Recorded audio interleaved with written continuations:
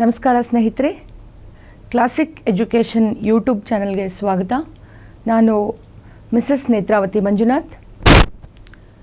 ಬಹಳ ಈ ರಾಜ್ಯದಲ್ಲಿ ಇಪ್ಪತ್ತೈದು ವರ್ಷಗಳಿಂದ ಕ್ಲಾಸಿಕ್ ಎ ಎಸ್ ಮತ್ತು I A S study circle ಸ್ಪರ್ಧಾತ್ಮಕ ಪರೀಕ್ಷೆಗಳಿಗೆ ತನ್ನದೇ ಆದ ಸೇವೆಯನ್ನು ಸಲ್ಲಿಸ್ತಾ ಬಂದಿದೆ.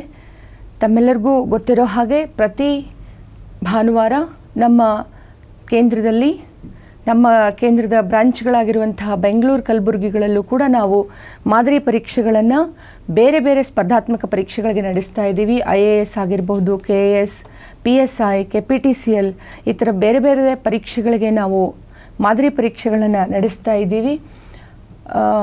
ಈ ಪರೀಕ್ಷೆಗಳು ನಿಮ್ಮ ಮುಖ್ಯ ಪರೀಕ್ಷೆಗಳ ದೃಷ್ಟಿಯಿಂದ ಬಹಳ ಮಹತ್ವವನ್ನು ಪಡೆದಿರೋದ್ರಿಂದ ಪ್ರತಿ ಭಾನುವಾರ ಈ ಮೂರು ಕೇಂದ್ರಗಳಲ್ಲಿ ಆಸಕ್ತಿ ಉಳ್ಳಂಥವರು ಪರೀಕ್ಷೆಗಳನ್ನು ಎದುರಿಸಬಹುದು. ಮತ್ತು ಇವತ್ತಿನ ದಿನ ನಾನು ಇವತ್ತು ನಮ್ಮ ಕೇಂದ್ರದಲ್ಲಿ ನಡೆದಂತಹ ಏನು ಮಾದರಿ ಪರೀಕ್ಷೆ ಇದೆ ಪಿ ಎಸ್ ಎ ಆಗಿರ್ಬೋದು K P T C L ಬೇರೆ ಬೇರೆ ಪರೀಕ್ಷೆಗಳ ದೃಷ್ಟಿಕೋನದಿಂದ ನಾವು ಇವತ್ತು ಪರೀಕ್ಷೆಯನ್ನು ನಡೆಸಿದ್ದೀವಿ. ಆ ಪರೀಕ್ಷೆಗಳ, ಆ ಇವತ್ತಿನ ಪತ್ರಿಕೆಯ ಆನ್ಸರ್ಗಳನ್ನು ಅನಾಲಿಸಿಸ್ ಮಾಡ್ಲಿಕ್ಕೆ ಅಂತ ಹೇಳಿ ಬಂದಿದ್ದೀನಿ. ಅಷ್ಟೇ ಅಲ್ಲ, ಈಗ ಮುಂಬರೋ ದಿನಗಳಲ್ಲಿ ಏನಿದೆ ಕೆಪಿಟಿಸಿಲ್ ಎಕ್ಸಾಮ್ ಇದೆ. ಈ ಕೆಪಿಟಿಸಿಲ್ ಎಕ್ಸಾಮ್ಗೆ ನಾವು ಮಂಗಳವಾರದಿಂದ ಐದು ದಿನ ಈ ಆನ್ಸರ್ ಸರಣಿಯನ್ನು ನಾನೇ ಮುಂದುವರಿಸ್ತೀನಿ. ನೂರು ಪ್ರಶ್ನೆಗಳಿಗೆ ವಿವರಣಾತ್ಮಕ ಉತ್ತರ ಕೊಡುವ ಪ್ರಯತ್ನವನ್ನು ನಾನು ಮಾಡ್ತೀನಿ. ಇದರ ಸದುಪಯೋಗವನ್ನು ನೀವು ಪಡ್ಕೊಳ್ಳಿಕ್ಕೆ ಸಾಧ್ಯ ಆಗಬೇಕು ಅಂತ ಹೇಳ್ತಾ. ಹಾಗಾಗಿ ತಡ ಮಾಡದೆ ಶುರು ಮಾಡೋಣ. ಇವತ್ತಿನ ಪತ್ರಿಕೆಯ ಉತ್ತರಗಳನ್ನು ಅಂತ ಹೇಳಿ.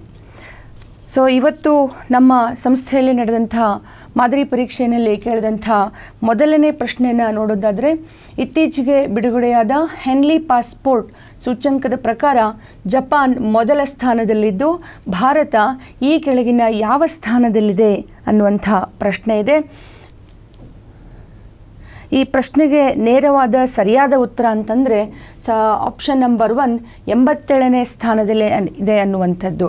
ಸ್ನೇಹಿತರೆ, ನಿಮ್ಗೆ ಗೊತ್ತಿರಬೇಕು, ಕನ್ ಕರೆಂಟ್ ಅಫೇರ್ಸ್ ಅಂತ ನಾವೇನು ಹೇಳ್ತೀವಿ, ಪ್ರಚಲಿತ ವಿದ್ಯಮಾನಗಳು ಅಂತ ನಾವೇನು ಹೇಳ್ತೀವಿ, ಇದಕ್ಕೆ ಸಂಬಂಧಪಟ್ಟ ಹಾಗೆ ಅಂತಾರಾಷ್ಟ್ರೀಯ ಮಟ್ಟದಲ್ಲಿ ಮತ್ತು ರಾಷ್ಟ್ರೀಯ ಮಟ್ಟದಲ್ಲಿ ಬೇರೆ ಬೇರೆ ಸಂಸ್ಥೆಗಳು ರಿಲೀಸ್ ಮಾಡುವಂತಹ ಇಂಡೆಕ್ಸ್ಗಳ ಸೂಚ್ಯಂಕಗಳ ಮೇಲೆ ನಮ್ಮ ಪರೀಕ್ಷೆಗಳಲ್ಲಿ ನೇರವಾದ ಪ್ರಶ್ನೆಗಳನ್ನು ಕೇಳ್ತಾರೆ.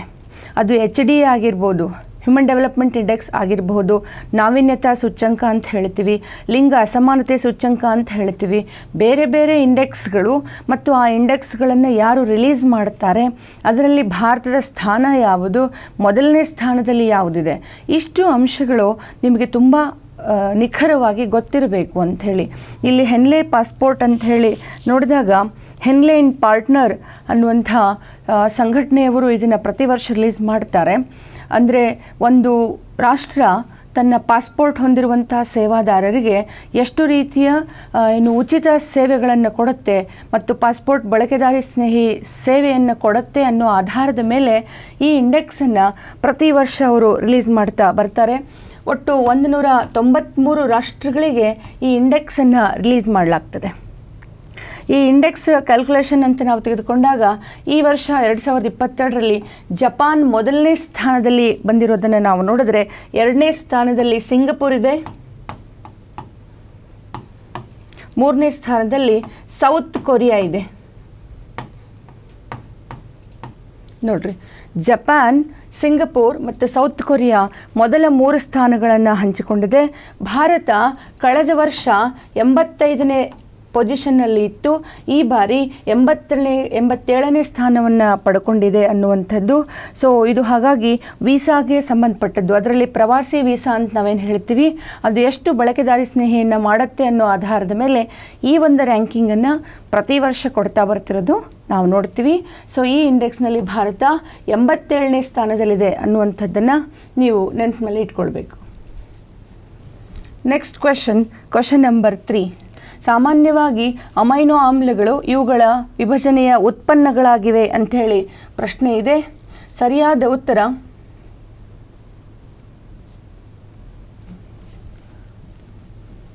ಸಾಮಾನ್ಯವಾಗಿ ಅಮೈನೋ ಆಮ್ಲಗಳು ಇವುಗಳ ವಿಭಜನೆಯ ಉತ್ಪನ್ನಗಳಾಗಿವೆ ಅಂತ ಹೇಳಿದೆ ಇದಕ್ಕೆ ಸರಿಯಾದ ಉತ್ತರ? ಆಪ್ಷನ್ ನಂಬರ್ ಫೋರ್ ಉತ್ತರ ನಂಬರ್ ನಾಲ್ಕು. ಇದಕ್ಕೆ ಸರಿಯಾದ ಉತ್ತರ ಆಗಿದೆ. ಮುಂದಿನ ಪ್ರಶ್ನೆಗೆ ಹೋಗೋಣ. ಕ್ವಶನ್ ನಂಬರ್ ಫೋರ್ ಕೆಳಕಂಡ ಯಾರನ್ನ ಆಧುನಿಕ ರಾಜಕೀಯ ವಿಜ್ಞಾನದ ಪಿತಾಮಹ ಅಂತ ಹೇಳಿ ಕರೀತಾರೆ. Who is the father of modern political science ಅನ್ನುವಂಥ ಪ್ರಶ್ನೆ ಇದೆ ಅಂತೇಳಿ. ಇಲ್ಲಿ ಬಹಳಷ್ಟು ಜನ ಕನ್ಫ್ಯೂಸ್ ಮಾಡ್ಕೊಳ್ಳುವಂತಹ ಸಾಧ್ಯತೆ ಇದೆ. ಏನಂತಂದರೆ ಪೊಲಿಟಿಕಲ್ ಸೈನ್ಸ್ ಪಿತಾಮಹ ಅಂದ ತಕ್ಷಣವೇ ನಂಬ್ಕೊಂಡು ಹೋಗೋ, ನಂಬ್ಕೊಂಡು ಹೋಗೋದಿಲ್ಲಂದ್ರೆ ಅರಿಸ್ಟಾಟಲ್ ಅವ್ರ ಹತ್ರ. ಬಟ್ ಇಲ್ಲಿ ಅವರು ಪರ್ಟಿಕ್ಯುಲರ್ ಆಗಿ ಕೇಳಿದ್ದಾರೆ, ಆಧುನಿಕ ಅಂತ ಹೇಳಿ ಕೇಳಿದ್ದಾರೆ. ಮಾಡರ್ನ್ ಪೊಲಿಟಿಕಲ್ ಸೈನ್ಸ್ ಅಂತ ಕೇಳುತ್ತಾರೆ. ಮಾಡರ್ನ್ ಪೊಲಿಟಿಕಲ್ ಸೈನ್ಸ್ ಪಿತಾಮಹ ಅಂತ ಬಂದಾಗ, ನಿಕೋಲೋ ಮೆಕಾವೆಲಿ ಅವರನ್ನು ನಾವು ಆಧುನಿಕ ಏನು ರಾಜಕೀಯ ವಿಜ್ಞಾನದ ಪಿತಾಮಹ ಅಂತೇಳಿ ಕರಿತೀವಿ. ಯಾಕಂದರೆ ಇವರು ದಿ ಪ್ರಿನ್ಸ್ ಅನ್ನುವಂಥ ಒಂದು ಕೃತಿಯನ್ನು ಬರೀತಾರೆ. ದಿ ಪ್ರಿನ್ಸ್ ಅನ್ನುವಂಥ ಒಂದು ಕೃತಿನಲ್ಲಿ ಅವರು ಒಬ್ಬ ರಾಜ, ಆ ರಾಜನ ಆಡಳಿತ, ಆಡಳಿತದ ಮಂತ್ರಿಮಂಡಲ ಈ ಎಲ್ಲವುಗಳ ಬಗ್ಗೆ ಅವರು ಸವಿಸ್ತಾರವಾದ ವಿವರಣೆಯನ್ನು ಕೊಡ್ತಾರೆ. ಆಧುನಿಕ ಏನು ರಾಜಕೀಯ ವ್ಯವಸ್ಥೆಯ ಬೆಳವಣಿಗೆಯಲ್ಲಿ ದಿ ಪ್ರಿನ್ಸ್ ಅನ್ನುವಂಥ ಕೃತಿ ಬಹಳ ದೊಡ್ಡ ಕೊಡುಗೆಯನ್ನು ಕೊಟ್ಟಿರೋದ್ರಿಂದ ಮೆಕ್ಯಾಲಿವೆಲಿಯವರನ್ನು ಆಧುನಿಕ ರಾಜಕೀಯ ವಿಜ್ಞಾನದ ಪಿತಾಮಹ ಅಂತ ಹೇಳಿ ಕರೀತಾರೆ. ಅರಿಸ್ಟಾಟಲ್ ಅವರು ಗೊತ್ತಿದೆ, ರಾಜ್ಯಶಾಸ್ತ್ರದ ಪಿತಾಮಹ ಅಂತ ಹೇಳಿ ಕರಿತೀವಿ. ಈ ಉಳಿದಂಥ ಎರಡು ಆಪ್ಷನ್ಸ್ಗಳು ಏನಿದೆ? ಇವರು ಪ್ರಖ್ಯಾತ ಏನಾಗಿದ್ರು ಅಂದರೆ ಅಸ್ಟ್ರೋನಮರ್ ಹಾಗೆ ಫಿಲಾಸಫರ್ ಕೂಡ ಆಗಿದ್ದಂಥವರಾಗಿದೆ. So right answer is Niccolo Niccolo Machiavelli ಮುಂದಿನ ಪ್ರಶ್ನೆಗೆ ಹೋಗೋಣ. ಕ್ವಶನ್ ನಂಬರ್ ಐದು. ಅನೋಡೈಸಿಂಗ್ ಪ್ರಕ್ರಿಯೆ ಎಂಬುವಂಥದ್ದು. ಕೆಳಗಿನ ಯಾವುದರ ಮೇಲ್ಮೈಯನ್ನು ರಕ್ಷಿಸಲು ಬಳಸುವಂತಹ ಸಾಧನವಾಗಿದೆ ಅನ್ನುವಂಥದ್ದು ಪ್ರಶ್ನೆಯಾಗಿದೆ. ಇದಕ್ಕೆ ಸರಿಯಾದ ಉತ್ತರ ಬಂದು ಆಪ್ಷನ್ ನಂಬರ್ ಫೋರ್ ಅಲ್ಯೂಮಿನಿಯಂ. ಈ ಪ್ರಕ್ರಿಯೆ ಏನಿದೆಯಲ್ಲ, ಈ ಪ್ರೊಸೆಸ್ ಏನಿದೆ, ಅಲ್ಯೂಮಿನಿಯಂನ ಮೇಲ್ಮೈಯನ್ನು ರಕ್ಷಿಸಲು ಬಳಸಿರುವಂಥ ಸಾಧನ ಆಗಿದೆ ಅನ್ನುವಂಥದ್ದು. ಹಾಗಾಗಿ ಉತ್ತರ ಸಂಖ್ಯೆ ನಾಲ್ಕು ಸರಿಯಾಗಿದೆ ಅಂತ.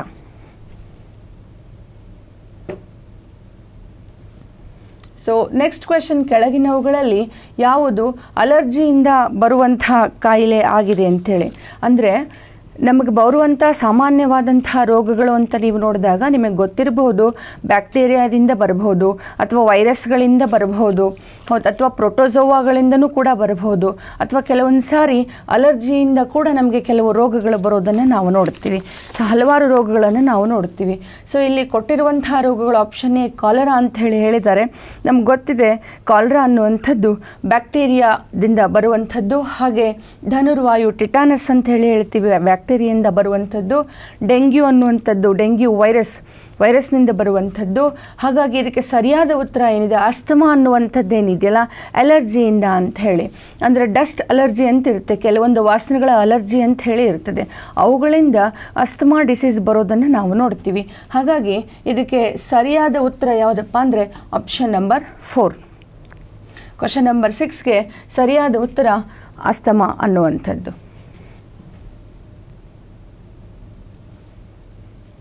ಮುಂದಿನ ಪ್ರಶ್ನೆಗೆ ಹೋಗೋಣ. ಅಗೇನ್ ಒಂದು ನೇರವಾದ ಕರೆಂಟ್ ಅಫೇರ್ಸ್ ಪ್ರಶ್ನೆ. ಎರಡು ಸಾವಿರದ ಇಪ್ಪತ್ತ್ಮೂರರ ಏಷ್ಯನ್ ಕಪ್ ಫುಟ್ಬಾಲನ್ನು ಈ ಕೆಳಕಂಡ ಯಾವ ದೇಶ ಆಯೋಜಿಸಿದೆ ಅನ್ನುವಂಥದ್ದು ನಾವು ಕೇಳ್ತೀವಿ. ಸೊ ನಿಮಗೆಲ್ಲರಿಗೂ ಗೊತ್ತಿರೋ ಹಾಗೆ ಸ್ಪೋರ್ಟ್ಸ್ ರಿಲೇಟೆಡ್ ಪ್ರಶ್ನೆಗಳನ್ನು ಪ್ರತಿ ಎಕ್ಸಾಮ್ಸ್ಗಳಲ್ಲೂ ಅವ್ರು ಕೇಳ್ತಾ ಬರ್ತಾರೆ ಅದು ಇಂಟರ್ನ್ಯಾಷನಲ್ ಇವೆಂಟ್ಸ್ಗಳು ಅದು ಕ್ರಿಕೆಟ್ ಆಗಿರ್ಬೋದು ಫುಟ್ಬಾಲ್ ಆಗಿರ್ಬೋದು ಚೆಸ್ ಆಗಿರ್ಬೋದು ಟೆನ್ನಿಸ್ ಆಗಿರಬಹುದು, ಬೇರೆ ಬೇರೆ ಒಂದು ಕ್ರೀಡೆಗಳ ಮೇಲೆ ಅಂತಾರಾಷ್ಟ್ರೀಯ ಕ್ರೀಡೆಗಳೇನು ಜರುಗ್ತವೆ, ಮತ್ತು ಅವುಗಳನ್ನು ಯಾವ ದೇಶ ಆಯೋಜನೆ ಮಾಡುತ್ತೆ ಅನ್ನೋದ್ರ ಮೇಲೆ ನೇರವಾದ ಪ್ರಶ್ನೆಗಳನ್ನು ಪ್ರತಿ ಎಕ್ಸಾಮ್ಸಲ್ಲೂ ಕೇಳ್ತಾ ಬರ್ತಾರೆ. ಸೊ ಇಲ್ಲಿ ಕೇಳಿರೋದು ಏಷ್ಯನ್ ಕಪ್ ಫುಟ್ಬಾಲ್ ಅನ್ನುವಂಥದ್ದು ಅಂತೇಳಿ. ಸೊ ಇದು ಎರಡು ಸಾವಿರದ ಇಪ್ಪತ್ತ್ಮೂರಲ್ಲಿ ನಡೆದಿರುವಂಥದ್ದು. ಎರಡು ಸಾವಿರದ ಇಪ್ಪತ್ತ್ಮೂರಲ್ಲಿ ನಡೆದಿರುವಂಥ ಏಷ್ಯನ್ ಕಪ್ ಫುಟ್ಬಾಲ್ ಏನಿದೆ ಇಟ್ಸ್ ಏಯ್ಟೀನ್ತ್ ಎಡಿಷನ್ ಅಂತ ಹೇಳ್ತೀವಿ. ಇದು ಹದಿನೆಂಟನೇ ಎಡಿಷನ್ ಇದು ಈ ಬಾರಿ ನಡೆದಿರುವಂಥದ್ದು. ಈ ಏಷ್ಯನ್ ಕಪ್ ಫುಟ್ಬಾಲ್ ಏನಿದೆ, ಇದನ್ನು ಏಷ್ಯನ್ ಫುಟ್ಬಾಲ್ ಫೆಡರೇಷನ್ ಅವರು ನಡೆಸ್ತಾರೆ. ಏಷ್ಯನ್ ಫುಟ್ಬಾಲ್ ಫೆಡರೇಷನ್ ಅಂತ ಹೇಳ್ತೀವಿ. ಏಷ್ಯನ್ ಫುಟ್ಬಾಲ್ ಫೆಡರೇಷನ್ನವರು ಇದನ್ನು ಆಯೋಜನೆ ಮಾಡ್ತಾರೆ ಸೊ ಇದರಲ್ಲಿ ಸುಮಾರು ಇಪ್ಪತ್ನಾಲ್ಕು ತಂಡಗಳು ಭಾಗವಹಿಸೋದನ್ನು ನಾವು ನೋಡ್ತೀವಿ. ಈ ಬಾರಿಯ ಏಷ್ಯನ್ ಕಪ್ ಫುಟ್ಬಾಲ್ ಆಗಲೇ ಅಂದರೆ ಜೂನ್ ತಿಂಗಳು ನಡೆದಿದೆ. ಈ ಜೂನ್ ತಿಂಗಳ ಏಷ್ಯನ್ ಕಪ್ಪನ್ನು ನಡೆಸಿದ್ದು ಈಗ ಸದ್ಯಕ್ಕೆ ಅಂತ ಬಂದಾಗ ಆನ್ಸರ್ ಇಸ್ ಚೀನಾ. ಚೀನಾ ದೇಶದಲ್ಲಿ ಈ ಎರಡು ಸಾವಿರದ ಇಪ್ಪತ್ತ್ಮೂರರ ಏಷ್ಯನ್ ಕಪ್ ಫುಟ್ಬಾಲನ್ನು ಆಯೋಜನೆ ಮಾಡಲಾಗಿತ್ತು. ನೀವು ನೇರವಾಗಿರುವಂತಹ ಉತ್ತರ ಇದು. ನೆನಪಿನಲ್ಲಿ ಇಟ್ಕೊಳ್ಳಿಕ್ಕೆ ಸಾಧ್ಯ ಆಗಬೇಕು. ನೆಕ್ಸ್ಟ್ ಪ್ರಶ್ನೆ ಎಂಟಕ್ಕೆ ಹೋಗೋಣ.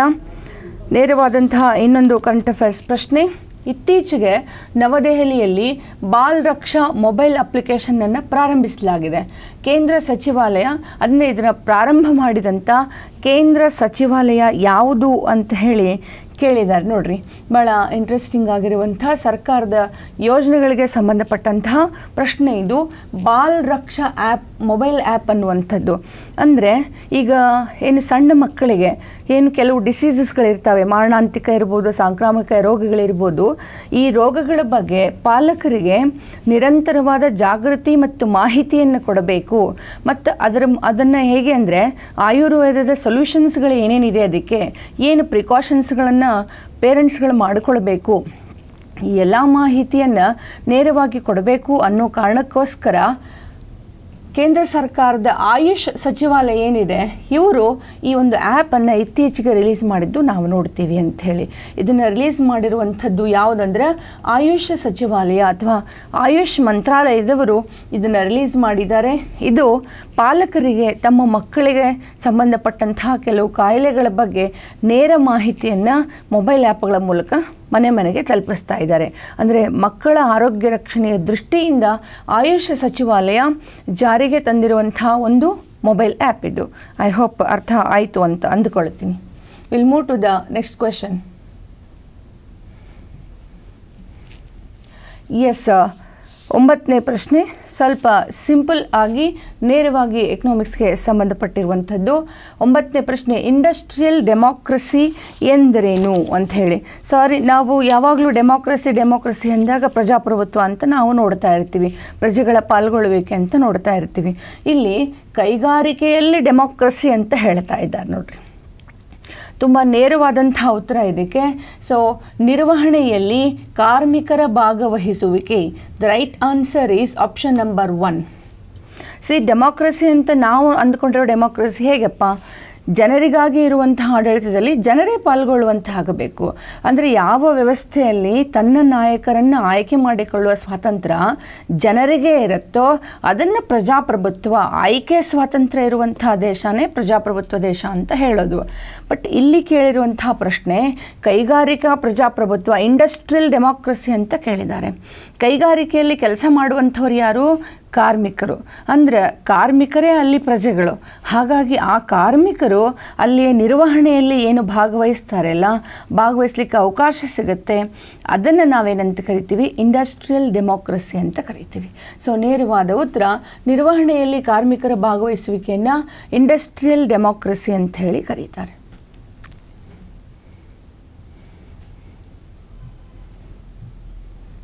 ಮುಂದಿನ ಪ್ರಶ್ನೆಗೆ ಹೋಗೋಣ. ಪ್ರಶ್ನೆ ನಂಬರ್ ಹತ್ತು. Aix la Chapelle seventeen forty eight ಒಪ್ಪಂದವನ್ನು ಉಲ್ಲೇಖಿಸಿ, ಈ ಕೆಳಗಿನ ಯಾವ ಹೇಳಿಕೆ ಸರಿಯಾಗಿದೆ ಅಂಥೇಳಿ ಕೇಳ್ತಾ ಇದ್ದಾರೆ. ನಿಮಗೆ ಗೊತ್ತಿರಬೇಕು ಎಕ್ಸ್ಲಾ ಚಾಪಲ್ ಒಪ್ಪಂದ ಅಂಥೇಳಿ ನಮ್ಮ ದೇಶದಲ್ಲಿ ಯುರೋಪಿಯನ್ನರ ಆಗಮನ ಸಂದರ್ಭದಲ್ಲಿ ಕರ್ನಾಟಕ ಯುದ್ಧಗಳು ಜರುಗಿದವು. ಈ ದೇಶದಲ್ಲಿ ಮೊದಲನೇ ಕರ್ನಾಟಕ ಯುದ್ಧ, ಎರಡನೇ ಕರ್ನಾಟಕ ಯುದ್ಧ ಅಂತಿಗೆ ಯುದ್ಧಗಳು ಆಂಗ್ಲೋ ಫ್ರೆಂಚ್ ಯುದ್ಧಗಳು ನಮ್ಮ ದೇಶದಲ್ಲಿ ನಡೆದಿರೋದು ನಾವು ನೋಡ್ತೀವಿ ಅದು ದಕ್ಕನ್ ಪ್ರಸ್ಥಭೂಮಿ ಅಂದರೆ ದಕ್ಷಿಣ ಭಾರತದಲ್ಲಿ ನಡೆದಿರೋದ್ರಿಂದ ಕರ್ನಾಟಕ ಯುದ್ಧಗಳು ಅಂತ ನಾವು ನೋಡ್ತೀವಿ ಅಂತ ಹೇಳಿ. ಅದಕ್ಕೆ ಸಂಬಂಧಪಟ್ಟಾಗೆ ಸ್ಟೇಟ್ಮೆಂಟ್ ಇದೆ. ಸೊ ಎಕ್ಸ್ಲಾ ಚಾಪಲ್ ಒಪ್ಪಂದದಿಂದ ಮೊದಲ ಕರ್ನಾಟಕ ಯುದ್ಧವು ಕೊನೆಗೊಂಡಿತು. ನೋಡ್ರಿ, ಒಂದು ಸ್ಟೇಟ್ಮೆಂಟ್ ಹೀಗಿದೆ.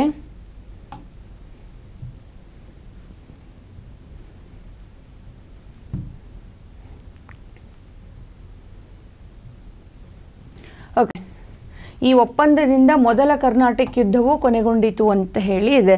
ಸೊ ನಿಮಗೆ ಗೊತ್ತಿರಬೇಕು ಹದಿನೇಳುನೂರ ನಲವತ್ತಾರರಿಂದ ನಲವತ್ತೆಂಟರವರೆಗೆ ಮೊದಲ ಕರ್ನಾಟಕ ಯುದ್ಧ ನಡೀತು. ಫಸ್ಟ್ ಕರ್ನಾಟಕ ವಾರ್ ಯಾರ ನಡುವೆ? ಫ್ರೆಂಚರು ಮತ್ತು ಇಂಗ್ಲೀಷ್ ನಡುವೆ? ನಡೆದಿದ್ದು ಇಂಡಿಯಾದಲ್ಲಿ ಅಂಥೇಳಿ. ದಖನ್ ನವಾಬಗಿರಿಗಾಗಿ ನಡೆದಂಥ ಯುದ್ಧ ಅದು.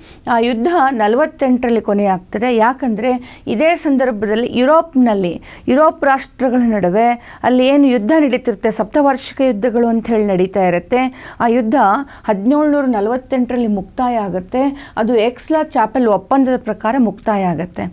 ಯಾವಾಗ ಯುರೋಪ್ನಲ್ಲಿ ಆ ಯುದ್ಧ ಮುಕ್ತಾಯವಾಗುತ್ತವೋ ಹಾಗೆ ನಮ್ಮ ದೇಶದಲ್ಲಿದ್ದಂತಹ ಫ್ರೆಂಚರು ಮತ್ತು ಬ್ರಿಟಿಷ್ ನಡುವೆ ಏನು ಯುದ್ಧ ನಡೀತಿತ್ತು, ಅದರ ಪರ, ಅದರ ಒಂದು ಪ್ರಭಾವದಿಂದ ಮೊದಲ ಕರ್ನಾಟಕ ಯುದ್ಧ ಕೂಡ ಇಲ್ಲಿ ಕೊನೆಯಾಗುತ್ತೆ. ಹಾಗಾಗಿ ಈ ಸ್ಟೇಟ್ಮೆಂಟು ಸರಿಯಾಗಿದೆ ಅನ್ನುವಂಥದ್ದು. ಹಾಗೆ ಎರಡನೇ ಸ್ಟೇಟ್ಮೆಂಟ್ ಇದೆ, ಫ್ರೆಂಚರು ಮದ್ರಾಸನ್ನು ಮರಳಿ ಪಡೆದರು ಅಂತ ಹೇಳಿ ಇದೆ. ಹೌದಾ? ಸೊ ಆ್ಯಕ್ಚುಲಿ ಇದು ತಪ್ಪಾಗಿದೆ ಬಿಕಾಸ್ ಈ ಯುದ್ಧದಲ್ಲಿ ಫ್ರೆಂಚ್ ಮೇಲ್ಗೈ ಆದರೂ ಕೂಡ ಮದ್ರಾಸನ್ನು ಮರಳಿ ಪಡೆಯಲಾಗಲಿಲ್ಲ. ಆಪ್ಷನ್ ಎ ಮಾತ್ರ ಸರಿಯಾಗಿದೆ ನೋಡ್ರಿ. ಹಾಗಾಗಿ ಕ್ವಶನ್ ನಂಬರ್ ಹತ್ತು ಆಪ್ಷನ್ ಎ ಸರಿಯಾಗಿದೆ.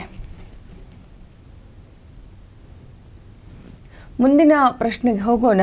ಕ್ವಶನ್ ನಂಬರ್ ಹನ್ನೊಂದು, ಕೆಳಕಂಡ ಯಾವ ಲಿಪಿಯನ್ನು ಇಂಡೋ ಬ್ಯಾಕ್ಟೀರಿಯನ್ ಸ್ಕ್ರಿಪ್ಟ್ ಅಂತ ಹೇಳಿ ಕರೀತಾರೆ ಅಂಥೇಳಿ ಲಿಪಿ ಬಗ್ಗೆ ಕೇಳಿದ್ದಾರೆ. ಎಸ್ ಇಂಟ್ರೆಸ್ಟಿಂಗ್ ಆಗಿರುವಂಥದ್ದಿದು ಇದು. ನಮಗೆ ನಾರ್ಮಲಿ ನಾವು ಯಾವ ಹೆಸರಿನಿಂದ ತಿಳ್ಕೊಂಡಿರ್ತೀವಿ ಅಂದರೆ ಇತಿಹಾಸದೊಳಗೆ ಕ್ರಿಸ್ತಶಕ ಪೂರ್ವ ನಾಲ್ಕು ಕ್ರಿಸ್ತಶಕ ಪೂರ್ವ ಮೂರು ನಾಲ್ಕನೇ ಶತಮಾನದಲ್ಲಿ ಕಂಡುಬರುವಂಥದ್ದು ಇದು ಕಂಡುಬಂದಂತಹ ಒಂದು ಸ್ಕ್ರಿಪ್ಟ್ ಇದು, ಲಿಪಿ ಇದು. ಇದನ್ನು ನಾವು ಬಹುತೇಕರು ಖರೋಷ್ಠಿ ಲಿಪಿ ಅಂತ ಹೇಳಿ ತಿಳ್ಕೊಂಡಿದ್ದೀವಿ. ಯಾಕಂದರೆ ಇದು ಮಧ್ಯ ಏಷ್ಯಾ ಗಾಂಧಾರ ಪ್ರದೇಶ ಅಂತ ನಾವೇನು ಕರಿತೀವಿ ನಾವು, ಅವರಿಂದ ಬಂದಂಥ ಭಾಷೆ ಇದು. ಇದು ಈಗಿನ ಇರಾನ್ ಅಂತ ನಾವೇನು ಹೇಳ್ತೀವಿ? ಇರಾನ್ ಪ್ರದೇಶ, ಗಾಂಧಾರ್ ಪ್ರದೇಶ ಏನಿದೆ, ಅಲ್ಲಿ ಬೆಳೆದಿದ್ದಂತಹ ಭಾಷೆ ಇದು. ಇದು ಕುಶಾಣರ ಮೂಲಕ ನಮ್ಮ ದೇಶಕ್ಕೆ ಬಂದಿದ್ದು ನಾವು ನೋಡ್ತೀವಿ. ಹಾಗಾಗಿ ಗಾಂಧಾರದ ಕಲೆಯ, ಗಾಂಧಾರ ಶಿಲ್ಪದ ಒಂದು ಬಹಳ ದೊಡ್ಡ ಇತಿಹಾಸ ನಮ್ಮ ದೇಶದಲ್ಲಿ ಜರುಗಿದ್ದು ನಾವು ನೋಡ್ತೀವಿ. ಸೊ ಈ ಖರೋಷ್ಠಿ ಲಿಪಿಗೆನೇ ಬ್ಯಾಕ್ಟೀರಿಯನ್ ಸ್ಕ್ರಿಪ್ಟ್ ಅಂತ ಕೂಡ ಕರೀತಾರೆ ಅನ್ನುವಂಥದ್ದು ಅಂತ. ಮತ್ತು ಇದು ನಮಗೆ ಎಕ್ಸಾಮ್ ದೃಷ್ಟಿಯಿಂದ ಇನ್ನೂ ಯಾಕೆ ಇಂಪಾರ್ಟೆಂಟ್ ಅಂದರೆ ಈ ಪಾಲಿ ಭಾಷೆ ಅಥವಾ ಬ್ರಾಹ್ಮಿ ನಾವೇನಂತ ಹೇಳಿ ಹೇಳ್ತೀವಿ, ಈ ಭಾಷೆಯಲ್ಲಿ, ಪಾಲಿ ಮತ್ತು ಸಂಸ್ಕೃತ ಭಾಷೆಗಳಲ್ಲಿ ಈ ಲಿಪಿಯನ್ನು ಬರೀಲಾಗ್ತಿತ್ತು ಅಂತ. ಅಶೋಕನ ವಾಯುವ್ಯ ಭಾರತದ ಹಲವಾರು ಶಾಸನಗಳು ಖರೋಷ್ಠಿ ಲಿಪಿಯಲ್ಲಿರುವಂಥದ್ದು ನಮಗೆ ಗೊತ್ತಿದೆ ಅಂತ. ವಾಯುವ್ಯ ಭಾಗದಿಂದ ಏನು ಕುಶಾಣರ ಆಗಮನ ಇತ್ತು, ಆ ಭಾಗದಲ್ಲಿ ಎಷ್ಟೊಂದು ಕಡೆ ಅಶೋಕನ ಶಾಸನಗಳು ಈ ಖರೋಷ್ಠಿ ಲಿಪಿಯಲ್ಲಿ ದೊರೆತಿರೋದು ನಾವು ನೋಡ್ತೀವಿ ಅನ್ನುವಂಥದ್ದು. ಹಾಗಾಗಿ ಖರೋಷ್ಠಿ ಭಾಷೆ ಆಗಿರ್ಬೋದು, ಗಾಂಧಾರ ಶಿಲ್ಪಕಲೆ ಆಗಿರ್ಬೋದು ಕುಶಾಣರು ಭಾರತಕ್ಕೆ ತಂದು ಕೊಟ್ಟಿದ್ದು ಅಂತ ಅವರು ತಂದು ಕೊಟ್ಟಂಥ ಒಂದು ಬಳುವಳಿ. ಹಾಗಾಗಿ the right answer is option number two ಅಂತ ಹೇಳಿ ಹೇಳುತ್ತೆ. Will move to the next question next question number ಹನ್ನೆರಡು ಅಂತ. ಹನ್ನೆರಡು ಈ ಕೆಳಗಿನವುಗಳಲ್ಲಿ ಯಾವುದು ಸರಿಯಾಗಿದೆ ಅಂತ ಹೇಳಿ ಹೇಳಲಾಗಿದೆ. ಆಪ್ಷನ್ ಎ, ಹೂವು, ಸಸ್ಯದ ಸಂತಾನೋತ್ಪತ್ತಿ ಭಾಗ ಆಗಿದೆ, ಸರಿಯಾಗಿದೆ. ಕೇಸರ ಅಥವಾ ಶಲಾಕೆಯನ್ನು ಮಾತ್ರ ಹೊಂದಿದ್ದರೆ ಆ ಹೂವನ್ನು ಏಕಲಿಂಗಿ ಅಂತ ಹೇಳಿ ಬೈಲಿಂಗ್ವಲ್ ಅಂತ ಸಾರಿ ಸಿಂಗ್ಯುಲರ್ ಲಿಂಗ್ವಲ್ ಅಂತ ಹೇಳಿ ಕರೀತಾರೆ. ಹಾಗಾಗಿ ಇಲ್ಲಿ ಬಂದಿರುವಂಥ ಪ್ರಶ್ನೆಗೆ ಸರಿಯಾದ ಉತ್ತರ ಆಪ್ಷನ್ ನಂಬರ್ ತ್ರೀ ಎ ಮತ್ತು ಬಿ ಎರಡೂ ಕೂಡ ಸರಿಯಾಗಿದೆ ಎನ್ನುವಂಥದ್ದು. Option number three is right answer next question number ಹದಿಮೂರು ಅಂತ ಹೇಳಿ ಹೇಳ್ತೀವಿ. ಕೆಳಗಿನ ಯಾವ ಹೇಳಿಕೆ ಸರಿಯಾಗಿದೆ ಅಂತ ಹೇಳಿ ಕೇಳ್ತಾ ಇದ್ದಾರೆ. ಹಾಗಾಗಿ ಇದು ಅಸ್ಸಾಂಗೆ ಸಂಬಂಧಪಟ್ಟಂಥ ಒಂದು ಟ್ರೆಡಿಷ್ನಲ್ ಫೆಸ್ಟಿವಲ್ಗೆ ಸಂಬಂಧಪಟ್ಟಿರುವಂಥದ್ದು. ಸಕಾವಾ ಉತ್ಸವವನ್ನು ಸಿಕ್ಕಿಂನಲ್ಲಿ ಆಚರಣೆ ಮಾಡಲಾಗ್ತದೆ ಎನ್ನುವಂಥದ್ದು. ಮತ್ತು ಈ ಉತ್ಸವವನ್ನು ಪ್ರಕೃತಿ ಮಾತೆಗೆ ಗೌರವ ಸಲ್ಲಿಸುವ ಉದ್ದೇಶದಿಂದ ಸಿಕ್ಕಿಂನ ರಾಯ್ಸ್ ಸಮುದಾಯ ಇದನ್ನು ಆಚರಿಸುತ್ತೆ ಅಂತ ಹೇಳಿ ಎರಡೂ ಸ್ಟೇಟ್ಮೆಂಟ್ಗಳು ಕೂಡ ಸರಿಯಾಗಿದ್ದಾವೆ ಯಾಕಂದರೆ ಕಿರತ್ ಖಾಂಬು ರೈ ಎನ್ನುವಂಥ ಒಂದು ಕಮ್ಯುನಿಟಿ ಬರುತ್ತೆ.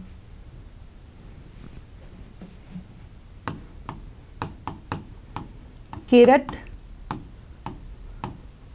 ಕಾಂಭು, ರೈ. ಈ ಕಮ್ಯುನಿಟಿನ ಸಿಕ್ಕಿಂನಲ್ಲಿರುವಂಥ ಈ ಕಮ್ಯುನಿಟಿ ಪ್ರಕೃತಿ ಮಾತೆಯನ್ನು ಆರಾಧಿಸ್ಲಿಕ್ಕೋಸ್ಕರ ಅವರ ಏನಂತಂದರೆ ಈ ತೊಗಲಿನಿಂದ ಮಾಡಿದಂಥ ಕೆಲವು ಡೊಳ್ಳು ನಗಾರಿಗಳ ಅವುಗಳ ಸಹಾಯದ ಅವುಗಳನ್ನು ಬಾರಿಸೋದ್ರ ಮೂಲಕ ಈ ಒಂದು ಸೆಲೆಬ್ರೇಷನನ್ನು ಮಾಡ್ತಾರೆ. ಸಕಾವಾ ಫೆಸ್ಟಿವಲ್ ಅಂತ ಹೇಳಿ ಸಿಕ್ಕಿಂನಲ್ಲಿ ಇದನ್ನು ನಾವು ಕರೆಯೋದು ನಾವು ನೋಡ್ತೀವಿ ಅಂತ ಹೇಳಿ ಅಲ್ಲಿನ ಈ ಸಮುದಾಯದವರಿಗೆ, ರೈ ಸಮುದಾಯದವರ ಅತ್ಯಂತ ಪ್ರಮುಖವಾದಂಥ ಫೆಸ್ಟಿವಲ್ ಇದು. ಫ್ರೆಂಡ್ಸ್ ನೀವು ಇನ್ನೊಂದು ನೆನಪಲ್ಲಿ ಇಟ್ಕೊಳ್ಬೇಕು. ಯಾವಾಗಲೂ ನಿಮ್ಮ ಪರೀಕ್ಷೆಗಳಲ್ಲಿ ಆರ್ಟ್ ಆ್ಯಂಡ್ ಕಲ್ಚರ್ಗೆ ಸಂಬಂಧಪಟ್ಟ ಹಾಗೆ ಪ್ರಶ್ನೆಗಳು ಬರುತ್ತೆ. ಆರ್ಟ್ ಆ್ಯಂಡ್ ಕಲ್ಚರ್ ಅಂತ ಬಂದಾಗ ಅದು ಸಾಹಿತಿಗಳಾಗಿರ್ಬೋದು, ಅವರ ಕೃತಿಗಳಾಗಿರ್ಬೋದು. ಅಥವಾ ನೀವು ಜಾನಪದ ಕಲೆಗಳು ಯಾವ್ಯಾವ ರಾಜ್ಯದಲ್ಲಿ ಯಾವ ಕಲೆ ಇದೆ ಅನ್ನುವಂಥದ್ದು, ಯಾವ ರಾಜ್ಯದಲ್ಲಿ ಯಾವ ಹಬ್ಬಗಳನ್ನು ಆಚರಣೆ ಮಾಡ್ತಾರೆ ಬುಡಕಟ್ಟು ಸಮುದಾಯಗಳು ಯಾವುದು, ಯಾವ ರಾಜ್ಯದಲ್ಲಿದೆ ಅನ್ನುವಂಥದ್ದು, ಮತ್ತು ಸಾಂಪ್ರದಾಯಿಕ ನೃತ್ಯಗಳು ಯಾವುದು ಕ್ಲಾಸಿಕಲ್ ಡಾನ್ಸಸ್ಗಳು ಯಾವುದು, ಅದು ಯಾವ ರಾಜ್ಯಕ್ಕೆ ಸಂಬಂಧಪಟ್ಟಿದೆ, ಈ ಎಲ್ಲ ಮಾಹಿತಿಗಳು ನಿಮ್ಮ ಪರೀಕ್ಷಾ ದೃಷ್ಟಿಯಿಂದ ಮುಖ್ಯ ಆಗಿರ್ತಾವ. ದಯವಿಟ್ಟು ಅದನ್ನು ಸ್ವಲ್ಪ ನೋಡಿಕೊಳ್ಳಿಕ್ಕೆ ಸಾಧ್ಯ ಆಗಬೇಕು ಅನ್ನುವಂಥದ್ದು. ನೆಕ್ಸ್ಟ್ ಕ್ವಶನ್ ನಂಬರ್ ಹದಿನಾಲ್ಕಕ್ಕೆ ಬರೋಣ. ಕೆಳಕಂಡ ಯಾವ ಹೊಂದಾಣಿಕೆ ಸರಿಯಾಗಿದೆ ಅಂತ ಹೇಳಿ ಇಲ್ಲಿ ಪ್ರಶ್ನೆ ಇದೆ ಎನ್ನುವಂಥದ್ದು. ಅಂದರೆ ಇಲ್ಲಿ ಕವಿಗಳು ಮತ್ತು ಅವರ ಕೃತಿಗಳನ್ನು ಕೊಟ್ಟಿದ್ದಾರೆ. ನಾನು ಆಗಲೇ ಮಾತಾಡ್ತಾ ಹೇಳ್ತಿದ್ದೆ, ಆಧುನಿಕ ಕವಿಗಳು ಮತ್ತು ಪ್ರಾಚೀನ ಕವಿಗಳು ಇಬ್ಬರು ಕೂಡ ನಿಮಗೆ ಮಾಹಿತಿ ಇರಬೇಕು. ಅವರು ಬರೆದಂತಹ ಕೃತಿಗಳ ಮೇಲೆ ಪ್ರತಿ ಎಕ್ಸಾಮ್ಸಲ್ಲಿ ನೇರವಾಗಿ ಪ್ರಶ್ನೆಗಳನ್ನು ಕೇಳ್ತಾ ಇದ್ದಾರೆ. ಹಾಗಾಗಿ ಬೇರೆ ಬೇರೆ ಕ ಇಲ್ಲಿ ಅದರಲ್ಲೂ ಕರ್ನಾಟಕದ ಜ್ಞಾನಪೀಠ ಪ್ರಶಸ್ತಿ ವಿಜೇತರ ಕವಿಗಳೇನು ಬರ್ತಾರೆ, ಅವರ ಕೃತಿಗಳ ಬಗ್ಗೆ ಇಲ್ಲಿ ಯಾವ ಹೊಂದಾಣಿಕೆ ಸರಿಯಾಗಿದೆ ಅಂತ ಹೇಳಿ ಕೇಳಿದ್ದಾರೆ. ಸೊ ಇದರಲ್ಲಿ ನಿಮಗೆ ಕ್ಲಿಯರ್ ಆಗಿ ಗೊತ್ತಾಗ್ತಿದೆ ಅಂತ ಅಂದ್ಕೊಳ್ತೀನಿ ನಾನು.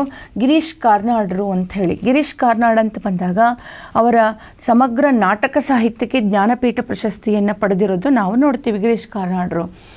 ತಲೆದಂಡ, ಯಯಾತಿ ಹಯವದನ ನೋಡ್ರಿ. ಗಿರೀಶ್ ಕಾರ್ನಾಡ್ರ ನಾಟಕಗಳಲ್ಲಿ ಬರ್ತವೆ ಇವುಗಳು ಅವರ ಪ್ರಸಿದ್ಧ ನಾಟಕಗಳಿವು.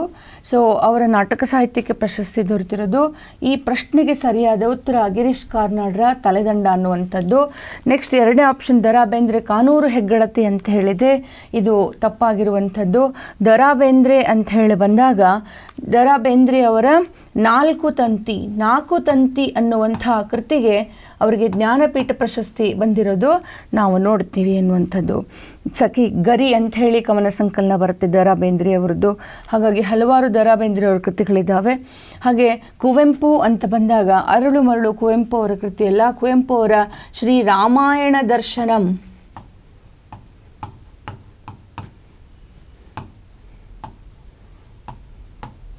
ಈ ಕೃತಿಗೆ ಅವರಿಗೆ ಜ್ಞಾನಪೀಠ ಪ್ರಶಸ್ತಿ ಸಿಕ್ಕಿದೆ. ಹಾಗೆ ಕುವೆಂಪು ಅವರ ಮಲೆಗಳಲ್ಲಿ ಮದುಮಗಳು ಅನ್ನುವಂಥ ಕಾದಂಬರಿ ಆಗಿರ್ಬೋದು, ರಕ್ತಾಕ್ಷಿ ಅನ್ನುವಂಥದ್ದು ಆಗಿರ್ಬೋದು, ಹಲವಾರು ಕೃತಿಗಳನ್ನು ಕುವೆಂಪುರವರು ಬರೆದಿದ್ದಾರೆ. ಸೊ ಅವರ ಜ್ಞಾನಪೀಠ ಪ್ರಶಸ್ತಿ ವಿಜೇತ ಕೃತಿ ಶ್ರೀ ರಾಮಾಯಣ ದರ್ಶನಂ ಆಗಿರ್ಬೋದು. ಹಾಗೆ ಕಾರಂತರು ಅಂತ ಹೇಳಿ ಕರೆದಿದ್ದಾರೆ. ರಾಮಾಯಣ ದರ್ಶನಂ ಅವರು, ಇದು ಕುವೆಂಪು ಅವರ ಕೃತಿ. ನಿಮಗೆ ಗೊತ್ತಿರಲಿ, ಕಾರಂತರ ಮೂಕಜ್ಜಿಯ ಕನಸುಗಳು ಅನ್ನುವಂಥ ಕೃತಿಗೆ ಜ್ಞಾನಪೀಠ ಪ್ರಶಸ್ತಿ ಬಂದಿರೋದು ನಾವು ನೋಡ್ತೀವಿ ಅಂತ. ನೀವು ಇವುಗಳು ತುಂಬ ನೀಟಾಗಿ ತಿಳ್ಕೊಳ್ಳಿಕ್ಕೆ ಕ್ಲಿಯರಾಗಿ ಮಾಡ್ಕೊಳ್ಳೋದಕ್ಕೆ ಸಾಧ್ಯ ಆಗಬೇಕು. ನೇರವಾಗಿ ಪ್ರಶ್ನೆ ಇದೆ. ಹಾಗಾಗಿ ಆಪ್ಷನ್ ಒಂದು ಹೊಂದಾಣಿಕೆ ಮಾತ್ರ ಸರಿಯಾಗಿದೆ. ಹಾಗೆ ಕ್ವಶನ್ ನಂಬರ್ ಹದಿನೈದಕ್ಕೆ ಹೋಗೋಣ. ಸೊ ಇದು ನೇರವಾದ ಪ್ರಶ್ನೆ, ನಿಮಗೆ ನೇರವಾದ ಉತ್ತರ. ಲಾಲ್ ಬಹದ್ದೂರ್ ಶಾಸ್ತ್ರಿ ಸಾಗರ ಡ್ಯಾಮ್ ಅಂತ ಹೇಳಿ ಕರ್ನಾಟಕದ ಯಾವ ಡ್ಯಾಮ್ಗೆ ಕರೀತಾರೆ ಅಂತ ಹೇಳಿ ಕೇಳಲಾಗಿದೆ. ಸೊ ತುಂಬ ಸರಳವಾದ ಉತ್ತರ. ಆಪ್ಷನ್ ನಂಬರ್ ಎರಡು is right answer is Almatti dam ಆಲಮಟ್ಟಿಗೆ dam ಏನಿದೆ? ಅಂದರೆ ನಾವೇನು ಕೂಡಲ ಸಂಗಮ ಆಲಮಟ್ಟಿ ಡ್ಯಾಮ್ ಅಂತ ಹೇಳಿ ಕರಿತೀವಿ. ಏನು ಕೃಷ್ಣಾ ನದಿಗೆ ಕಟ್ಟಲಾಗಿರುವಂಥ ಡ್ಯಾಮ್ ಅಂತ ಹೇಳ್ತೀವಿ.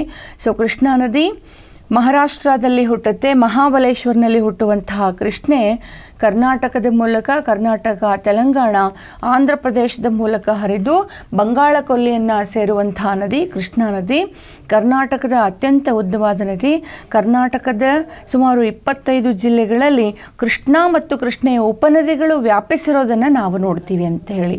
ಇಪ್ಪತ್ತೈದಕ್ಕಿಂತ ಹೆಚ್ಚು ಜಿಲ್ಲೆಗಳಲ್ಲಿ ಅದರ ಎಲ್ಲ ಉಪನದಿಗಳು ವ್ಯಾಪಿಸ್ಕೊಂಡಿದ್ದಾವೆ ಕೃಷ್ಣೆಯ ಎಲ್ಲ ಉಪನದಿಗಳಲ್ಲಿ ನಮಗೊಂದು ಮೂರು ಉಪನದಿಗಳು ನಿಮ್ಮ ಪರೀಕ್ಷಾ ದೃಷ್ಟಿಯಿಂದ ಇಂಪಾರ್ಟೆಂಟ್ ಆಗ್ತಾವೆ.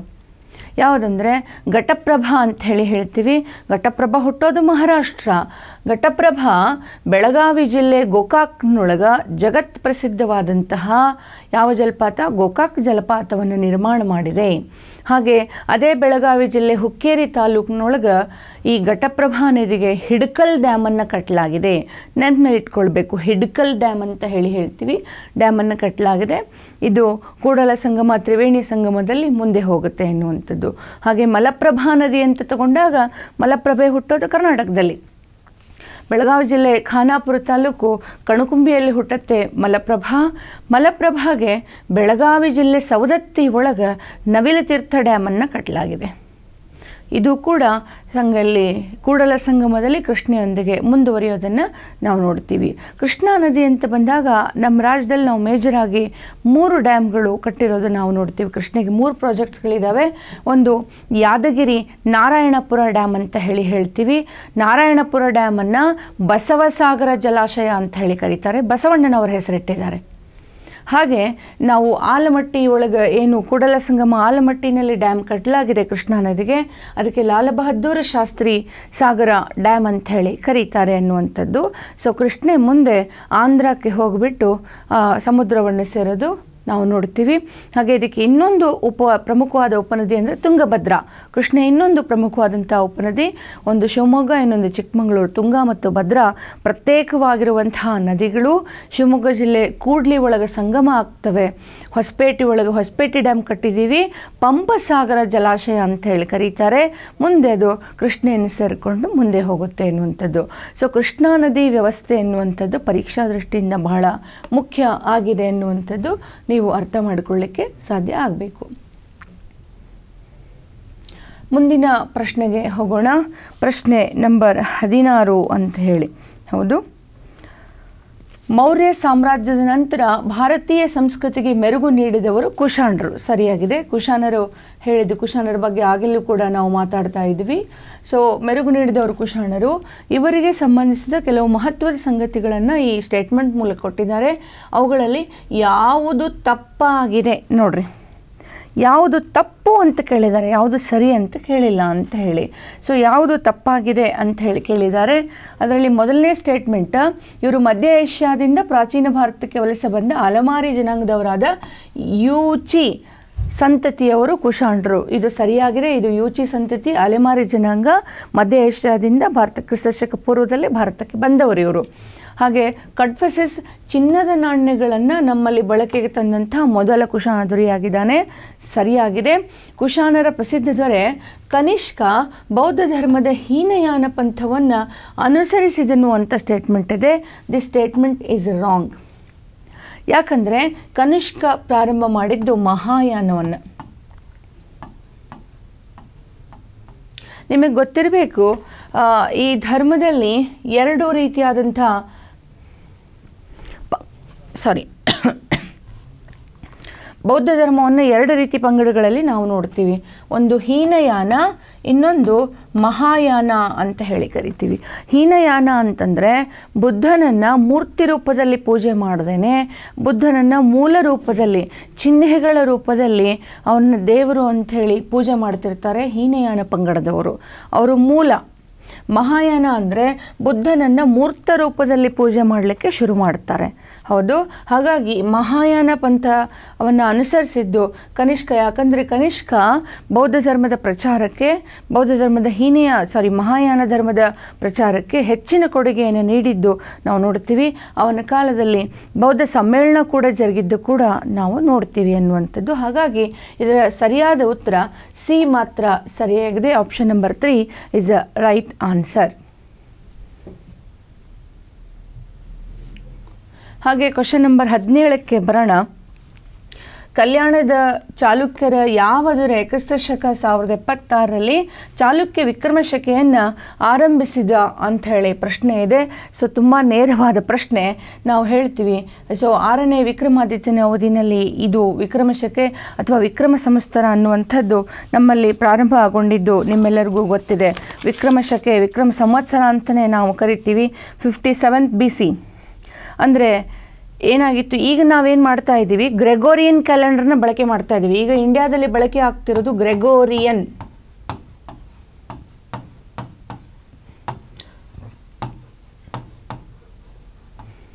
ಏನಾಗುತ್ತೆ? ಸುಮಾರು ಐವತ್ತಾರು ವರ್ಷಗಳ ಬಿ ಸಿ ಹಿಂದಿನ ಏನು ಶಕರ್ ಇದ್ರಲ್ಲ, ಶಕರ ಮೇಲೆ ಗೆಲುವನ್ನು ಸಾಧಿಸಿದ ಹಿನ್ನೆಲೆ ಒಳಗೆ ಆರನೇ ವಿಕ್ರಮಾದಿತ್ಯ ಐವತ್ತೇಳು ಫಿಫ್ಟಿ ಸೆವೆಂತ್ ಬಿ ಸಿ ಅಂತ ನಾವೇನು ಹೇಳ್ತೀವಿ?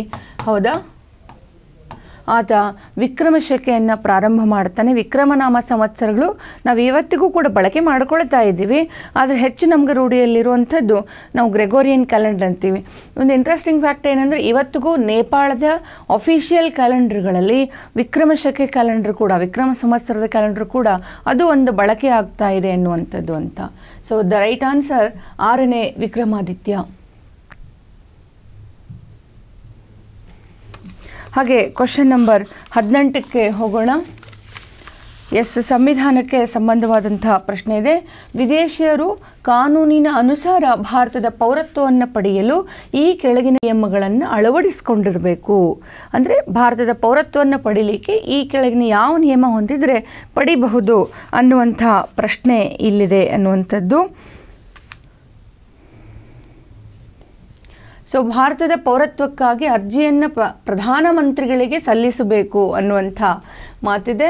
ಇದು ನೇರವಾಗಿ ತಪ್ಪಾಗಿದೆ ಅನ್ನುವಂಥದ್ದು ಈ ಸೆಂಟೆನ್ಸ್ ಈಸ್ ರಾಂಗ್ ಹಾಗೆ ಎರಡನೇ ಸೆಂಟೆನ್ಸ್ ಯಾವುದೇ ನ್ಯಾಯಾಲಯದಲ್ಲಿ ಕ್ರಿಮಿನಲ್ ಮೊಕದ್ದಮೆಗೆ ಗುರಿಯಾಗಿರದೆ ಉತ್ತಮ ನಡವಳಿಕೆ ಹೊಂದಿರಬೇಕು ಅನ್ನುವಂಥದ್ದು ಅಂತ ಹೇಳಿ. ಫೈನ್ ಸೊ ಇದು ಸರಿಯಾಗಿದೆ. ಸೊ ಈ ಭಾರತದ ಪೌರತ್ವ ಪಡೆದುಕೊಳ್ಳುವಿಕೆ ಅಂತ ಪ್ರಶ್ನೆ ಬಂದಾಗ ಸಿಟಿಸನ್ಶಿಪ್ ಅಂತ ಹೇಳಿ ಕರಿತೀವಿ ಹಂಗಾರೆ ಯಾರನ್ನು ಪೌರರು ಅಂತ ಕರಿಬೇಕು? ನಿಮ್ಮಲ್ಲಿ ಭಾಳ ಜನ ಏನು ಅನ್ಕೊಂಡ್ಬಿಟ್ರಿ ಅಂದ್ರೆ, ಯಾರು ಇಂಡಿಯಾದಾಗ ಇರ್ತಾರ, ಯಾರಿಗೆ ಫಂಡಮೆಂಟಲ್ ರೈಟ್ಸ್ ಅದಾವು, ಅವ್ರನ್ನ ಪೌರ ಅಂತ ಕರಿಬೇಕು ಅಂತ ಅಂದ್ಕೊಂಡಿದ್ದೆ ದಟ್ ಈಸ್ ರಾಂಗ್ ಪೌರತ್ವ ಅಥವಾ ಸಿಟಿಸನ್ಶಿಪ್ ಅಂತಂದರೆ ಏನು ಅಂತ ಪ್ರಶ್ನೆ ಬಂದಾಗ, ಸಿ ರಾಜ್ಯಶಾಸ್ತ್ರ ಭಾಷೆ ಒಳಗೆ ದೇಶವನ್ನು ರಾಜ್ಯ ಸ್ಟೇಟ್ ಅಂತ ಕರೀತಾರೆ. ಒಂದು ದೇಶವನ್ನು ರಾಜ್ಯ, ಈಗ ಭಾರತ ಒಂದು ದೇಶ ಬಟ್ ಇದನ್ನು ಸ್ಟೇಟ್ ಅಂತ ಕರೀತಾರೆ, ಅಮೇರಿಕಾನ ಸ್ಟೇಟ್ ಅಂತ ಕರೀತಾರೆ. ಹೌದಾ? ಹಾಗಾಗಿ ಈ ರಾಜ್ಯ ಅದು ದೇಶ ಅನ್ನುವಂಥೇನಿದೆ ಇದೊಂದು ರಾಜಕೀಯ ಸದಸ್ಯತ್ವ, ರಾಜಕೀಯ ಕುಟುಂಬ ಇದು, ರಾಜಕೀಯ ಸಮುದಾಯ ಇದು. ಹಾಗಾಗಿ ಒಂದು ರಾಜಕೀಯ ಸಮುದಾಯದ ಸದಸ್ಯತ್ವ ಏನಿದೆ, ಆ ಸದಸ್ಯತ್ವವನ್ನು ಪೌರತ್ವ ಅಂತ ಕರೀತಾರೆ. ಈಗ ಭಾರತ ಒಂದು ರಾಜಕೀಯ ಸಮಾಜ ಇದು. ಅಥವಾ ಸಮುದಾಯ ಇದು, ಇದರ ಸದಸ್ಯತ್ವ ಪಡೆದುಕೊಂಡರೆ ಭಾರತೀಯ ಪೌರ, ಅಮೇರಿಕ ಒಂದು ರಾಜಕೀಯ ಸಮುದಾಯ. ಅದರ ಸದಸ್ಯತ್ವವನ್ನು ಪಡ್ಕೊಂಡ್ರೆ ಅಮೇರಿಕಾದ ಪೌರ. ಹಾಗಾಗಿ ಪೌರತ್ವ ಅಂದರೆ ಒಂದು ರಾಜಕೀಯ ಸಮುದಾಯದ ಸದಸ್ಯತ್ವ ಅಂತ ಹೇಳಿ ಕರೀತಾರೆ. It is a membership of a political community ಅಂತ ಹೇಳಿ ಹೇಳ್ತೇವೆ. ಹಾಗಾದರೆ ಭಾರತದ ಪೌರತ್ವ ಆ ಪೌರತ್ವ ಪಡಿಬೇಕಂದ್ರೆ ಏನು ಮಾಡಬೇಕು? ಯಾನ್, ಯಾರನ್ನ ಭಾರತೀಯ ಪೌರ ಅಂತ ಕರಿಬೇಕು? ಇಂಡಿಯಾದಾಗಿರೋರಿಗೆ ಎಲ್ಲರೂ ಸಿಟಿಸನ್ಸ್ ಅನ್ನಕ್ಕೆ ಬರುತ್ತನ್ರಿ? ಬರೋದಿಲ್ಲ. ಅದಕ್ಕಾಗಿ ಏನು ಮಾಡಿದೆ, ಭಾರತದ ಸಂವಿಧಾನ. ಸಂವಿಧಾನದಲ್ಲಿ ಬರುವಂಥ ಆರ್ಟಿಕಲ್ ಏನು ಮಾಡುತ್ತೆ? ಆರ್ಟಿಕಲ್ ನಂಬರ್ ಲೆವೆನ್ ಅಂತ ಕರಿತೀವಿ. ನೋಡ್ರಿ. ಸಂವಿಧಾನದ ಆರ್ಟಿಕಲ್ ಇಲೆವೆನ್ ಹನ್ನೊಂದನೇ ವಿಧಿ ಏನು ಹೇಳುತ್ತೆ ಅಂದರೆ it confers power on the parliament to make a law on citizenship ಅಂದರೆ, ಭಾರತೀಯ ಪೌರತ್ವವನ್ನು ಪಡೆಯುವ ವಿಧಾನಗಳಿಗೆ ಸಂಬಂಧಪಟ್ಟ ಹಾಗೆ ಒಂದು ಕಾಯ್ದೆಯನ್ನು ಮಾಡಿಕೊಳ್ಳಿಕ್ಕೆ ಯಾರಿಗೆ? ಸಂಸತ್ತಿಗೆ, ಭಾರತದ ಲೋಕಸಭೆ, ರಾಜ್ಯಸಭೆಗೆ ಅಧಿಕಾರವನ್ನು ಕೊಡ್ತು. ಈ ಅಧಿಕಾರವನ್ನು ಬಳಸಿಕೊಂಡಂತಹ ಭಾರತದ ಸಂಸತ್ತು ಏನು ಮಾಡ್ತು? ಸಾವಿರದ ಒಂಬೈನೂರ ಐವತ್ತೈದರೊಳಗೆ. ಸಿಟಿಸನ್ಶಿಪ್ ಆ್ಯಕ್ಟ್ ಅಂಥೇಳಿ ಜಾರಿಗೆ ತಂದಿದೆ. ಹೌದ್ರಿ? ಭಾರತೀಯ ಪೌರತ್ವ ಕಾಯ್ದೆ ಅಂತ ಒಂದು ಕಾಯ್ದೆಯನ್ನು ಮಾಡಿದೆ. ಈ ಕಾಯ್ದೆ ಯಾರಿಗೆ ಭಾರತೀಯ ಪೌರತ್ವ ಕೊಡಬೇಕು, ಯಾರ ಪೌರತ್ವವನ್ನು ಕಿತ್ಕೊಳ್ಬೇಕು ಅನ್ನೋದರ ವಿವರಣೆಯನ್ನು ಕೊಡ್ತಾ ಬರ್ತದೆ. ಹೌದಾ? ಸೊ ಅದರಲ್ಲಿ ಪೌರತ್ವವನ್ನು ಪಡೀಲಿಕ್ಕೆ ಐದು ವಿಧಾನಗಳನ್ನು ಹೇಳಿದೆ. ಪೌರತ್ವವನ್ನು ಕಳೆದುಕೊಳ್ಳುವ ಮೂರು ವಿಧಾನಗಳನ್ನು ಹೇಳ್ತಾ ಬರುತ್ತೆ ಈ ಕಾಯ್ದೆ ಅಂತ. ಅಂದರೆ, ಜನನದ ಮೂಲಕ ಭಾರತೀಯ ಪೌರತ್ವವನ್ನು ಪಡೀಬಹುದು ಅಂಥೇಳಿ. ಅಂದರೆ, ಇನ್ನು ಸಾವಿರದ ಒಂಬೈನೂರ ಐವತ್ತು ಜನವರಿ ಇಪ್ಪತ್ತಾರು ನಮ್ಮ ಸಂವಿಧಾನ ಇನ್ನು ಜಾರಿಗೆ ಬಂತು. ಆ ಸಂವಿಧಾನ ಜಾರಿಗೆ ಬಂದ ದಿನ ಅಥವಾ ನಂತರದ ಅವಧಿ ಒಳಗೆ ನಮ್ಮ ದೇಶದಲ್ಲಿ, ನಮ್ಮ ದೇಶದ ದಂಪತಿಗಳಿಗೆ, ಭಾರತೀಯ ಪೌರರಿಗೆ ಮಕ್ಕಳು ಜನಿಸಿದರೆ, ಅವರು ಭಾರತೀಯ ಪೌರರಾಗ್ತಾರೆ ಈಗ ನಾವೆಲ್ಲ ಪಡ್ಕೊಂಡಿದ್ದೀವಲ್ಲ ಸೇಮ್ ಡೈರೆಕ್ಟ್ ಆಗಿರುವಂಥದ್ದು. ಅಥವಾ ಎರಡನೇ ವಿಧಾನದಲ್ಲಿ ಭಾರತೀಯ ಪೌರರಿಗೆ ವಿದೇಶಗಳಲ್ಲಿ ಮಕ್ಕಳು ಜನಿಸಿದರೂ ಕೂಡ ಪೌರತ್ವ ಕೊಡಬೇಕು ಅನ್ನುವಂಥದ್ದು. ಹಾಗೆ ಮೂರನೇ ವಿಧಾನದಲ್ಲಿ ಭಾರತದಲ್ಲಿ ಜನಿಸಿಲ್ಲ, ಭಾರತೀಯ ಮೂಲದವರಾಗಿದ್ದರೆ ಭಾರತೀಯರವನ್ನು ವಿವಾಹವಾದರೆ ನಮ್ಮ ದೇಶದಲ್ಲಿ ಸತತವಾಗಿ ನೆಲೆಸಿ ಪೌರತ್ವವನ್ನು ಪಡ್ಕೊಳ್ಳೋಕ್ಕೆ ಅವಕಾಶವನ್ನು ಮಾಡಿಕೊಟ್ಟಿದೆ. ಹಾಗೆ ಇನ್ನೊಂದು ಮಿತ ವಿಧಾನ, ನೋಂದಾಯಿಸುವುದರ ಮೂಲಕ ಸಾರಿ ಸಹಜೀಕೃತ ವಿಧಾನ ಅಂತ ಹೇಳಿ ಬೈ ನ್ಯಾಚುರಲೈಸೇಷನ್ ಅಂತ ಹೇಳ್ತೀವಿ. ಯಾವುದೇ ವಿದೇಶಿಯರು ಸತತವಾಗಿ ನಮ್ಮ ದೇಶದಲ್ಲಿ ವಾಸ ಮಾಡಿ, ನಮ್ಮ ದೇಶದ ಭಾಷೆ ಗೌರವಿಸೋದಾದರೆ ನಮ್ಮ ಏನು ಲಿಸ್ಟೆಡ್ ಲ್ಯಾಂಗ್ವೇಜ್ ಇದೆ, ಭಾಷೆ ಬಗ್ಗೆ ಒಂದು ಭಾಷೆ ಬಗ್ಗೆ ಅವರಿಗೆ ತಿಳುವಳಿಕೆ ಇದ್ದು, ನಮ್ಮ ಸಂವಿಧಾನ, ನಮ್ಮ ಸಂಸ್ಕೃತಿಯನ್ನು ಗೌರವಿಸಿದಾಗೆ ಅವರು ನೋಡಿಕೊಂಡಾಗ ಅವ್ರಿಗೂ ಕೂಡ ಪೌರತ್ವ ಕೊಡ್ತಾರೆ. ಹಾಗೆ ನಮ್ಮ ದೇಶ ಬೇರೊಂದು ದೇಶಕ್ಕೆ ಸಂಬಂಧಪಟ್ಟ ಭೌಗೋಳಿಕ ಪ್ರದೇಶವನ್ನೇನಾದರೂ ವಶಪಡಿಸಿಕೊಂಡ್ರೆ ಸರ್ಕಾರ ಅಲ್ಲಿರೋರೆಲ್ಲರಿಗೂ ಕೂಡ ಭಾರತೀಯ ಪೌರತ್ವವನ್ನು ಕೊಡ್ತಾರೆ ಸೊ ಈ ಐದು ವಿಧಾನಗಳನ್ನು ಸಂವಿಧಾನದಲ್ಲಿ ಹೇಳಲಾಗಿದೆ ಎನ್ನುವಂಥದ್ದು ಅಂತ. ಹಾಗಾಗಿ ಈ ಒಂದು ಹಿನ್ನೆಲೆಯಲ್ಲಿ ಈ ಉತ್ತರವನ್ನು ನೋಡೋದಾದರೆ ಅರ್ಜಿಯನ್ನು ಪ್ರಧಾನಮಂತ್ರಿಗಳಿಗೆ ಸಲ್ಲಿಸಬೇಕಾಗಿಲ್ಲ. ಮತ್ತು ನೋಡ್ರಿ ಕ್ರಿಮಿನಲ್ ಮೊಕದ್ದಮೆಗೆ ಗುರಿಯಾಗದೆ ಉತ್ತಮ ನಡವಳಿಕೆ ಹೊಂದಿರಬೇಕು.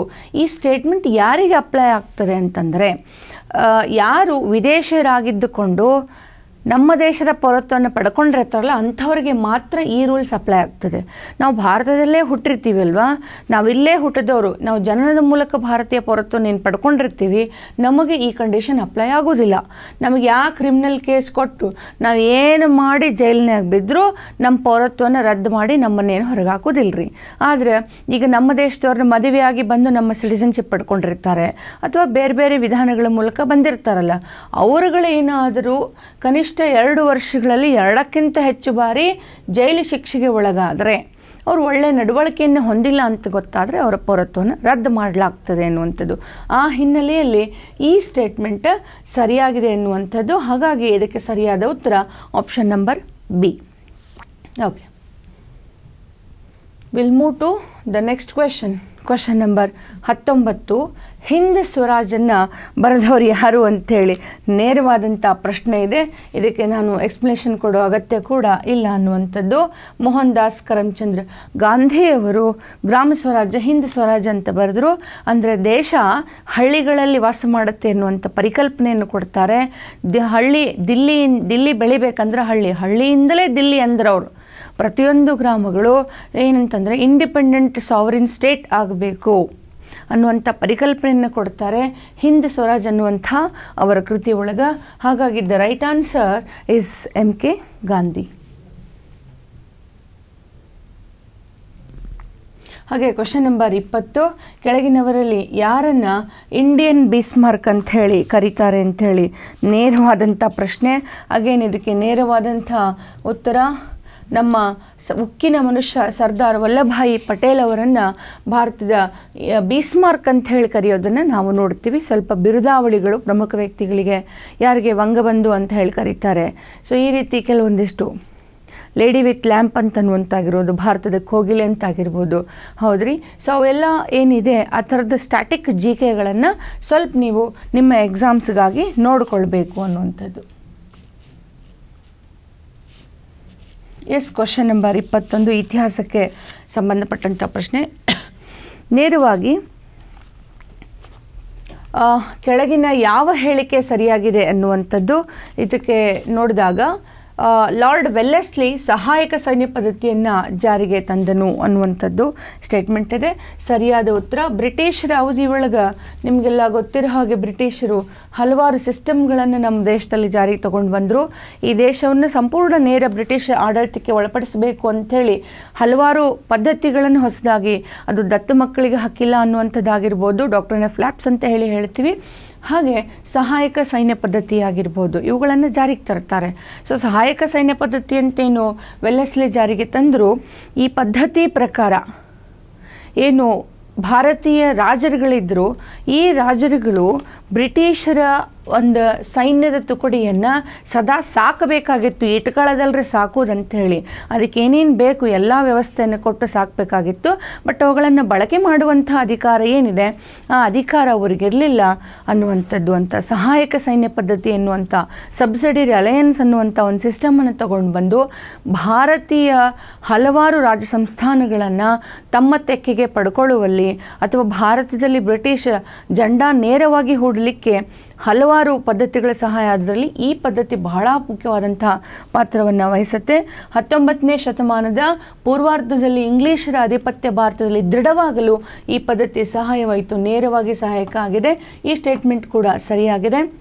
ಮತ್ತು ತಂಜಾವೂರು ಪ್ರಾವಿನ್ಸ್ ಏನಿದೆ, ಪ್ರಾಂತ್ಯ ಏನಿದೆ, ಈ ಪದ್ಧತಿಗೆ ಒಳಪಟ್ಟ ಮೊದಲ ದೇಶೀಯ ಸ್ಥಾನ ಅಂಥೇಳಿ ಅಂತ ಹೇಳಿದ್ದಾರೆ. ಈ ಸ್ಟೇಟ್ಮೆಂಟ್ ತಪ್ಪಾಗಿದೆ.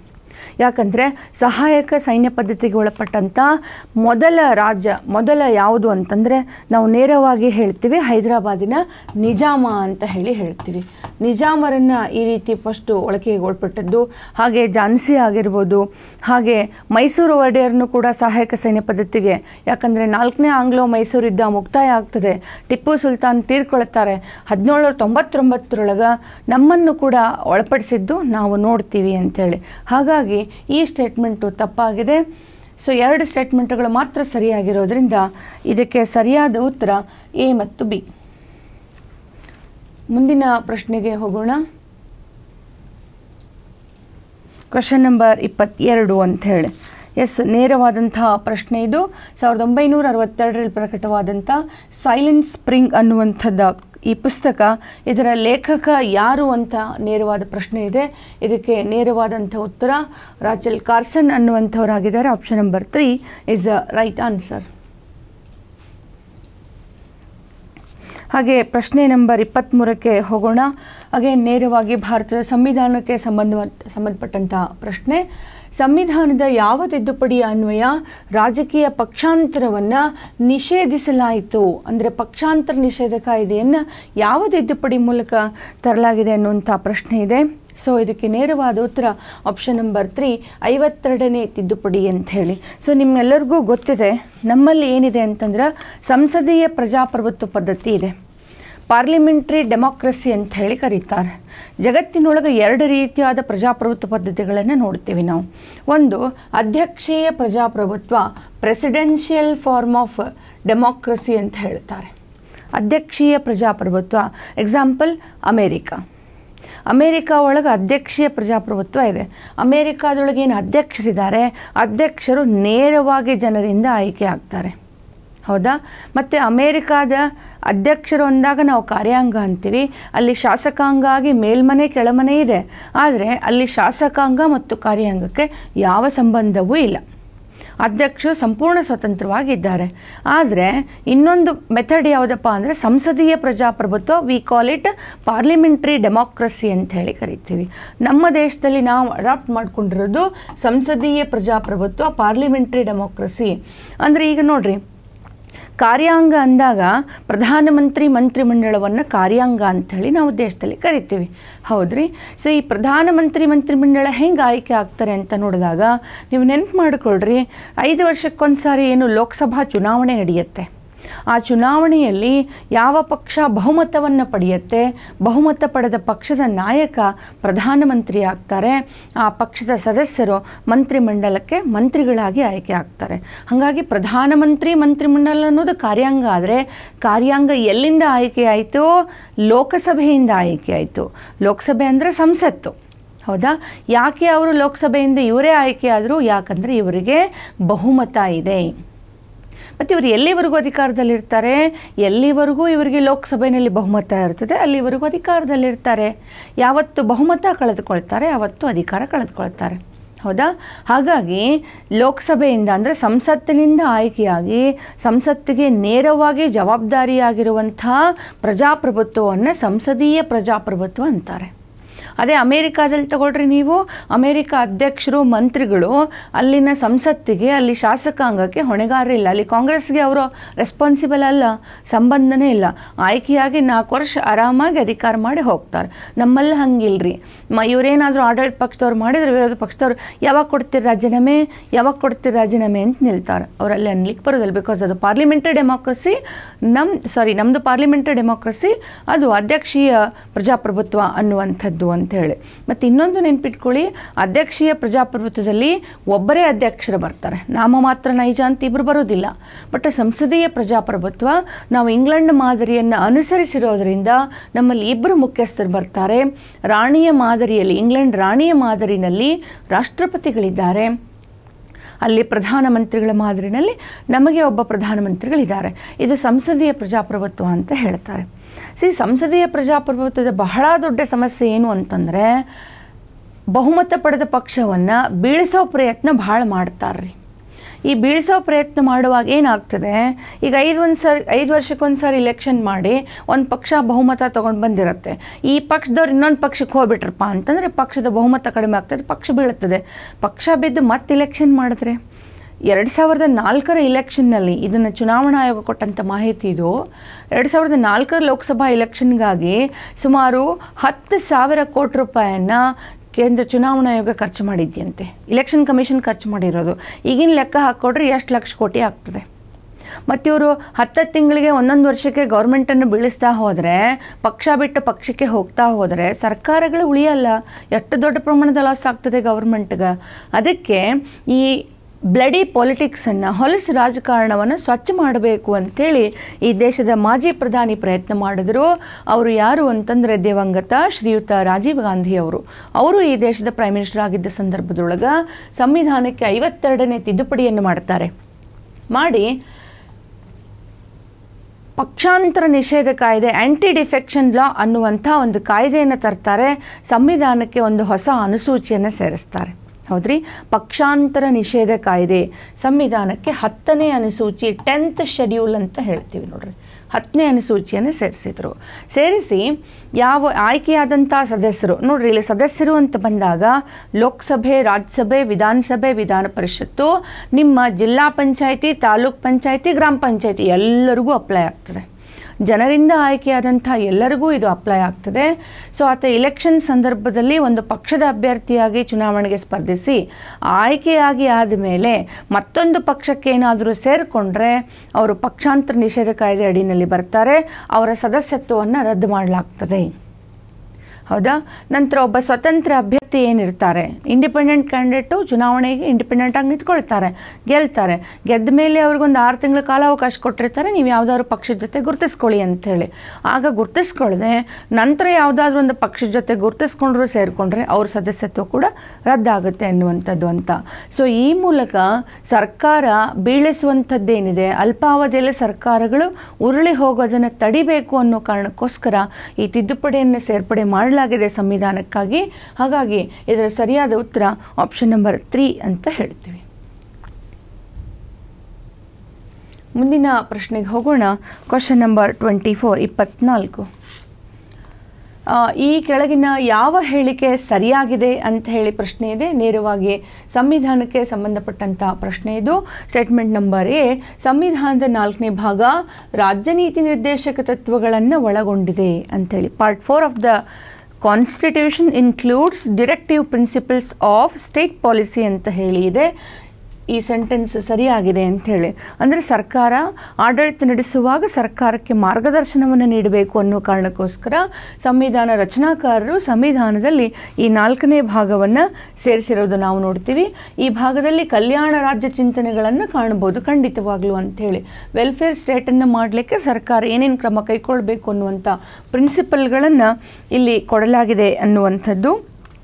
ಹಾಗೆ ಮೂರನೇ ಸ್ಟೇಟ್ಮೆಂಟ್ ರಾಜನೀತಿ ನಿರ್ದೇಶಕ ತತ್ವಗಳನ್ನು ಅನುಷ್ಠಾನಗೊಳಿಸುವಂತೆ ಕೋರಿ ಸರ್ವೋಚ್ಚ ನ್ಯಾಯಾಲಯಕ್ಕೆ ಅರ್ಜಿ ಸಲ್ಲಿಸಬಹುದು ಅನ್ನುವಂಥ ಸ್ಟೇಟ್ಮೆಂಟ್ ಇದೆ. ಇದು ತಪ್ಪಾಗಿದೆ. ಯಾಕಂದರೆ ನಿಮಗೆ ಗೊತ್ತಿದೆ, ಮೂಲಭೂತ ಹಕ್ಕುಗಳು ಅಂತ ಬಂದಾಗ ನಮ್ಮ ಮೂಲಭೂತ ಹಕ್ಕುಗಳಿಗೆ ಧಕ್ಕೆ ಆದರೆ ನೇರವಾಗಿ ಕೋರ್ಟಿಗೆ ಹೋಗಬಹುದು.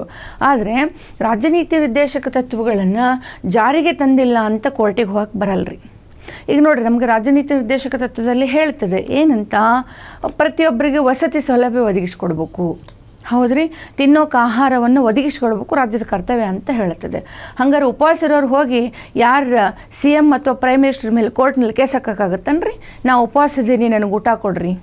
ಇಲ್ಲ, ನನಗೆ ಮನೆ ಇಲ್ಲ, ನಂಗೊಂದು ಟೂ ಬಿ ಎಚ್ ಕೆ ಮನೆ ಕಟ್ಟಿಸ್ಕೊಡ್ರಿ ಅಂತೇಳಿ ಕೋರ್ಟ್ನಾಗ ಕೇಳಕ್ಕೆ ಬರುತ್ತಂದ್ರೆ ಬರೋದಿಲ್ಲ. ಯಾಕಂದ್ರೆ ಇವು ರಾಯ, ನ್ಯಾಯಾಂಗದ ರಕ್ಷಣೆಗೆ ಒಳಪಟ್ಟಿಲ್ಲ ಅನ್ನುವಂಥದ್ದು ಅಂಥೇಳಿ ಹಾಗಾಗಿ ಈ ಸ್ಟೇಟ್ಮೆಂಟ್ ತಪ್ಪಾಗಿರೋದ್ರಿಂದ ಆಪ್ಷನ್ ಎ ಅಂದರೆ ಒಂದು ಸರಿಯಾಗಿದೆ ಎ ಮತ್ತು ಬಿ ಎರಡು ಸ್ಟೇಟ್ಮೆಂಟ್ಗಳು ಮಾತ್ರ ಸರಿಯಾಗಿರೋದು ನಾವು ನೋಡ್ತೀವಿ.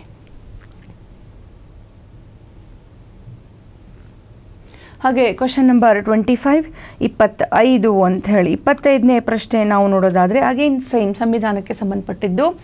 ಕೆಳಕಂಡ ಯಾವ ಹೇಳಿಕೆ ಸರಿಯಾಗಿದೆ ಅಂತ ಕೇಳಿದ್ದಾರೆ. ಭಾರತದಲ್ಲಿ ಇರುವ ಮತದಾನದ ಹಕ್ಕನ್ನು ಸಾರ್ವತ್ರಿಕ ವಯಸ್ಕ ಮತದಾನ ಪದ್ಧತಿ ಅಂತ ಹೇಳಿ ಕರೀತಾರೆ. ಇದು ಸರಿಯಾಗಿದೆ ಎನ್ನುವಂಥದ್ದು.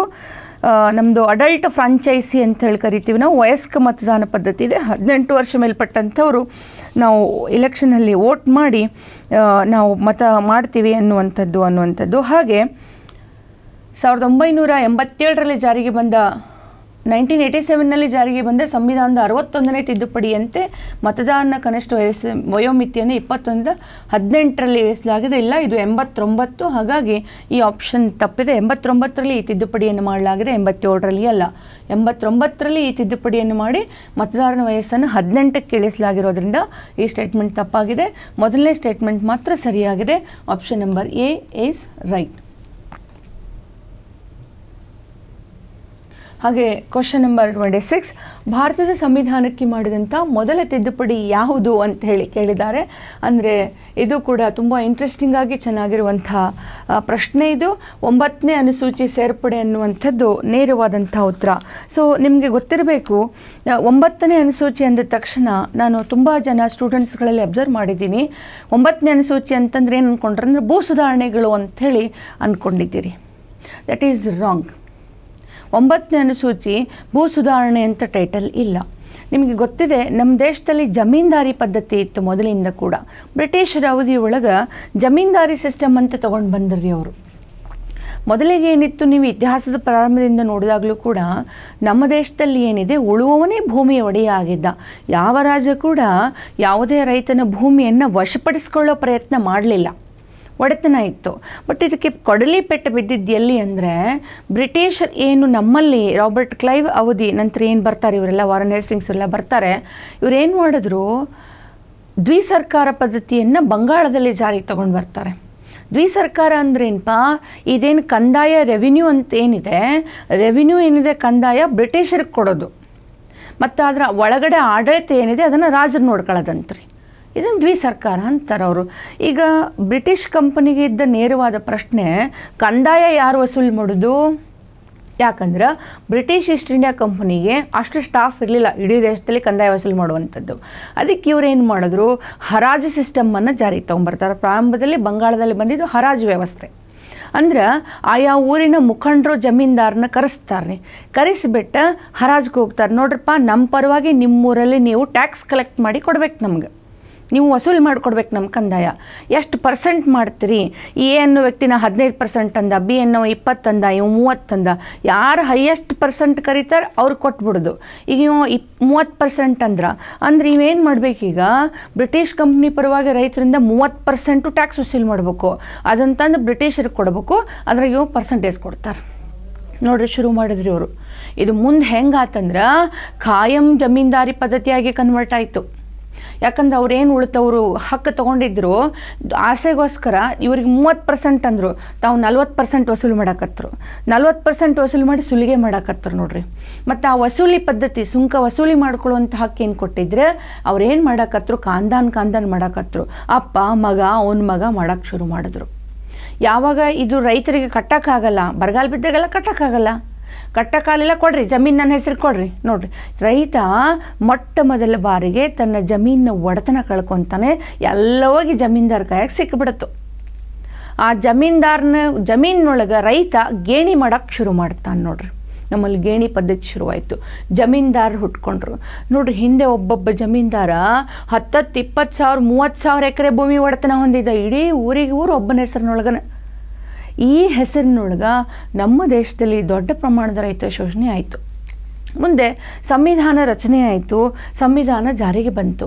ಸಂವಿಧಾನದೊಳಗೆ ಆಸ್ತಿ ಹಕ್ಕನ್ನು ಮೂಲಭೂತ ಹಕ್ಕನ್ನಾಗಿ ಕೊಟ್ಟಿದ್ದರು ನೀವು ನೆನಪು ಮಾಡ್ಕೊಳ್ರಿ. ಆರ್ಟಿಕಲ್ ಹತ್ತೊಂಬತ್ತರೊಳಗೆ ಆಸ್ತಿ ಹಕ್ಕು ಕೊಟ್ಟಿದ್ದರು ಅದನ್ನು ಮೂಲಭೂತ ಹಕ್ಕಾಗಿ ಮಾಡಿತ್ತು. ಈಗ ಸರ್ಕಾರದ ಮುಂದೆ ಇದ್ದ ಸವಾಲೇನಪ್ಪ ಸ್ವತಂತ್ರ ಬಂದಾದಮೇಲೆ ಈ ದೇಶದ ತೊಂಬತ್ತು ಪರ್ಸೆಂಟ್ ರೈತರಿಗೆ ಭೂಮಿ ಒಡೆತನನೇ ಇಲ್ಲ. ಒಡೆತನ ಕೊಡಬೇಕಲ್ರಿ ಭೂಮಿದೀಗ ಈಗ ಯಾರು ಇದ್ದವ್ರು ಜಮೀನ್ದಾರ್ ಕಿತ್ಕೊಳಕ್ಕೆ ಹೋಗ್ರಿ, ಜಮೀನ್ದಾರ್ ಕೋರ್ಟಿಗೆ ಹೋಗ್ತಾರ, ನಮ್ಗೆ ಆಸ್ತಿ ಹಕ್ಕೈತ್ರಿ ಇವ್ರು ಕಿತ್ಕೊಳಕತ್ತಾರ ಅಂತ ಹೇಳ್ತಾರೆ, ಅಲ್ಲಿ ಬರೋದಿಲ್ಲ. ಹಾಗಾಗಿ ಸರ್ಕಾರ ಒಂದು ವಿಚಾರ ಮಾಡಿತು. ಏನಂತಂದ್ರೆ, ಈಗ ಯಾರು ಇದ್ದಾರೆ ಅವರಿಂದ ಆಸ್ತಿ ಹೆಂಗೆ ವಶಪಡಿಸ್ಕೊಳ್ಳೋದು? ನಾವೇನಾರು ಮಾಡಿದ್ರೆ ಸುಪ್ರೀಂ ಕೋರ್ಟ್ ಬರುತ್ತೆ, ಯಾಕಂದರೆ ಸುಪ್ರೀಂ ಕೋರ್ಟ್ಗೆ ನ್ಯಾಯಿಕ ವಿಮರ್ಶಾಧಿಕಾರ ಇದೆ. ಏನಾದರೂ ಆಡಳಿತ ಸರ್ಕಾರಗಳು ಈ ರೀತಿ ಮಾಡಿದ್ರೆ ಪ್ರಜೆಗಳ ಹಕ್ಕನ್ನು ಕಸಿದುಕೊಂಡ್ರೆ ಸುಪ್ರೀಂ ಕೋರ್ಟ್ ಬಂದು ರದ್ದು ಮಾಡಿಬಿಡ್ತದೆ. ಅದಕ್ಕೆ ಜುಡಿಷಿಯಲ್ ರಿವ್ಯೂ ಅಥಾರಿಟಿ ಇದೆ. ಹಾಗಾಗಿ ಒಂದು ಹೆಜ್ಜೆ ಮುಂದೆ ವಿಚಾರ ಮಾಡ್ತದೆ. ಯಾರು? ಸಂಸತ್ನವರು.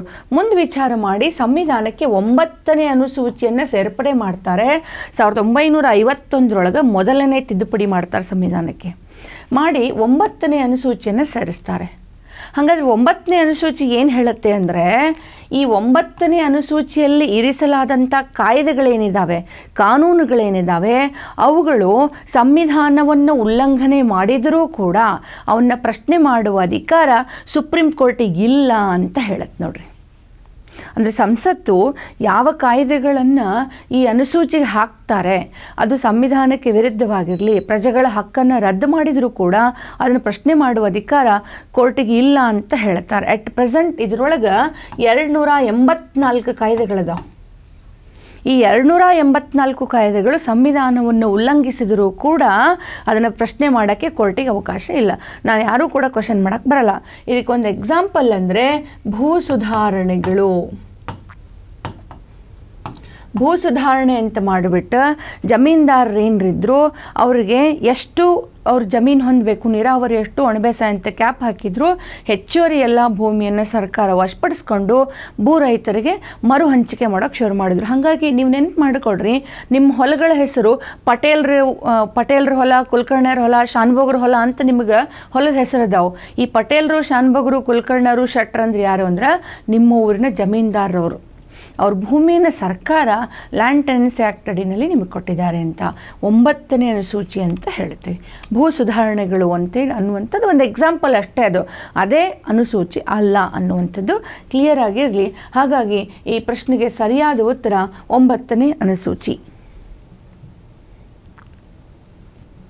ನೆಕ್ಸ್ಟ್ ಕ್ವಶನ್ ನಂಬರ್ ಇಪ್ಪತ್ತೇಳಕ್ಕೆ ಹೋಗೋಣ. ಕ್ವಶನ್ ನಂಬರ್ ಟ್ವೆಂಟಿ ಸೆವೆನ್ ಕೆಳಗಿನವುಗಳಲ್ಲಿ ಯಾವುದನ್ನು ಸಾಮಾನ್ಯವಾಗಿ ಪಾಲಿಮೈಡ್ ಅಂತ ಹೇಳಿ ಕರೀತಾರೆ ಅಂತ ಹೇಳಿದೆ ಇದಕ್ಕೆ ಸರಿಯಾದ ಉತ್ತರ ಆಪ್ಷನ್ ನಂಬರ್ ಟು ನೈಲಾನ್ ನೈಲಾನನ್ನು ಪಾಲಿಮೈಡ್ ಅಂತ ಹೇಳಿ ಕರೀತಾರೆ. ನೇರವಾದಂತಹ ಉತ್ತರ.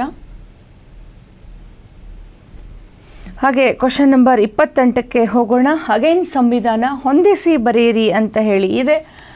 ನೇರವಾಗಿ ಆರ್ಟಿಕಲ್ಗಳನ್ನು ಹೊಂದಿಸಿ ಬರೀಲಿಕ್ಕೆ ಕೇಳಿದ್ದಾರೆ. ರಾಜ್ಯಪಾಲರ, ರಾಜ್ಯದ ರಾಜ್ಯಪಾಲರ ನೇಮಕ ಮತ್ತು ರಾಜ್ಯದ ಮುಖ್ಯಮಂತ್ರಿ ಹಾಗೂ ಸಚಿವ ಸಂಪುಟದ ನೇಮಕ ಯಾವ ಆರ್ಟಿಕಲ್ ಅಂತ ಹೇಳಿ ಇದೆ? ಆರ್ಟಿಕಲ್ ನೋಡ್ರಿ. Article fifty five one fifty five ಅಂತೇಳಿ ಹೇಳ್ತೀವಿ ರಾಜ್ಯದ ರಾಜ್ಯಪಾಲರು, ರಾಜ್ಯದ ಮುಖ್ಯಮಂತ್ರಿ ಹಾಗೂ ಸಚಿವ ಸಂಪುಟದ ನೇಮಕ ಅಂತ ಹೇಳಿ ಇದೆ ಅನ್ನುವಂಥದ್ದು. ಒನ್ ಫಿಫ್ಟಿ ಫೈವ್ ಸಾರಿ ರಾಜ್ಯದ ರಾಜ್ಯಪಾಲರ ನೇಮಕ ಅನ್ನುವಂಥದ್ದು ಒನ್ ಫಿಫ್ಟಿ ಫೈವ್ನಲ್ಲಿ ಬರ್ತದೆ. ರಾಜ್ಯದ ಮುಖ್ಯಮಂತ್ರಿ ಹಾಗೂ ಸಚಿವ ಸಂಪುಟ ಅಂತ ಬಂದಾಗ one sixty four one sixty three one sixty four ಇದೆ. ಹಾಗೆ ಪ್ರಧಾನಮಂತ್ರಿ ಹಾಗೂ ಕೇಂದ್ರ ಸಚಿವ ಸಂಪುಟ ಅಂದಾಗ ಆರ್ಟಿಕಲ್ ಸೆವೆಂಟಿ ಫೈವ್ ಹಾಗೆ ರಾಷ್ಟ್ರಪತಿಗಳ ಚುನಾವಣೆ ಅನ್ನುವಂಥದ್ದು ಆರ್ಟಿಕಲ್ ಫಿಫ್ಟಿ ಫೋರ್ ಐವತ್ನಾಲ್ಕು ರಾಷ್ಟ್ರಪತಿಗಳ ಚುನಾವಣೆ ಬಗ್ಗೆ ಹೇಳ್ತದೆ ಆರ್ಟಿಕಲ್ ಎಪ್ಪತ್ನಾಲ್ಕು ಮತ್ತು ಎಪ್ಪತ್ತೈದು ಸೆವೆಂಟಿ ಫೋರ್ ಸೆವೆಂಟಿ ಫೈವ್ ಅಂತ ಹೇಳ್ತೀವಿ. ಪ್ರಧಾನಮಂತ್ರಿ ಮಂತ್ರಿಮಂಡಲ ಆರ್ಟಿಕಲ್ ಒನ್ ಫಿಫ್ಟಿ ಫೈವ್ ರಾಜ್ಯಪಾಲರ ನೇಮಕದ ಬಗ್ಗೆ ಹೇಳಿದ್ರೆ article one sixty three one sixty four ಮುಖ್ಯಮಂತ್ರಿ ಹಾಗೂ ಮಂತ್ರಿಮಂಡಲದ ಬಗ್ಗೆ ಹೇಳುತ್ತೆ. Option number two is right answer ಅಂಥೇಳಿ ಹೇಳ್ತೀವಿ. ಹಾಗೆ ಇಪ್ಪತ್ತೊಂಬತ್ತು ಅಂತಾರಾಷ್ಟ್ರೀಯ ಹಣಕಾಸು ನಿಗಮ ಐ ಎಫ್ ಸಿ ಅಂತ ನಾವು ಹೇಳ್ತೀವಿ. ಐ ಎಫ್ ಸಿ ಯಾವಾಗ ಸ್ಥಾಪನೆ ಆಯಿತು ಅನ್ನುವಂಥ ಪ್ರಶ್ನೆ ಇದೆ. ಸೊ ಇದಕ್ಕೆ ನಿಮಗೆ ನೇರವಾಗಿ ಉತ್ತರ ಗೊತ್ತಿದೆ ಅಂತ ನಾನು ಅಂದ್ಕೊಂಡಿದ್ದೀನಿ ಸೊ ಐ ಎಫ್ ಸಿ ಅನ್ನುವಂಥದ್ದು ಇಂಟರ್ನ್ಯಾಷನಲ್ ಫೈನಾನ್ಸ್ ಕಾರ್ಪೊರೇಷನ್ ಅನ್ನುವಂಥದ್ದು ವರ್ಲ್ಡ್ ಬ್ಯಾಂಕ್ ಗ್ರೂಪ್ ಅಂತ ಹೇಳಿ, ವಿಶ್ವ ಬ್ಯಾಂಕ್ ಅಂತ ಏನಿದೆಯಲ್ಲ ವಿಶ್ವ ಬ್ಯಾಂಕ್ ಗ್ರೂಪ್ನಲ್ಲಿ ಇದು ಒಂದು ಬರ್ತದೆ. ವಿಶ್ವ ಬ್ಯಾಂಕ್ ಗ್ರೂಪ್ನಲ್ಲಿ ನಾವು ಐ ಬಿ ಆರ್ ಡಿ ಅಂತ ಹೇಳಿ ಹೇಳ್ತೀವಿ, ಐ ಎಫ್ ಸಿ ಅಂತ ಹೇಳ್ತೀವಿ, ಮೈಗಾ ಅಂತ ಹೇಳ್ತೀವಿ. ಸೊ ಬೇರೆ ಬೇರೆ ಹಣಕಾಸು ನಿಗಮಗಳು ಅಲ್ಲಿ ಬರ್ತವೆ. ಸೊ ಇದೇನಿದೆಯಲ್ಲ ಅಂತಾರಾಷ್ಟ್ರೀಯ ಹಣಕಾಸು ನಿಗಮ ಅನ್ನುವಂಥ ಸಾವಿರದ ಒಂಬೈನೂರ ಐವತ್ತಾರರಲ್ಲಿ ಮಾಡ್ಕೊಂಡಿದ್ದಾರೆ. ಇದರ ಮೂಲ ಉದ್ದೇಶ ಏನಂದರೆ ಪ್ರೈವೇಟ್ ಸೆಕ್ಟರ್ಗಳಲ್ಲಿ ಇನ್ವೆಸ್ಟ್ಮೆಂಟನ್ನು ಜಾಸ್ತಿ ಮಾಡಬೇಕು ಅಂತ ಹೇಳಿ. ಹೌದಾ? ಪ್ರೈವೇಟ್ ಸೆಕ್ಟರ್ಗಳಲ್ಲಿ ಅಂತ ಹೇಳಿ ಖಾಸಗಿ ಕ್ಷೇತ್ರದಲ್ಲಿ ಹೂಡಿಕೆ ಜಾಸ್ತಿ ಮಾಡಲಿಕ್ಕೆ ಇವರು ನೆರವನ್ನು ಕೊಡ್ತಾರೆ. ಐ ಎಫ್ ಸಿ ಅನ್ನುವಂಥದ್ದು ಐ ಬಿ ಆರ್ ಡಿ ಅಂತ ಕೂಡ ಇದೆ.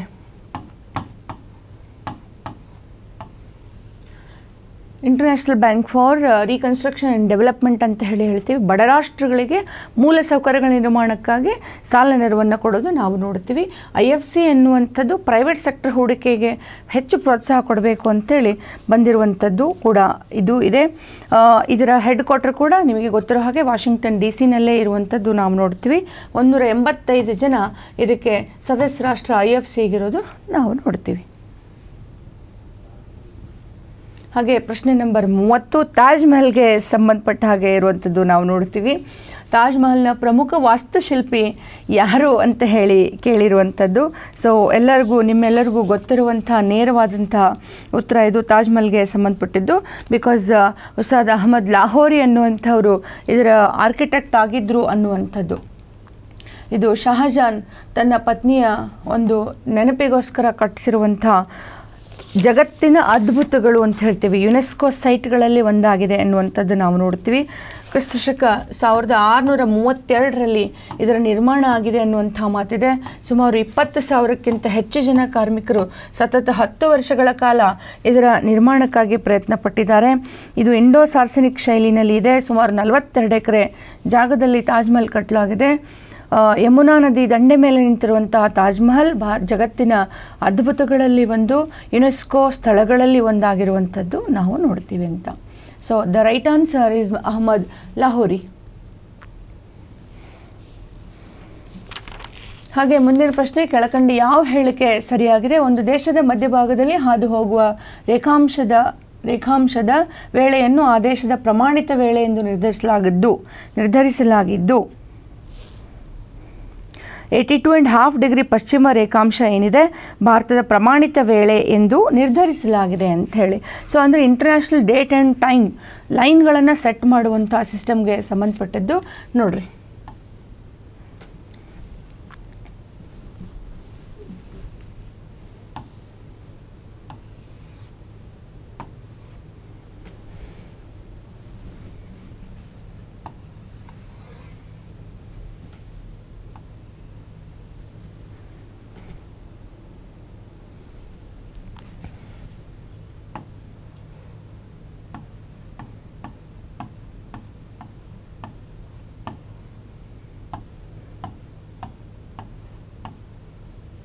ಎಸ್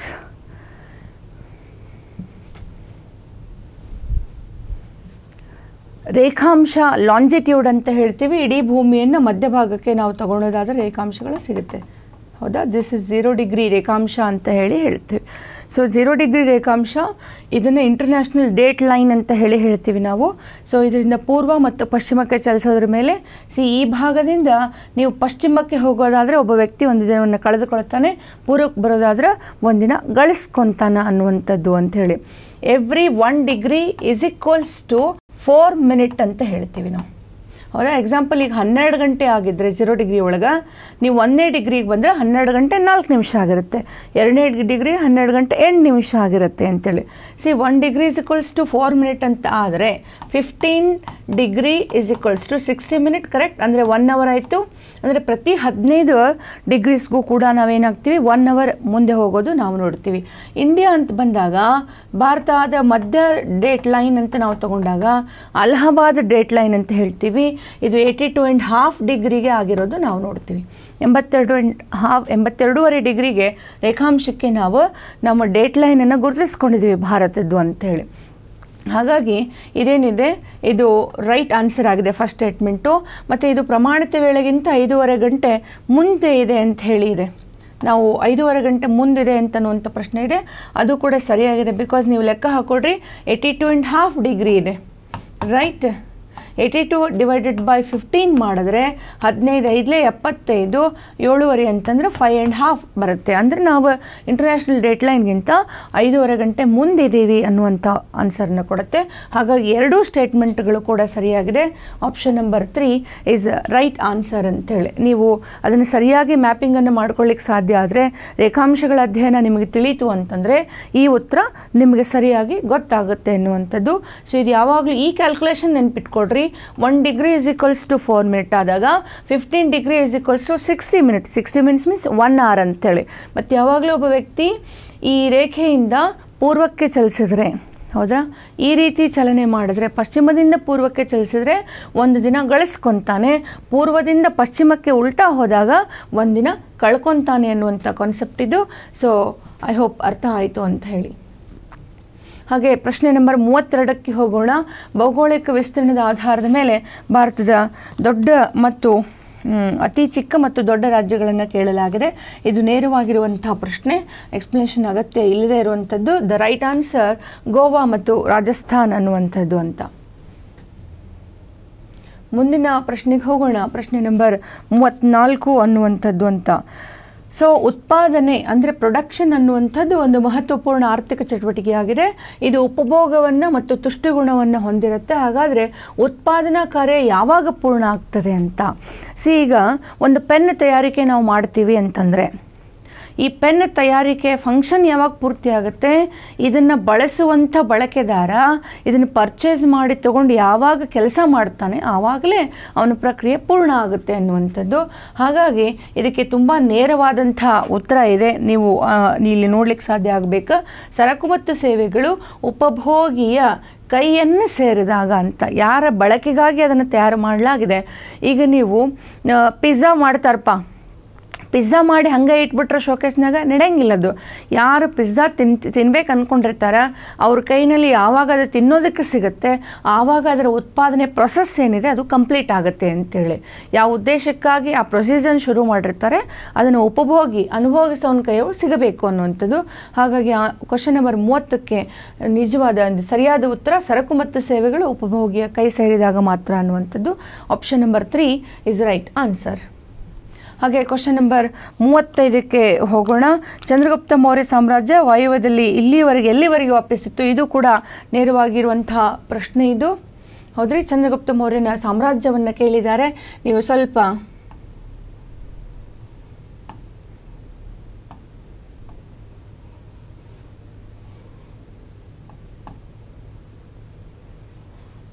ಸೊ ಚಂದ್ರಗುಪ್ತ ಮೌರ್ಯನ ಸಾಮ್ರಾಜ್ಯ ಅಂತ ನಾವು ನೋಡಬೇಕಾದ್ರೆ ನೋಡ್ರಿ, ಹಿಂದೂ ಕುಶ್ ಪರ್ವತದಿಂದ ಈ ವಾಯು ಭಾಗದಿಂದ ಸಂಪೂರ್ಣವಾಗಿತ್ತು ಇಲ್ಲಿವರೆಗೂ.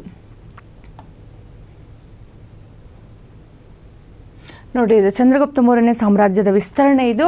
ಹಾಗಾಗಿ ಹಿಂದೂ ಕುಶ್ ಶ್ರೇಣಿವರೆಗೂ ಅದು ವ್ಯಾಪಿಸಿದ್ದನ್ನು ನಾವು ನೋಡ್ತೀವಿ. Option number four is right answer ಹಾಗೆ ಮುಂದಿನ ಪ್ರಶ್ನೆಗೆ ಹೋಗೋಣ. ಅರ್ಥಶಾಸ್ತ್ರದಲ್ಲಿ ಬೇಡಿಕೆಗೆ ಸಂಬಂಧಿಸಿದಂತೆ ಯಾವುದು ಸರಿಯಾಗಿದೆ? ಡಿಮ್ಯಾಂಡ್ ಅಂದ್ರೇನು ಅನ್ನುವಂಥದ್ರ ಬಗ್ಗೆ ಇಲ್ಲಿ ಕೇಳಲಾಗಿದೆ.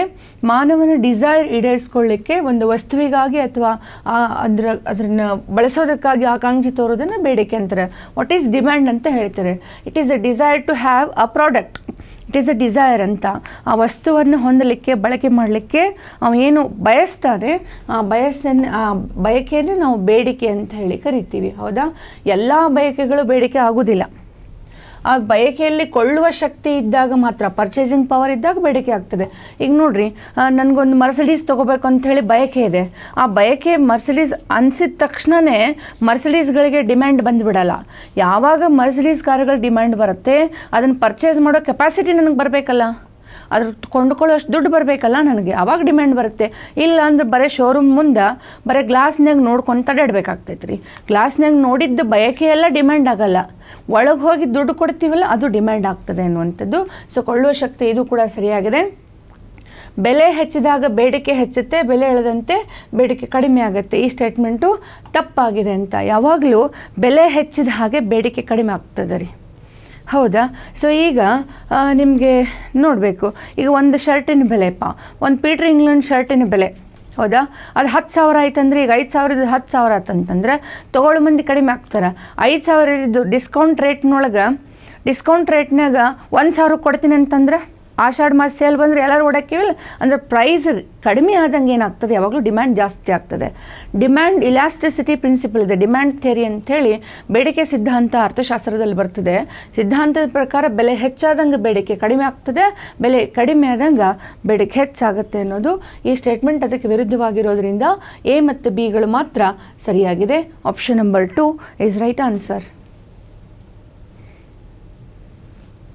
ಮುಂದಿನ ಪ್ರಶ್ನೆ ಕ್ವಶನ್ ನಂಬರ್ ತರ್ಟಿ ಸೆವೆನ್ ಯಾವ ಹೇಳಿಕೆ ಸರಿಯಾಗಿದೆ ಅನ್ನುವಂಥದ್ದು ಆರ್ ಆರ್ ಬಿಗೆ ಸಂಬಂಧಪಟ್ಟಂಥ, ರೀಜನಲ್ ರೂರಲ್ ಬ್ಯಾಂಕ್ಗಳಿಗೆ ಸಂಬಂಧಪಟ್ಟಂಥ ಪ್ರಶ್ನೆ ಎಕನಾಮಿಕ್ಸ್ ಕ್ವೆಶನ್ ಸಾವಿರದ ಸಾವಿರದ ಒಂಬೈನೂರ ಎಪ್ಪತ್ತೈದರಲ್ಲಿ ಆರ್ ಆರ್ ಬಿಗಳು ಅಂದರೆ ಪ್ರಾದೇಶಿಕ ಗ್ರಾಮೀಣ ಬ್ಯಾಂಕ್ಗಳನ್ನು ಸ್ಥಾಪನೆ ಮಾಡಲಾಯಿತು ಅಂತ ಹೇಳಿದೆ. ಸರಿಯಾಗಿದೆ ಈ ಸ್ಟೇಟ್ಮೆಂಟು ಬಿಕಾಸ್ ನರಸಿಂಹಂ ಸಮಿತಿ ಶಿಫಾರಸಿನ ಆಧಾರದ ಮೇರೆಗೆ ಎಪ್ಪತ್ತೈದರಲ್ಲಿ ಪ್ರಾದೇಶಿಕ ಗ್ರಾಮೀಣ ಬ್ಯಾಂಕ್ಗಳ ಕಾಯ್ದೆಯನ್ನು ಜಾರಿಗೆ ತರಲಾಯಿತು ಸಂಸತ್ತು. ಇಡೀ ಅದರ ಅನ್ವಯ ಪ್ರಾರಂಭ ಆಗಿದೆ. ಅತಿ ಹೆಚ್ಚು ಪ್ರಾದೇಶಿಕ ಗ್ರಾಮೀಣ ಬ್ಯಾಂಕ್ಗಳು ಹೊಂದಿರುವಂಥದ್ದು ಮಧ್ಯಪ್ರದೇಶ ಅಲ್ಲ ಇಟ್ ಈಸ್ ಆಂಧ್ರ ಈ ಸ್ಟೇಟ್ಮೆಂಟ್ ತಪ್ಪಾಗಿದೆ. ಸೊ ಪ್ರಾದೇಶಿಕ ಗ್ರಾಮೀಣ ಬ್ಯಾಂಕ್ಗಳಂತ ಬಂದಾಗ, ಈಗ ಆಲ್ರೆಡಿ ನಮ್ಮ ದೇಶದಲ್ಲಿ ದೊಡ್ಡ ಬ್ಯಾಂಕಿಂಗ್ ಸಿಸ್ಟಮ್ ಇತ್ತು. ಬಟ್ ಅವುಗಳ ಸಮಸ್ಯೆ ಏನು ಅಂತಂದರೆ, ಗ್ರಾಮೀಣ ಭಾಗದ ಜನರ ಅಲ್ಪಾವಧಿಯ ಮತ್ತು ಬಡವರ ರೈತರ ಪೂರೈಕೆಗಳನ್ನು, ಬೇಡಿಕೆಗಳನ್ನು ನೇರವಾಗಿ ಪೂರೈಸಲಿಕ್ಕೆ ಸಾಧ್ಯ ಆಗ್ತಾ ಇರಲಿಲ್ಲ. ಹಾಗಾಗಿ, ಪ್ರತಿಯೊಂದು ಗ್ರಾಮೀಣ ಹಂತದಲ್ಲೂ ಕೂಡ ಎಕನಾಮಿಕ್ ಇನ್ಕ್ಲೂಷನ್ ಫಿನಾನ್ಷಿಯಲ್ ಇನ್ಕ್ಲೂಷನ್ ಆಗಬೇಕು. ಜನ ಒಳಗೊಳ್ಳುವಿಕೆಗೆ ಬರಬೇಕು, ಬ್ಯಾಂಕ್ ಖಾತೆಗಳನ್ನು ಹೊಂದಬೇಕು. ಬ್ಯಾಂಕ್ ಸೌಲಭ್ಯಗಳು ಅವರಿಗೆ ಸಿಗಬೇಕು ಅಂತಂದ್ರೆ ಪ್ರಾದೇಶಿಕ ಮಟ್ಟದಲ್ಲಿ ಬ್ಯಾಂಕ್ಗಳು ಬರಬೇಕು ಅನ್ನೋ ಉದ್ದೇಶ ಇಟ್ಕೊಂಡು ಈ ಬ್ಯಾಂಕ್ಗಳನ್ನು ಎಪ್ಪತ್ತೈದರಲ್ಲಿ ಶುರು ಮಾಡಲಾಗಿದೆ ನರಸಿಂಹ ಸಮಿತಿ ಶಿಫಾರಸಿನ ಮೇರೆಗೆ. ಸೊ ಈ ಬ್ಯಾಂಕ್ಗಳು ಏನಿದೆ, ಇದರಲ್ಲಿ ಐವತ್ತು ಪರ್ಸೆಂಟ್ ಹೂಡಿಕೆಯನ್ನು ಗವರ್ನಮೆಂಟ್ ಆಫ್ ಇಂಡಿಯಾ ಮಾಡಿದೆ. ಭಾರತ ಸರ್ಕಾರದ ಇನ್ವೆಸ್ಟ್ಮೆಂಟ್ ಇದೆ ಐವತ್ತು ಪರ್ಸೆಂಟು, ಇನ್ನು ಮೂವತ್ತೈದು ಪರ್ಸೆಂಟ್ ಇನ್ವೆಸ್ಟ್ಮೆಂಟು ಅದರ ಪ್ರಾಯೋಜಿತ ಬ್ಯಾಂಕ್ಗಳು. ಎನಿ ಪ್ರಾಯೋಜಿತ ಬ್ಯಾಂಕು ಈಗ ಯೂನಿಯನ್ ಬ್ಯಾಂಕ್ ಆಗಿರ್ಬೋದು ಫೆಡರಲ್ ಬ್ಯಾಂಕ್ ಎನಿ ಬ್ಯಾಂಕ್ ಅವರು ಆ ಬ್ಯಾಂಕ್ಗಳ ಪ್ರಾಯೋಜಿತ ಬ್ಯಾಂಕ್ಗಳು ಇನ್ವೆಸ್ಟ್ಮೆಂಟ್ ಮಾಡ್ತವೆ. ಹದಿನೈದು ಪರ್ಸೆಂಟನ್ನು ಆಯಾ ಸ್ಟೇಟ್ ಗೌರ್ಮೆಂಟ್ಗಳು ಮಾಡ್ತವೆ. ಹೂಡಿಕೆ ಇರುವಂಥದ್ದು ಅಂತ. ಈ ಹೂಡಿಕೆ ಮೇಲೆ ಇವುಗಳು ಕೆಲಸ ಮಾಡ್ತಾ ಇದ್ದಾವೆ. ಈಗ ನೀವು ಕರ್ನಾಟಕದಲ್ಲೇ ತಗೊಳ್ಳೋದಾದರೆ ನಮ್ಮಲ್ಲಿ ಕೆ ವಿ ಜಿ ಬ್ಯಾಂಕ್ ಇದೆ. ಕರ್ನಾಟಕ ವಿಕಾಸ್ ಗ್ರಾಮೀಣ ಬ್ಯಾಂಕ್ ಅಂತ ಹೇಳಿ ಬರ್ತದೆ. ಹಾಗೆ ಕರ್ನಾಟಕ ಗ್ರಾಮೀಣ ಬ್ಯಾಂಕ್, ಕರ್ನಾಟಕ ಬ್ಯಾಂಕ್ ಅಂತ ಹೇಳಿ ಇದೆ. ಇವೆಲ್ಲ ನಾವು ಆರ್ ಆರ್ ಬಿಸ್ ಅಂತ ಹೇಳಿ ಕರಿತೀವಿ. ನಾವು ಹೈಯೆಸ್ಟ್ ಆರ್ ಆರ್ ಬಿಗಳನ್ನು ಆಂಧ್ರದಲ್ಲಿ ನೋಡ್ತೀವಿ. ಬಿಕಾಸ್ ಈ ಮೂಲಕ ಆಂಧ್ರದಲ್ಲಿ ಮೈಕ್ರೋ ಫೈನಾನ್ಸಿಂಗ್ ತುಂಬ ವೇಗವಾಗಿ ನಡೀತಿರೋದು ನಾವು ನೋಡ್ತೀವಿ ಅಂತ ಹೇಳಿ. ಹಾಗಾಗಿ so option number A is right answer ಇದರಲ್ಲಿ ಎ ಮಾತ್ರ ಸರಿಯಾಗಿದೆ. ಕ್ವಶನ್ ನಂಬರ್ ಮೂವತ್ತೆಂಟು. ಅಗೇನ್ ವಿದ್ಯುತ್ ಜಾಲಕ್ಕೆ ಸಂಬಂಧಪಟ್ಟದೆ ವಿದ್ಯುತ್ ಜಾಲದಲ್ಲಿ ಸಂಭವಿಸುವಂತಹ ವ್ಯತ್ಯಯಗಳಿಂದ ವಿದ್ಯುತ್ ಉಪಕರಣಗಳಿಗೆ ಅಪಾಯವಾಗದಂತೆ ತಡೆಯುವ ಸಾಧನ ಯಾವುದು ಅಂತ ಹೇಳಿದೆ. ಇದಕ್ಕೆ ತುಂಬ ವಿಜ್ಞಾನನೂ ಬೇಕಾಗಿಲ್ಲ. ತುಂಬ ಜನರಲ್ ಆಗಿರುವಂತಹ ಪ್ರಶ್ನೆ. ಅಫ್ಕೋರ್ಸ್ ಫ್ಯೂಸ್ ಬೇಕು. ಫ್ಯೂಸ್ ಏನು ಮಾಡ್ತದೆ? ಎಲೆಕ್ಟ್ರಿಸಿಟಿ ಉಪಕರಣಗಳು. In case in electricity flow ಜಾಸ್ತಿ ಆಯಿತು, ಕಮ್ಮಿ ಆಯಿತು, ಎಲ್ಲ ಸಂದರ್ಭದಲ್ಲೂ ಕೂಡ ಬ್ಯಾಲೆನ್ಸ್ ಮಾಡಲಿಕ್ಕಾಗಿ ಫ್ಯೂಸ್ ಇದೆ. ಇನ್ ಕೇಸ್ ಓವರ್ ಲೋಡ್ ಆಯಿತು ಅಂದರೆ ಫ್ಯೂಸ್ ತಂತಾನೇ ಹಾರಿಬಿಟ್ಟು ಸ್ಟಾಪ್ ಆಗುತ್ತೆ. ನಾವು ಈ ಕಾಮನ್ ಆಗಿ ನೋಡಿರ್ತೀವಲ್ಲ ಫ್ಯೂಸ್ ಹಾರ್ತು ಅಂತೇಳಿ ಹಾರ್ತಾರಲ್ಲ, ಹೇಳ್ತೀವಲ್ಲ. ಸೊ ಹಾಗಾಗಿ the right answer is the fuse question number ಮೂವತ್ತೊಂಬತ್ತು. ಅಗೇನ್ ಮೂವತ್ತೊಂಬತ್ತು ಕೆಳಗಿನ ಯಾವುದು ಜೈವಿಕ ಶಕ್ತಿಯ ಲಕ್ಷಣ ಅಲ್ಲ ಅಂತೇಳಿ ಕೇಳಿದ್ದಾರೆ. ಸೊ ಜೈವಿಕ ಶಕ್ತಿಯ ಲಕ್ಷಣ ಅಂತ ಬಂದಾಗ ಮಣ್ಣಿನ ಗುಣಮಟ್ಟವನ್ನು ಹೆಚ್ಚಿಸೋದು ಅಂತೇಳಿ. ಈಗ ನೋಡ್ರಿ, ಕೆಲವೊಂದಿಷ್ಟು, ಈಗ ಎರೆಹುಳು ಅಂತ ಹೇಳಿ ಹೇಳ್ತೀವಿ. ಎರೆಹುಳು ಏನು ಮಾಡ್ತದೆ? ರೈತರ ಮಿತ್ರ, ರೈತ ಮಿತ್ರ ಅಂತ ಕರಿತೀವಿ. ಯಾಕಂದರೆ ಮಣ್ಣಿನ ಜೈವಿಕ ಶಕ್ತಿ ಅನ್ನೋದು ಹೆಚ್ಚು ಮಾಡ್ತದೆ ಅನ್ನುವಂಥದ್ದು ಇದು ಸರಿಯಾಗಿದೆ. ನೀರು ಉಳಿಸಿಕೊಳ್ಳುವಂತಹ ಸಾಮರ್ಥ್ಯವನ್ನು ಹೆಚ್ಚಿಸುತ್ತೆ. ಹೌದು, ಕೆಲವೊಂದಿಷ್ಟು ಸೂಕ್ಷ್ಮಾಣು ಜೀವಿಗಳು ಏನು ಗ್ರೌಂಡ್ ವಾಟರ್ ಕೆಪಾಸಿಟಿಯನ್ನು ನೀರಿನ ಸಂಗ್ರಹಣೆ ಸಾಮರ್ಥ್ಯವನ್ನು, ಅಂದರೆ ಪರ್ಕೊಲೈಸೇಷನ್ ಅಂತ ಕರಿತೀವಿ ನಾವು ಜಾಗ್ರಫಿನಲ್ಲಿ ಅದರ ಪ್ರಮಾಣವನ್ನು ಹೆಚ್ಚಳ ಮಾಡ್ತವೆ. ಇದು ಕೂಡ ಸರಿಯಾಗಿದೆ. ವಾತಾವರಣದಲ್ಲಿ ಕಾರ್ಬನ್ ಡೈಆಕ್ಸೈಡ್ ಪ್ರಮಾಣವನ್ನು ಕಡಿಮೆ ಮಾಡೋದು, ಹೌದು, ಖಂಡಿತವಾಗಲೂ ಹಸಿರು ಸಸ್ಯಗಳಿಗೆ, ಹಸಿರು ಜೀವಿಗಳಿಗೆ ಈ ಜೈವಿಕ ಶಿಕ್ಷೆ ಇದೆ. ಮತ್ತು ಪರಿಸರ ಮಾಲಿನ್ಯವನ್ನು ಹೆಚ್ಚಿಸೋದು ನಾರ್ಮಲಿ ಯಾವುದೇ ಜೈವಿಕ ಶಕ್ತಿ ಪರಿಸರ ಮಾಲಿನ್ಯವನ್ನು ಹೆಚ್ಚಿಸುವಂತಹ ಕೆಲಸವನ್ನು ಮಾಡಂಗಿಲ್ಲ ಅನ್ನುವಂಥದ್ದು ನಿಮಗೆ ಗೊತ್ತಿದೆ. ಹಾಗಾಗಿ ಪರಿಸರ ಮಾಲಿನ್ಯ ಮಾಡೋದು ಜೈವಿಕ ಶಕ್ತಿ ಅಲ್ಲ, ಅದು ಮನುಷ್ಯ ಶಕ್ತಿ. ನಾವು ಮಾಲಿನ್ಯ ಮಾಡುವಂಥದ್ದು ಅನ್ನುವಂಥದ್ದು. The right answer is four next question number ನಲವತ್ತು, ಯಾವುದು ಅಗೇನ್ ಸರಿಯಾಗಿದೆ ಅನ್ನುವಂಥದ್ದು. ಪರಮಾಣು ವಿದಳನ ಕ್ರಿಯೆಯಿಂದಾಗಿ ನ್ಯೂಕ್ಲಿಯರ್ ರಿಯಾಕ್ಟರ್ನಲ್ಲಿ ಶಕ್ತಿ ಉತ್ಪಾದನೆ ಆಗ್ತದೆ ಅಂತ. ಇಟ್ ಈಸ್ ಅ ಫಿಷನ್ ಅಂತ ಹೇಳಿದೆ ಫಿಷನ್ ಆ್ಯಂಡ್ ಫ್ಯೂಷನ್ ಅಂತೇಳಿ ಅಟಾಮಿಕ್ ಎನರ್ಜಿ ಬಗ್ಗೆ ನೀವು ಕೇಳಿರಬಹುದು ಅಂತ ಅಂದ್ಕೊಂಡಿದ್ದೀನಿ ನಾನು. ಅಣುಶಕ್ತಿಯನ್ನು, ವಿದಳನ ಮತ್ತು ಸಮ್ಮಿಲನ ಎರಡು ಪ್ರಕ್ರಿಯೆ ಮೂಲಕ ಶಕ್ತಿ ಉತ್ಪಾದನೆ ಒಂದು ಪ್ರೊಸೆಸ್ಸನ್ನು ನಾವು ನೋಡ್ತೀವಿ. ನಾರ್ಮಲ್ ಆಗಿ ಈಗ ನಾವೇನು ರಿಯಾಕ್ಟರ್ಸ್ ಅಂತ ಹೇಳಿ ಕರಿತೀವಿ. ಅಣು ರಿಯಾಕ್ಟರ್ಗಳು ಅಂತೇಳಿ ಈಗ ತಾರಾಪುರ ಆಗಿರ್ಬೋದು ಕಲ್ಕಪ್ ಕಲ್ಪಕಮ್ ಆಗಿರ್ಬೋದು, ನರೋರ ಆಗಿರ್ಬೋದು, ಹೌದ್ರಿ, ಕುದಾಂಕುಲಂ ಆಗಿರ್ಬೋದು. ಇವುಗಳಲ್ಲಿ ಏನು ಮಾಡ್ತಾರೆ? ಈ ಪರಮಾಣು ವಿದಳನ ಫಿಷನ್ ಅಂತೀವಿ. ಒಂದಿದ್ದನ್ನು ಎರಡು ಮಾಡಿದರೆ ದಟ್ ಈಸ್ ಕಾಲ್ಡ್ ವಿದಳನ ದಟ್ ಈಸ್ ಫಿಷನ್ ಅದನ್ನು ನಿಯಂತ್ರಿತ ರೀತಿಯಲ್ಲಿ ಮಾಡಿದಾಗ ಏನಾಗ್ತದೆ? ಎನರ್ಜಿ ಜನ್ರೇಟ್ ಆಗುತ್ತೆ ಅನ್ನುವಂಥದ್ದು. ಸೊ ನ್ಯೂಕ್ಲಿಯರ್ ರಿಯಾಕ್ಟರ್ನಲ್ಲಿ ಈ ಮೂಲಕ ಏನು ಮಾಡ್ತಾರೆ? ಶಕ್ತಿಯನ್ನು ಉತ್ಪಾದನೆ ಮಾಡ್ತಾರೆ. ಹಾಗೆ ನ್ಯೂಕ್ಲಿಯರ್ ರಿಯಾಕ್ಟರ್ಗಳಲ್ಲಿ ಸೋಡಿಯಂ ಮತ್ತು ಸಲ್ಫರನ್ನು ಇಂಧನವಾಗಿ ಬಳಸ್ತಾರೆ ಅಂತ ಹೇಳಿದರೆ that is it is wrong because ಇಲ್ಲಿ ಬಳಸೋದು ಯುರೇನಿಯಂ ಮತ್ತು ಥೋರಿಯಂ ನೀವು ನೆನ್ಪಿಟ್ಕೊಳ್ಬೇಕು. ಯುರೇನಿಯಂ ಮತ್ತು ಥೋರಿಯಂ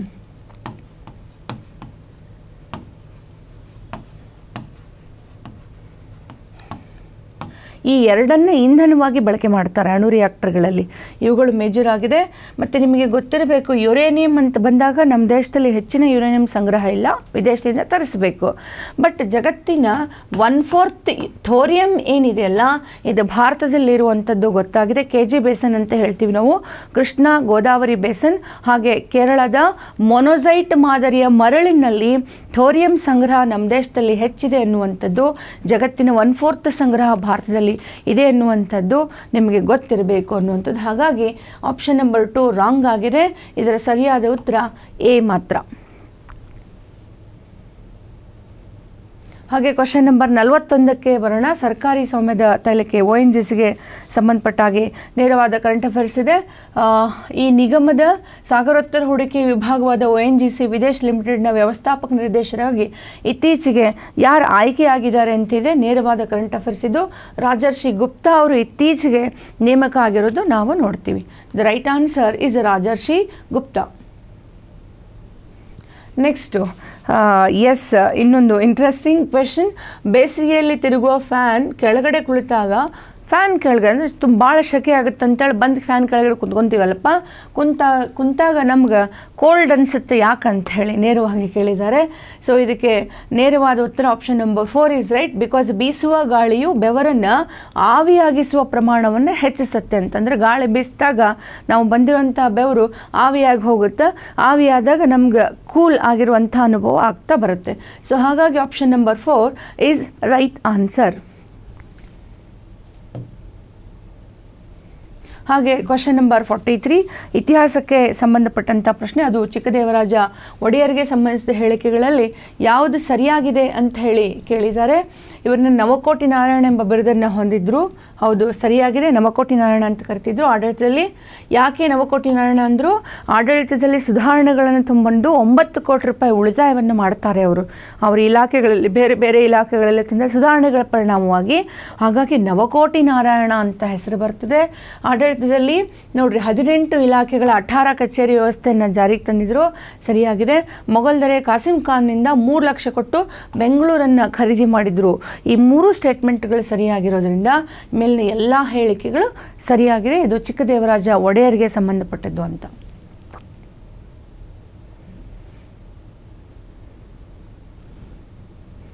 ಮುಂದಿನ ಪ್ರಶ್ನೆ ಎಸ್ ಅಟಲ್ ಇನ್ನೋವೇಷನ್ ಮಿಷನ್ ಬಗ್ಗೆ ನೇರವಾದಂಥ ಪ್ರಶ್ನೆ ಇದೆ ಅಂತೇಳಿ ಅಟಲ್ ಇನ್ನೋವೇಷನ್ ಮಿಷನ್ ಅನ್ನುವಂಥದ್ದು ಕೇಂದ್ರ ಸರ್ಕಾರದ ಅತ್ಯಂತ ಮಹತ್ವಾಕಾಂಕ್ಷಿ ಪ್ರಾಜೆಕ್ಟ್ಗಳಲ್ಲಿ ಒಂದು ಅನ್ನುವಂಥದ್ದು. ಕೇಂದ್ರ ಸರ್ಕಾರ ಎರಡು ಸಾವಿರದ ಹದಿನಾರರಲ್ಲಿ ನಾವೇನು ನೀತಿ ಆಯೋಗ ಅಂಥೇಳಿ, ಯೋಜನಾ ಆಯೋಗದ ಜಾಗೆಯಲ್ಲಿ ನೀತಿ ಆಯೋಗವನ್ನು ರಚನೆ ಮಾಡಿಕೊಂಡಿದ್ದೀವಿ. ನೀತಿ ಆಯೋಗ ನಮ್ಮ ದೇಶದಲ್ಲಿ, ನಮ್ಮ ದೇಶದ ಶಾಲಾ ಕಾಲೇಜುಗಳು ಯುವ ಜನಾಂಗದಲ್ಲಿ ಇನ್ನೋವೇಷನನ್ನು ಈಗ ಹೆಂಗೆ ನಾವು ಬೇರೆ ಬೇರೆ ಜಗತ್ತಿನ ಆ್ಯಪ್ಗಳನ್ನು ಬಳಸ್ತೀವಲ್ರಿ ನಾವು? ಹೌದ್ರಿ? ಅವ್ರ ಆ್ಯಪ್ಗಳನ್ನು ಬಳಕೆ ಮಾಡಿಕೊಂಡು ಅವರು ನಮ್ಮನ್ನು ಆಳ್ತಾ ಇದ್ದಾರೆ. ಆ ಥರದ ಹೊಸ ಹೊಸ ಆ್ಯಪ್ಗಳ ಇನ್ನೋವೇಷನ್ಗಳನ್ನು ನಮ್ಮವ್ರು ಮಾಡಲಿ ಅಂದ್ಕೊಂಡು ನೀತಿ ಆಯೋಗ ಏನು ಮಾಡ್ತು? ಅಟಲ್ ಇನ್ನೋವೇಷನ್ ಮಿಷನ್ ಅಂತ ಅಟಲ್ ಬಿಹಾರಿ ವಾಜಪೇಯಿ ಅವರ ಹೆಸರಿನಲ್ಲಿ ನೀತಿ ಆಯೋಗದವರು ಜಾರಿಗೆ ತಂದಿರೋದು ನಾವು ನೋಡ್ತೀವಿ ಅಂಥೇಳಿ ಹೌದಾ? ಇದನ್ನು ಯಾರು ಸ್ಥಾಪನೆ ಮಾಡಿದ್ದಾರೆ ಅಂತ ಪ್ರಶ್ನೆ ಇದೆ, ನೀತಿ ಆಯೋಗದವರಿದ್ದು. ಈ ಮೂಲಕ ಭಾರತ ಸರ್ಕಾರದ ಪ್ರಯತ್ನ ಏನು ಅಂದರೆ ಎಲ್ಲ ಸ್ಕೂಲ್ಗಳು, ಕಾಲೇಜ್ಗಳು, ಬೇರೆ ಬೇರೆ ಇನ್ಸ್ಟಿಟ್ಯೂಟ್ಗಳಲ್ಲಿ ಅಟಲ್ ಟಿಂಕರಿಂಗ್ ಲ್ಯಾಬ್ಗಳನ್ನು ಮಾಡಿದ್ದಾರೆ. ಅಲ್ಲಿ ಇನ್ನೋವೇಷನ್ಸ್ಗಳನ್ನು ಮಾಡುವಂಥವರಿಗೆ ಪ್ರೋತ್ಸಾಹವನ್ನು ಕೊಡಲಾಗ್ತದೆ. ವಿದ್ಯಾರ್ಥಿಗಳಲ್ಲಿ ವೈಜ್ಞಾನಿಕ ಸಂಶೋಧನಾ ಮನೋಭಾವವನ್ನು ಹೆಚ್ಚಳ ಮಾಡಿಬಿಟ್ಟು ಹೊಸ ಹೊಸ ಆ್ಯಪ್ಗಳನ್ನು, ಹೊಸ ಹೊಸ ವೈಜ್ಞಾನಿಕ ಪರಿಕಲ್ಪನೆಗಳನ್ನು ನಮ್ಮವ್ರು ಕಂಡುಹಿಡೀಲಿ ಅನ್ನೋ ಪ್ರಯತ್ನ ನೀತಿ ಆಯೋಗದಾಗಿದೆ. ಹಾಗಾಗಿ the right answer is NITI Aayog. ಮುಂದಿನ ಪ್ರಶ್ನೆ ಸಾಮಾನ್ಯವಾಗಿ ವಿದ್ಯುತ್ಗೆ ಸಂಬಂಧಪಟ್ಟ ಹಾಗೆ ಇರುವಂಥದ್ದು. ವಿದ್ಯುತ್ ಸಂಪರ್ಕ ತಂತಿಗಳನ್ನು ತಯಾರಿಸಲು ಯಾವುದು ಬಳಸ್ತಾರೆ? ಇದು ನೇರವಾದಂಥ ಉತ್ತರ ಇದೆ. ದ ಆನ್ಸರ್ ಇಸ್ ತಾಮ್ರ. ತಾಮ್ರವನ್ನು ವಿದ್ಯುತ್ ತಂತಿಗಾಗಿ ಬಳಕೆ ಮಾಡುತ್ತಾರೆ. ಅದು ಯಾಕಂದರೆ, ಅದು ವಿದ್ಯುತ್ ನಿರೋಧಕ ಅಂಥೇಳಿ ನಾವು ಹೇಳ್ತೀವಿ. ಕ್ವಶನ್ ನಂಬರ್ ನಲವತ್ತಾರು. ಬಂಗಾಳದ ದಿ ಗ್ರೇಟ್ ಗಾರ್ಬೋ ಎಂದು ಪ್ರಸಿದ್ಧಿ ಹೊಂದಿದಂಥವರು ಯಾರು ಅಂತ ಹೇಳಿದರೆ, ಇದು ನೇರವಾದಂಥ ಆನ್ಸರ್ ಸುಚಿತ್ರಾ ಸೆನ್ ಅವರನ್ನು ಬಂಗಾಳದ ಗ್ರೇಟ್ ಗಾರ್ಬೋ ಅಂತ ಹೇಳಿ ಕರೆಯೋದು ನಾವು ನೋಡ್ತೀವಿ. The answer is Suchitra Sen. Next ಪ್ರಶ್ನೆ ನಂಬರ್ ನಲವತ್ತೇಳು. ಸೊ ಕೆಳಗಿನ ಅವುಗಳನ್ನು ಪರಿಶೀಲಿಸಿ ಅಂತ ಹೇಳಿ ಯಾವ ಸ್ಟೇಟ್ಮೆಂಟ್ ಸರಿಯಾಗಿದೆ ಅಂತಂತ ಹೇಳ್ತಾ ಇದ್ದಾರೆ. ಪಾದರಸ ಮತ್ತು ಬ್ರೋಮಿನಿವು ಕೊಠಡಿಯ ತಾಪಮಾನದಲ್ಲಿ ಕೊಠಡಿಯ ತಾಪಮಾನದಲ್ಲಿ ದ್ರವ ಸ್ಥಿತಿಯಲ್ಲಿರುವಂತಹ ಧಾತುಗಳು ಅಂತ ಹೇಳಿ ಇದೆ, ಸರಿಯಾಗಿದೆ. ಬೋರಾನ್, ಸಿಲಿಕಾನ್ ಮತ್ತು ಇವುಗಳು ಲೋಹ ಭಾಗಗಳಿಗೆ ಉದಾಹರಣೆಗಳಾಗಿದೆ ಅಂತೇಳಿ ಇದೆ. ಹಾಗಾಗಿ ಎರಡೂ ಸ್ಟೇಟ್ಮೆಂಟ್ಗಳು ಸರಿಯಾಗಿರೋದ್ರಿಂದ the right answer is option number four, A ಮತ್ತು ಬಿ. ಸಾರಿ ಇದರಲ್ಲಿ ಯಾವುದು ಈ ಸಂಕೇತಗಳಿಂದ ಯಾವುದು ಸರಿ ತಪ್ಪನ್ನು ಉತ್ತರಿಸಕ್ಕೆ ಕೇಳಿದ್ದಾರೆ. ಬಟ್ ಇದಕ್ಕೆ right answer is option number four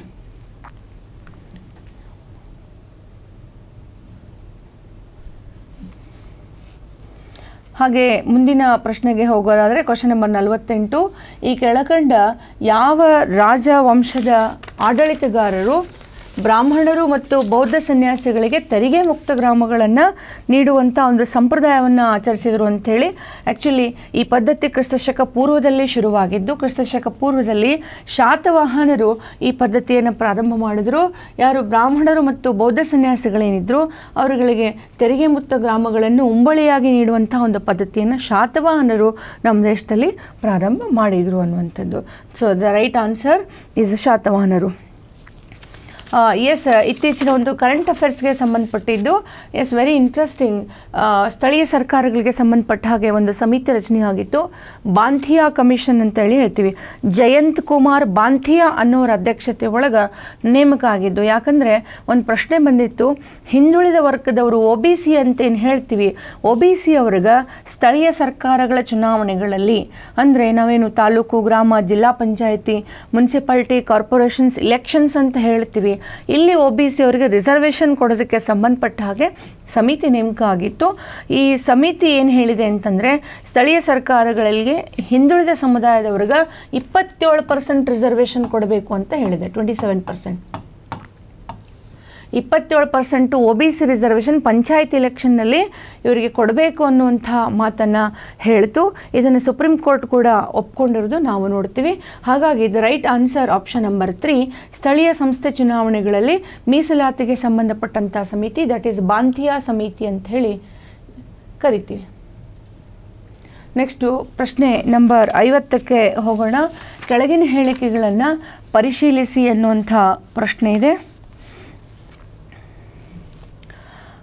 ಆಜಾದಿ ಕಾ ಅಮೃತ್ ಮಹೋತ್ಸವ ಭಾಗವಾಗಿ ಹರ್ ಘರ್ ತಿರಂಗಾ ಅಭಿಯಾನದ ಮೂಲಕ ಭಾರತದ ಎಪ್ಪತ್ತೈದನೇ ಸ್ವಾತಂತ್ರ್ಯ ಸಂಭ್ರಾಚರಣೆಯನ್ನು ವರ್ಷವನ್ನು ಆಚರಿಸಲು ಧ್ವಜವನ್ನು ಪ್ರತಿಯೊಬ್ಬ ನಾಗರಿಕರು ಮನೆ ಮೇಲೆ ಹಾರಿಸಬೇಕು, ಅವು ಹಾರಿಸಲಿಕ್ಕೆ ಅವಕಾಶವನ್ನು ನೀಡಲಾಗಿದೆ. ಇದು ನಿಮಗೆಲ್ಲರಿಗೂ ಗೊತ್ತಿರೋದು ಸರಿಯಾಗಿದೆ. Article fifty one A C ಪ್ರಕಾರ ಸಂವಿಧಾನಕ್ಕೆ ಬದ್ಧವಾಗಿರುವುದು ರಾಷ್ಟ್ರಧ್ವಜ ರಾಷ್ಟ್ರಗೀತೆಯನ್ನು ಗೌರವಿಸುವುದು. ಈ ಉತ್ತರ ತಪ್ಪಾಗಿದೆ. ಬಿಕಾಸ್ ಇದು article fifty one A A, sub clause A ವಿಧಿ ಪ್ರಕಾರ ರಾಷ್ಟ್ರಧ್ವಜ, ರಾಷ್ಟ್ರಗೀತೆ ರಾಷ್ಟ್ರ ಗೌರವ ರಾಷ್ಟ್ರಗೀತೆಯನ್ನು ಗೌರವಿಸಬೇಕು.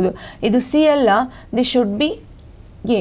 Article fifty one sub class fifty one A. Sub class A sub class ಎನಲ್ಲಿ ಬರುವಂಥದ್ದಿದು ಹಾಗಾಗಿ ಈ ಸ್ಟೇಟ್ಮೆಂಟ್ ರಾಂಗ್ ಆಗಿದೆ.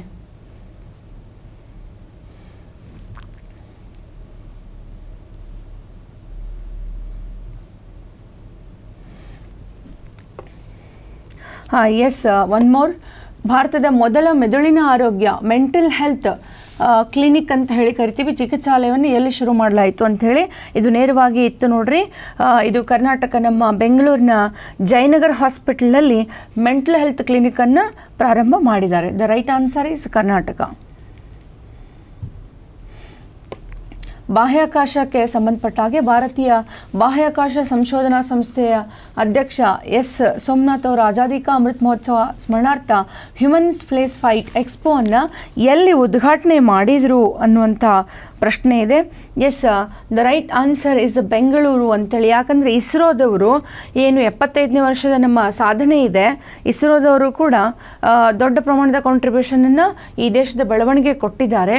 ನಾವೀಗೇನು ಗಗನಯಾನ್ ಅಂತ ಹೇಳಿ ಗಗನಯಾತ್ರೆಗಳನ್ನು ಮಾನವ ಸಹಿತ ಗಗನಯಾತ್ರೆ ಮಾಡಬೇಕು ಅನ್ನೋ ಉದ್ದೇಶಕ್ಕಾಗಿ ಏನು ಗಗನಯಾನ್ ಪ್ರಾಜೆಕ್ಟ್ ಮಾಡ್ತಾ ಇರುವಂಥದ್ದು ನಾವು ನೋಡ್ತೀವಿ. ಸೊ ಅದರ ಸ್ಮರಣಾರ್ಥ ಏನು ಮಾಡಿದ್ರು? ಬೆಂಗಳೂರಿನಲ್ಲಿ ಹ್ಯೂಮನ್ ಮೂರು ದಿನಗಳ ಕಾಲ, ಮೂರು ದಿನಗಳ ಕಾಲ ಈ ಒಂದು ಎಕ್ಸ್ಪೋವನ್ನು ಉದ್ಘಾಟನೆ ಮಾಡಿದ್ದು ನಾವು ನೋಡ್ತೀವಿ. ಇದು ಬೆಂಗಳೂರಿನಲ್ಲಿ ನಡೆದಿದೆ ಅನ್ನುವಂಥದ್ದು ಇಸ್ರೋ ಪ್ರಾಯೋಜಿತ ಆದಂಥ ಕಾರ್ಯಕ್ರಮ ಇದು. ಎಸ್ ಇನ್ನೊಂದು ನೇರವಾದಂಥ ಪ್ರಶ್ನೆ. ಇತ್ತೀಚೆಗೆ ಆಫ್ರಿಕನ್ ಚಿರತೆಗಳನ್ನು ಪುನಃ ಪರಿಚಯಿಸುವ ಉದ್ದೇಶದಿಂದ ಭಾರತ ಯಾವ ದೇಶದೊಂದಿಗೆ ಒಪ್ಪಂದ ಮಾಡಿಕೊಂಡಿದೆ ಅಂತ ಹೇಳಿದೆ. The answer is Namibia Namibia ದೇಶ ಜೊತೆಗೆ ಆಫ್ರಿಕನ್ ಚಿರತೆಗಾಗಿ ನಾವು ಒಪ್ಪಂದ ಮಾಡಿಕೊಂಡಿರೋದು ನೋಡ್ತೀವಿ. ಹಾಗೆ. ಎಸ್ ಅಗೇನ್ ಇನ್ನೊಂದು ಇತಿಹಾಸದ ನೇರವಾದ ಪ್ರಶ್ನೆ.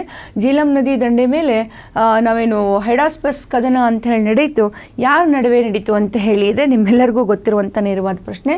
ಉತ್ತರ option number one is right Alexander ಮತ್ತು ಪೋರಸ್ ಅವರ ನಡುವೆ ನಾವು ಕಾಳಗ ಈಗ ಈ ಹೈಡಾಸ್ಪಸ್ ಕಾಳಗ ಅಂತ ಹೇಳಿ ನಡೆದಿದ್ದರ ನಾವು ಓದಿದ್ದೀವಿ. ಹಾಗಾಗಿ the right answer is option number one ಹಾಗೆ ಪ್ರಶ್ನೆ ನಂಬರ್ ಐವತ್ತೈದಕ್ಕೆ ಹೋಗೋಣ. ಭಾರತದ ರಾಮ್ಸಾರ್ ಸೈಟ್ಗಳಿಗೆ ಸಂಬಂಧಪಟ್ಟಂಥ ಪ್ರಶ್ನೆ ಇದೆ. ವೆಟ್ಲ್ಯಾಂಡ್ ಸೈಟ್ಸ್ ಅಂತ ಹೇಳಿ ನಾವು ಕರಿತೀವಿ ಅಂತ. ವೆಟ್ಲ್ಯಾಂಡ್ ಸೈಟ್ಸ್ ಅಂದರೆ ಜೌಗು ನೆಲೆಗಳು ಅಂತ ಹೇಳಿ ಕರೀತಾರೆ.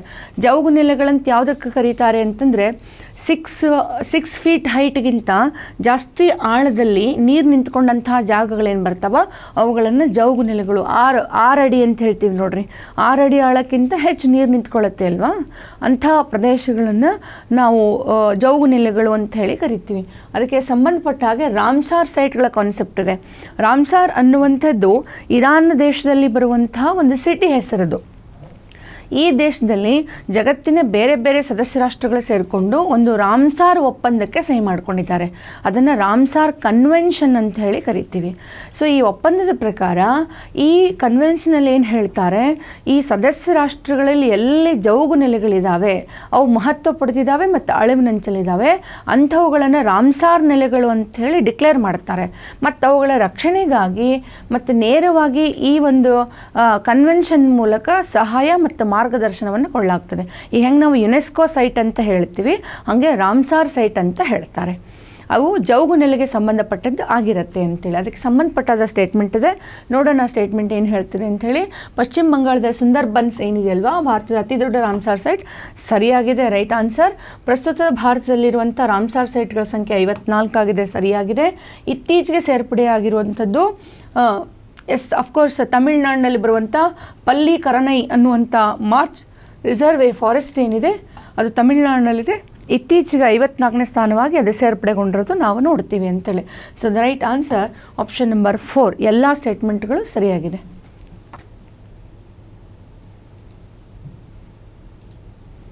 ಮುಂದಿನ ಪ್ರಶ್ನೆಗೆ ಹೋಗೋಣ. ಪ್ರಶ್ನೆ ನಂಬರ್ ಐವತ್ತಾರು. ಇದು ಬಾಡಿಗೆ ತಾಯ್ತನಕ್ಕೆ ಸರೋಗಸಿ ಮದರ್ಗೆ ಸಂಬಂಧಪಟ್ಟಂಥ ಪರಿಕಲ್ಪನೆ. ಅಂದರೆ ಬಹಳಷ್ಟು ಜನ ಹಲವಾರು ಕಾರಣಗಳಿಂದ ತಾಯ್ತನದ ಒಂದು ಸೌಭಾಗ್ಯವನ್ನು ಯಾರು ಪಡೀಲಿಕ್ಕಾಗಲ್ಲ. ಅವರಿಗೆ ಐ ವಿ ಎಫ್ ಟೆಕ್ನಾಲಜಿ ಮೂಲಕ ಬಾಡಿಗೆ ತಾಯ್ತನದ ಕಾನ್ಸೆಪ್ಟ್ನ ಮೂಲಕ ಮಕ್ಕಳನ್ನು ಪಡೆಯುವಂಥದ್ದು. ಮತ್ತು ಇತ್ತೀಚೆಗೆ ಇದರ ಹಿನ್ನೆಲೆ ಒಳಗೆ ಭಾರತದಲ್ಲಿ ಹಲವಾರು ಮಹಿಳೆಯರ ಶೋಷಣೆ ಒಳಗಾಗ್ತಾ ಇತ್ತು. ಇದನ್ನು ತಡೆ ಹಿಡಿಬೇಕು ಅಂತೇಳಿ ಕೇಂದ್ರ ಸರ್ಕಾರ ಬಾಡಿಗೆ ತಾಯ್ತನ ನಿಯಂತ್ರಣ ಕಾಯ್ದೆ ಅಂತೇಳಿ ಎರಡು ಸಾವಿರದ ಇಪ್ಪತ್ತೊಂದಕ್ಕೆ ಒಂದು ಕಾಯ್ದೆಯನ್ನು ಮಾಡ್ಕೊಂಡಿದೆ. ಇದು ಯಾವ ಸಚಿವಾಲಯಕ್ಕೆ ಸಂಬಂಧಪಟ್ಟಿದೆ ಅಂತ ಹೇಳಿ ಇರುವಂಥ ಪ್ರಶ್ನೆ. The right answer option number three ಆರೋಗ್ಯ ಮತ್ತು ಕುಟುಂಬ ಕಲ್ಯಾಣ ಸಚಿವಾಲಯ. ಹೆಲ್ತ್ ಆ್ಯಂಡ್ ಫ್ಯಾಮಿಲಿ ವೆಲ್ಫೇರ್ ಮಿನಿಸ್ಟ್ರಿಗೆ ಅದನ್ನು ಕೊಟ್ಟಿದ್ದಾರೆ. ಆ ಮೂಲಕ ಈಗ ಇನ್ನು ಮುಂದೆ ಸರೋಗಸಿ ಮದರನ್ನು ಯಾರಾದರೂ ಬಾಡಿಗೆ ತಾಯ್ತನ ಪಡಿಬೇಕಂದ್ರೆ ಕೇಂದ್ರ ಸರ್ಕಾರ ಸ್ಟ್ರಿಕ್ಟ್ ನಿಯಮಾವಳಿಗಳನ್ನು ಹೇಳಿದೆ. ಏನಂದರೆ, ಮದುವೆಯಾಗಿ ಇಂತಿಷ್ಟು ವರ್ಷ ಆಗಿ ಮಕ್ಕಳು ಆಗಲಿಕ್ಕೆ ಸಾಧ್ಯ ಇಲ್ಲ ಅಂತ ಏನು ಡಾಕ್ಟರ್ಗಳ ಸರ್ಟಿಫಿಕೇಟ್ ಕೊಟ್ಟಿರಬೇಕು. ಮತ್ತು ಸಿಂಗಲ್ ಪೇರೆಂಟ್ಗಳಿಗೆ ಎಷ್ಟೊಂದು ಜನ ಇವತ್ತು ಸರೋಗಸಿ ಮಾಡ್ಕೊಂಡಿದ್ದಾರೆ. ಎಲ್ಲ ಎಷ್ಟೊಂದು ಜನ ಸೆಲೆಬ್ರಿಟಿಗಳು ಬಟ್ ಇವತ್ತು ಪರ್ಮಿಷನ್ ಇಲ್ಲ. ಸಿಂಗಲ್ ಪೇರೆಂಟ್ಗಳಿಗೆ ಪರ್ಮಿಷನ್ ಇಲ್ಲ ಅನ್ನುವಂಥದ್ದು. ಮತ್ತು ಯಾವಾಗಲೂ ಸರೋಗಸಿ ಬಾಡಿಗೆ ತಾಯ್ತನ ಕೊಡಬೇಕಂದ್ರೆ ಬ್ಲಡ್ ರಿಲೇಷನ್ನವರೇ ಆಗಿರಬೇಕು. ಸ್ವಂತದವರಿಗೆ ಮಾತ್ರ ಕೊಡೋಕ್ಕೆ ಬರುತ್ತೆ. ಸೊ ಈ ರೀತಿ ಹಲವಾರು ನಿಯಮಾವಳಿಗಳನ್ನು ಇತ್ತೀಚಿನ ಕಾಯ್ದೆಗಳಲ್ಲಿ ಮಾಡಿಬಿಟ್ಟು, ಆ ಮೂಲಕ ಮಹಿಳೆಯರ ಆರೋಗ್ಯಕ್ಕೆ ರಕ್ಷಣೆ, ಆರೋಗ್ಯ ರಕ್ಷಣೆಗೆ ಕ್ರಮಗಳನ್ನು ಕೈಗೊಳ್ಳೋ ಪ್ರಯತ್ನವನ್ನು ಆರೋಗ್ಯ ಮತ್ತು ಕುಟುಂಬ ಕಲ್ಯಾಣ ಮಂತ್ರಾಲಯದವರು ಮಾಡ್ತಾ ಇದ್ದಾರೆ. Right answer is option number three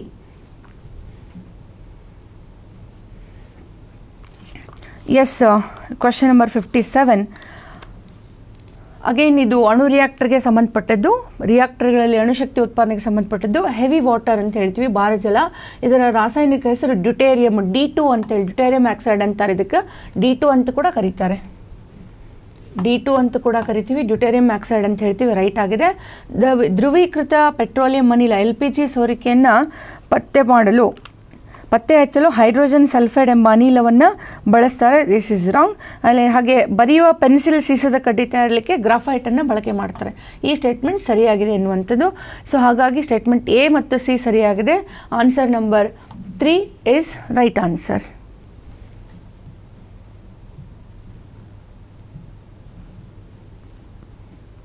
ಪ್ರಧಾನ ಮಂತ್ರಿ ವಯವಂದನ್ ಯೋಜನಾ ಅಂಥೇಳಿ ಮಾಡಿರುವಂಥದ್ದು.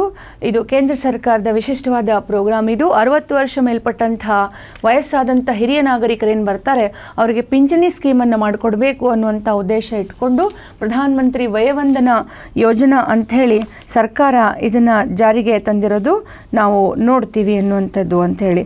ಹಾಗಾಗಿ ಇದರ ನೇರವಾದ ಉತ್ತರ ದೇಶದಲ್ಲಿರುವಂಥ ಹಿರಿಯ ನಾಗರಿಕರು ಅಂತೇಳಿ. ಸೀನಿಯರ್ ಸಿಟಿಸನ್ಸ್ಗೋಸ್ಕರ ವಯೋವಂದನ ಅಂದರೆ ವಯಸ್ಸಾದವರು. ನೀವು ಟೈಟಲ್ ನೋಡಿದ ತಕ್ಷಣ ಕಂಡುಹಿಡಲಿಕ್ಕೆ ಸಾಧ್ಯ ಆಗಬೇಕು. ಅರವತ್ತು ವರ್ಷ ಮೇಲ್ಪಟ್ಟವ್ರಿಗಾಗಿ ಮಾಡಿರುವಂಥ ಒಂದು ಪಿಂಚಣಿ ಸೌಲಭ್ಯದ ಕಾರ್ಯಕ್ರಮ ಪ್ರಧಾನಮಂತ್ರಿ ವಯವಂದನಾ ಪ್ರೋಗ್ರಾಮ್ ಓಕೆ ಇತ್ತೀಚೆಗೆ ಸ್ಥಳೀಯ ನೇಕಾರರನ್ನು ಸಬಲೀಕರಣಗೊಳಿಸಲು ಸ್ವನಿರ್ಭರ್ ನಾರಿ ಅನ್ನುವಂಥ ಒಂದು ಯೋಜನೆಯನ್ನು ಯಾವ ರಾಜ್ಯ ಪ್ರಾರಂಭ ಮಾಡಿದೆ ಅಂತ ಪ್ರಶ್ನೆ ಇದೆ. ಇದು ತುಂಬ ಸುದ್ದಿನಲ್ಲಿತ್ತು. The answer is Assam Assam government ಏನು ಮಾಡಿದೆ? ಅದರಲ್ಲೂ ಈ ನೇಕಾರರಿಗೆ ಉದ್ಯೋಗ ಕೊಡಬೇಕು. ಈಗ ನಾವೇನು ನರೇಗಾ ಪ್ರೋಗ್ರಾಮ್ ಅಂತ ಹೇಳ್ತೀವಿ. Mahatma Gandhi national rural guarantee employment act ಅಂತ ಹೇಳ್ತೀವಿ. ಆ ಥರದ ಕಾಯ್ದೆ ಮೂಲಕ ಅದರ ವ್ಯಾಪ್ತಿಯಡಿನಲ್ಲೇ ನೇಕಾರರಿಗೆ ಪ್ರತಿನಿತ್ಯ ಉದ್ಯೋಗವನ್ನು ಒದಗಿಸಿಕೊಡಬೇಕು ಅಂತೇಳಿ ಸ್ವನಿರ್ಭರ್ ನಾರಿ ಅನ್ನುವಂಥ ಒಂದು ಪ್ರಮುಖ ಯೋಜನೆ ಜಾರಿಗೆ. ಇದರಲ್ಲಿ ಹೆಣ್ಣುಮಕ್ಕಳಿಗೆ ವಿಶೇಷ ಪ್ರಾಶಸ್ತ್ಯವನ್ನು ಅಸ್ಸಾಂ ಗೌರ್ಮೆಂಟ್ ಕೊಡ್ತಿರೋದು ನಾವು ನೋಡ್ತೀವಿ. The answer is Assam.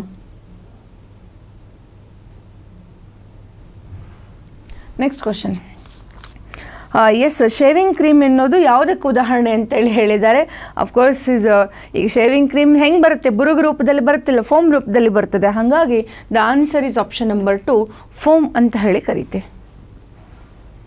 Next ಪ್ರಶ್ನೆ, ಹಾಂ, ಕೆಳಗಿನ ಯಾವ, ಯಾರು ಕನಿಷ್ಕನ ಸಮಕಾಲೀನರು ಅಂಥೇಳಿ ಕನಿಷ್ಕ ಏನು ಅವರ ಸಮಕಾಲೀನರು ಯಾರು ಅಂತೇಳಿ ಕೇಳಿದ್ದಾರೆ. ದ ರೈಟ್ ಆನ್ಸರ್ ಅಂತ ಬಂದಾಗ. ವಸುಮಿತ್ರ ಮತ್ತು ಅಶೋಕ್ ಘೋಷ, ಇವರೆಲ್ಲ ಬರ್ತಾರೆ. ನೀವು ಇವ್ರ ಹೆಸರುಗಳನ್ನ ಕೇಳಿರ್ಬೋದು. ನಾವು ಬೌದ್ಧ ಸಮಾವೇಶಗಳು ಅಂತೇಳಿ ನಾವು ನೋಡ್ತೀವಿ.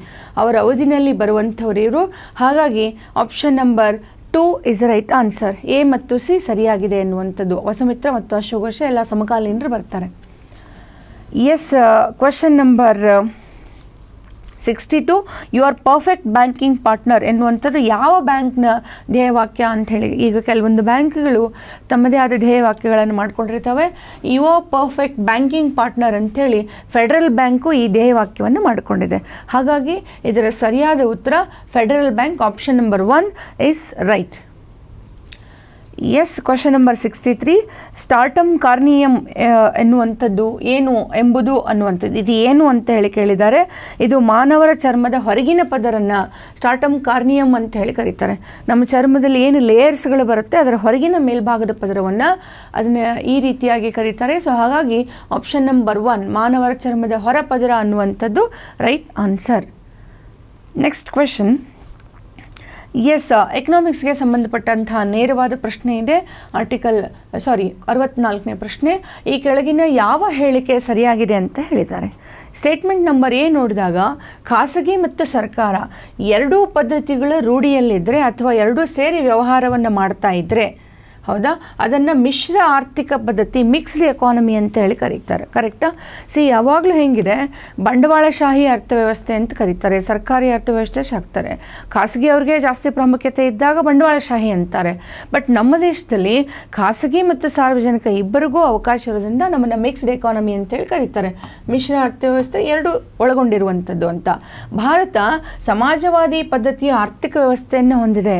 ಭಾರತ ಸಮಾಜವಾದಿ ರಾಷ್ಟ್ರ ನಿಜ, ಆದರೆ ನಮ್ಮದು ಸೋಷಲಿಸ್ಟಿಕ್ ಎಕಾನಮಿ ಅಲ್ಲ ನಮ್ಮದು ನಮ್ಮದು ಮಿಕ್ಸ್ಡ್ ಎಕಾನಮಿ ಅಂತ ಕರಿತೀವಿ ನಾವು ಮಿಶ್ರ ಆರ್ಥಿಕ ವ್ಯವಸ್ಥೆನವರು. ನಾವು ಸಂಪೂರ್ಣವಾಗಿ ಸರ್ಕಾರದ ಕೈನಲ್ಲೂ ಇಲ್ಲ. ಸಮಾಜವಾದಿ ಅಂದಾಗ ಏನಾಗ್ತದೆ? ಎಲ್ಲ ಆಡಳಿತ ಸರ್ಕಾರದ ಕೈನಲ್ಲಿ ಅದು ಉತ್ಪಾದನೆಯನ್ನು ಈಕ್ವಲ್ ಆಗಿ ಎಲ್ಲರಿಗೂ ಹಂಚೋದು. ಈ ಕಾರ್ಮಾರ್ಕ್ಸ್ ಹೇಳಿದ್ನಲ್ರಿ ನಾವು ಸಮಾಜದಲ್ಲಿ ಉಳ್ಳವರು ಇದ್ದಾರೆ ಇಲ್ಲದೇ ಇರೋರು ಇದ್ದಾರೆ. ಯಾರ ಹತ್ರ ಐತಿ ಕಸ್ಕೊಂಬಿಡ್ರಿ. ಎಲ್ಲ ಈಕ್ವಲ್ ಬಡವ್ರು ಹಾಕಾರ ಆಮೇಲೆ ಹೊಳ್ಳೆ ಹಂಚ್ರಿ. ನೋಡಿರಿ ಸೋಷಲಿಸ್ಟ್ ಕಾನ್ಸೆಪ್ಟ್ ಇದು. ಮಾರ್ಕ್ಸ್ ಕಾನ್ಸೆಪ್ಟ್ ಇದು ಅನ್ನುವಂಥದ್ದು. ನಮ್ಮ ದೇಶದಲ್ಲಿ ಸಮಾಜವಾದದ ಪರಿಕಲ್ಪನೆ ಇದ್ದರೂ ಕೂಡ ನಾವು ಮಿಕ್ಸ್ಡ್ ಎಕಾನಮಿ ಅಂತಲೇ ಕರೆಸ್ಕೊಳ್ತೀವಿ. ಬಿ ಸ್ಟೇಟ್ಮೆಂಟ್ ತಪ್ಪಾಗಿರೋದ್ರಿಂದ ಇದರಲ್ಲಿ ಎ ಮಾತ್ರ ಸರಿಯಾಗಿದೆ. Option number three is right answer.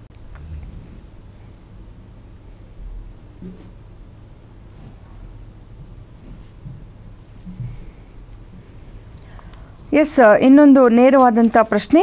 ಬಾಗುರುಂಬ ಎನ್ನುವಂಥದ್ದು ಕೆಳಗಿನ ಯಾವ ರಾಜ್ಯದ ಜನಪದ ನೃತ್ಯ ಅಂತೇಳಿ ಕೇಳಿದ್ದಾರೆ. ಸೊ ನಾನು ಆಗಲೇ ಹಿಂದೆನೂ ಇದೇ ಥರದ ಒಂದು ಪ್ರಶ್ನೆ ಬಂದಾಗ ಹೇಳ್ತಾ ಇದೆ ಆರ್ಟ್ ಆ್ಯಂಡ್ ಕಲ್ಚರ್ ರಿಲೇಟೆಡ್ ಪ್ರಶ್ನೆಗಳು ತುಂಬ ಬರ್ತದೆ ಎಕ್ಸಾಮ್ಸ್ಗಳಲ್ಲಿ ಅದ್ರ ಬಗ್ಗೆ ಗಮನ ಇರಲಿ. ದ ಆನ್ಸರ್ ಈಸ್ ಅಸ್ಸಾಂ ಅಂತ ಹೇಳಿ. ಅಸ್ಸಾಂನಲ್ಲಿ ಬಾಗರುಂಬ ಅನ್ನುವಂಥ ಒಂದು ಜನಪದ ನೃತ್ಯ ಇರೋದು ನಾವು ನೋಡ್ತೀವಿ. Yes national film fest film awards ಬಗ್ಗೆ ನೇರವಾದ ಪ್ರಶ್ನೆ ಇದೆ. ಆ್ಯಕ್ಚುಲಿ ಎರಡು ಸಾವಿರದ ಇಪ್ಪತ್ತರಲ್ಲೇ ನ್ಯಾಷನಲ್ ಫಿಲ್ಮ್ ಅವಾರ್ಡ್ಸ್ಗಳನ್ನು ರಾಷ್ಟ್ರೀಯ ಚಲನಚಿತ್ರ ಪ್ರಶಸ್ತಿ ಕೊಡಬೇಕಿತ್ತು. ಬಿಕಾಸ್ ಆಫ್ ಕೋವಿಡ್ ಇದ್ದಿದ್ದರಿಂದ ಇಪ್ಪತ್ತೊಂದರಲ್ಲಿ ಕೊಡಬೇಕು ಅಂತೇಳಿ ಡಿಸೈಡ್ ಮಾಡಿದ್ರು. ಬಟ್ ಆಗಲಿಲ್ಲದೆ ಇರೋದ್ರಿಂದ ಎರಡು ಸಾವಿರದ ಇಪ್ಪತ್ತರ ಅವಾರ್ಡ್ಗಳನ್ನು ಈಗ ಅನೌನ್ಸ್ ಮಾಡಿದ್ದಾರೆ. ಹಾಗಾಗಿ ನಿಮ್ಗೆ ಎರಡು ಸಾವಿರದ ಇಪ್ಪತ್ತು ಅಂತ ಪ್ರಶ್ನೆ ಬಂದಾಗ ಕನ್ಫ್ಯೂಸ್ ಆಗಬಾರ್ದು. ಸೊ ಇತ್ತೀಚೆಗೆ ಅರವತ್ತೆಂಟನೇ ಆ, ಏನು ರಾಷ್ಟ್ರೀಯ ಚಲನಚಿತ್ರ ಪ್ರಶಸ್ತಿ ಇದು ನಡೀತು ಅನ್ನುವಂಥದ್ದಿದೆ. ಆ್ಯಕ್ಚುಲಿ ಈ ಫಿಲಮ್ ಅವಾರ್ಡ್ಗಳನ್ನು ನೀಡುವಂಥ ಪದ್ಧತಿಯನ್ನು ಸರ್ಕಾರದವರು ಮೊದಲಿಂದ ಮಾಡ್ತಾ ಇದ್ದಾರೆ. ಸಾವಿರದ ಒಂಬೈನೂರ ಐವತ್ನಾಲ್ಕರಿಂದ ನಾವು ಮಾಡ್ತಿರೋದು ನೋಡ್ತೀವಿ ಅಂತ ಹೇಳಿ, ಹೌದಾ? ಹಾಗಾಗಿ ಅರವತ್ತೆಂಟನೇ ಚಲನಚಿತ್ರ ಪ್ರಶಸ್ತಿಗಳನ್ನು ಪ್ರಕಟಿಸಲಾಗಿದೆ, ಸರಿಯಾಗಿದೆ. ವಿವಿಧ ವಿಭಾಗಗಳಲ್ಲಿ ಕನ್ನಡಕ್ಕೆ ನಾಲ್ಕು ಪ್ರಶಸ್ತಿ ಸಿಕ್ಕಿದೆ, ಸರಿಯಾಗಿದೆ. ಸಾಗರ್ ಪುರಾಣಿಕ್ ನಿರ್ದೇಶನದ ಡೊಳ್ಳು ಅನ್ನುವಂಥ ಕನ್ನಡ ಚಿತ್ರಕ್ಕೆ ಪ್ರಾದೇಶಿಕ ಶ್ರೇಷ್ಠ ಚಿತ್ರ ಅಂತೇಳಿ ಹೆಸರಾಗಿರೋದು ನಾವು ನೋಡ್ತೀವಿ. ಮೂರು ಸ್ಟೇಟ್ಮೆಂಟ್ ಸರಿಯಾಗಿದೆ. ಮತ್ತು ಇನ್ನೊಂದು ನೆನ್ಪಿಟ್ಕೊಡ್ರಿ ಈ ಬಾರಿ ಏನು ಅವಾರ್ಡ್ ಅನೌನ್ಸ್ ಆಗಿದೆ. ಬೆಸ್ಟ್ ಆ್ಯಕ್ಟರ್ ಅಂತ ಹೇಳಿ ಸೂರ್ಯ ಮತ್ತು ಆ್ಯಕ್ಟರ್ ಸೌತ್ ಆ್ಯಕ್ಟರ್ ಸೂರ್ಯ ಹಾಗೂ ಅಜಯ್ ದೇವಗನ್ ಅವರಿಗೆ ಪ್ರಶಸ್ತಿ ಸಿಕ್ಕಿರೋದು ನಾವು ನೋಡ್ತೀವಿ. ಹಾಗೆ ಬೆಸ್ಟ್ ಆ್ಯಕ್ಟ್ರೆಸ್ ಅಂಥೇಳಿ ಅಪರ್ಣಾ ಬಾಲ್ಮುರಳಿ ಅವರಿಗೆ ಸಿಕ್ಕಿರೋದು ನಾವು ನೋಡ್ತೀವಿ. ಹಾಗೆ ಉತ್ತಮ ಚಿತ್ರ ಅಂಥೇಳಿ ಸುರಾರೈ ಮತ್ತು ಅಜಯ್ ದೇವಗನ್ ಅವರ ಅಭಿನಯಿಸಿದ ತಾನಾಜಿ ಚಿತ್ರಕ್ಕೆ ಬೆಸ್ಟ್ ಚಿತ್ರ ಅಂಥೇಳಿ ಪ್ರಶಸ್ತಿ ಸಿಕ್ಕಿರೋದು ನಾವು ನೋಡ್ತೀವಿ. ಯಾವಾಗಲೂ ನೀವು ಯಾವ ವರ್ಷ ಎಕ್ಸಾಮ್ ಬರಿತಿರ್ತೀರಿ, ಅದರ ಹತ್ತಿರದ ಈ ಥರದ ಫಿಲಮ್ ಪ್ರಶಸ್ತಿಗಳು, ರಾಜ್ಯ ಮತ್ತು ರಾಷ್ಟ್ರೀಯ ಪ್ರಶಸ್ತಿಗಳು ಯಾರಿಗೆ ಬಂದಿದೆ ಅನ್ನೋದನ್ನು ಸ್ವಲ್ಪ ನೋಡಿಕೊಳ್ಳ್ರಿ ನೇರವಾಗಿ ಪ್ರಶ್ನೆ ಬರುತ್ತೆ. ಮುಂದಿನ ಪ್ರಶ್ನೆಗೆ ಹೋಗೋಣ. ಸೊ ಮಾನಸಿಕ ರೋಗಿಗಳ ನೆರವಿಗಾಗಿ ರಾಜ್ಯದಲ್ಲಿ ಆರಂಭಿಸಲಾಗಿದ್ದ ಟೆಲಿ ಆಪ್ತ ಸಮಾಲೋಚನೆ ಕಾರ್ಯಕ್ರಮದ ಕುರಿತು ಕೇಂದ್ರ ಸರ್ಕಾರ ಮೆಚ್ಚುಗೆ ವ್ಯಕ್ತಪಡಿಸಿದ್ದು, ಈ ಯೋಜನೆಯನ್ನು ಯಾವ ಹೆಸರಿನಲ್ಲಿ ದೇಶಾದ್ಯಂತ ಜಾರಿಗೆ ಮಾಡುವುದಾಗಿ ಕೇಂದ್ರ ಸರ್ಕಾರ ಘೋಷಿಸಲಿದೆ ಎಂದು ಇತ್ತೀಚೆಗೆ ಸುಧಾಕರ್ ಅವರು ನಮ್ಮ ಸಚಿವರು ತಿಳಿಸಿದ್ದಾರೆ ಅಂತ ಪ್ರಶ್ನೆ ಇದೆ. ಸೊ ನಿಮ್ಗೆ ಗೊತ್ತಿರಬೇಕು, ಮನೋರೋಗಿಗಳಿಗೆ ಸಂಬಂಧಪಟ್ಟಾಗೆ ನಮ್ಮಲ್ಲಿ ಒಂದು ಟೆಲಿ ಅಂಥೇಳಿ ಅಂದರೆ ಅವರ ಮಾನಸಿಕ ಸಮಸ್ಯೆಗಳನ್ನು ನೇರವಾಗಿ ಟೆಲಿಫೋನ್ಗಳ ಮೂಲಕನೇ, ವ್ಯಕ್ತಿ ಪರಿಚಯ ಇಲ್ದೇ ಯಾಕಂದರೆ, ಸಾ ನಾರ್ಮಲ್ ಆಗಿ ಮನೋರೋಗಿಗಳು ನಾನು ಹಂಗದೀನಿ ಅಂತ ಹೇಳ್ಕೊಳ್ಳೋಕೆ ಸ್ವಲ್ಪ ಮುಜುಗರ ಪಟ್ಕೊಳ್ತಿರೋದ್ರಿಂದ ಟೆಲಿ ಆಪ್ತ ಸಮಾಲೋಚನೆಯನ್ನು ನಮ್ಮ ಕರ್ನಾಟಕ ಸರ್ಕಾರ ನಡೆಸಿತು. ಇದು ಇದು ಇದು ಈ ಒಂದು ಕಾರ್ಯಕ್ರಮ ಕೇಂದ್ರ ಸರ್ಕಾರ ಬಹಳ ಮೆಚ್ಚುಗೆಯನ್ನು ವ್ಯಕ್ತಪಡಿಸಿದಂತಹ ಕಾರ್ಯಕ್ರಮ ಇದು. ಅದಕ್ಕಾಗಿ ಈ ಥರದ್ದನ್ನು ರಾಷ್ಟ್ರೀಯ ಮಟ್ಟದಲ್ಲಿ ಮಾಡ್ತೀವಿ ಅಂಥೇಳಿ ಸೆಂಟ್ರಲ್ ಗೌರ್ಮೆಂಟ್ ಹೇಳಿದೆ. ಅದನ್ನು ಯಾವ ಹೆಸರಿನಲ್ಲಿ ಮಾಡ್ತಾ ಇದ್ದಾರೆ ಅಂದರೆ ಈ ಮನಸ್ಸು ಅಂತ ಮಾಡ್ತಾ ಇದ್ದಾರೆ ನೋಡ್ರಿ. ಈ ಮನಸ್ಸು ಅನ್ನುವಂಥ ಹೆಸರಿನೊಳಗೆ ನಾವೇನು ಟೆಲಿ ಆಪ್ತ ಸಮಾಲೋಚನೆ ಅಂತ ಕರ್ನಾಟಕದವ್ರು ಮಾಡ್ಕೊಂಡ್ವಿ. ಅದನ್ನು ರಾಷ್ಟ್ರಾದ್ಯಂತ ಮಾಡುವುದಾಗಿ ಅನೌನ್ಸ್ ಆಗಿದೆ ಅನ್ನುವಂಥದ್ದು. ಸೊ ಮುಂದಿನ ಪ್ರಶ್ನೆಗೆ ಹೋಗೋಣ.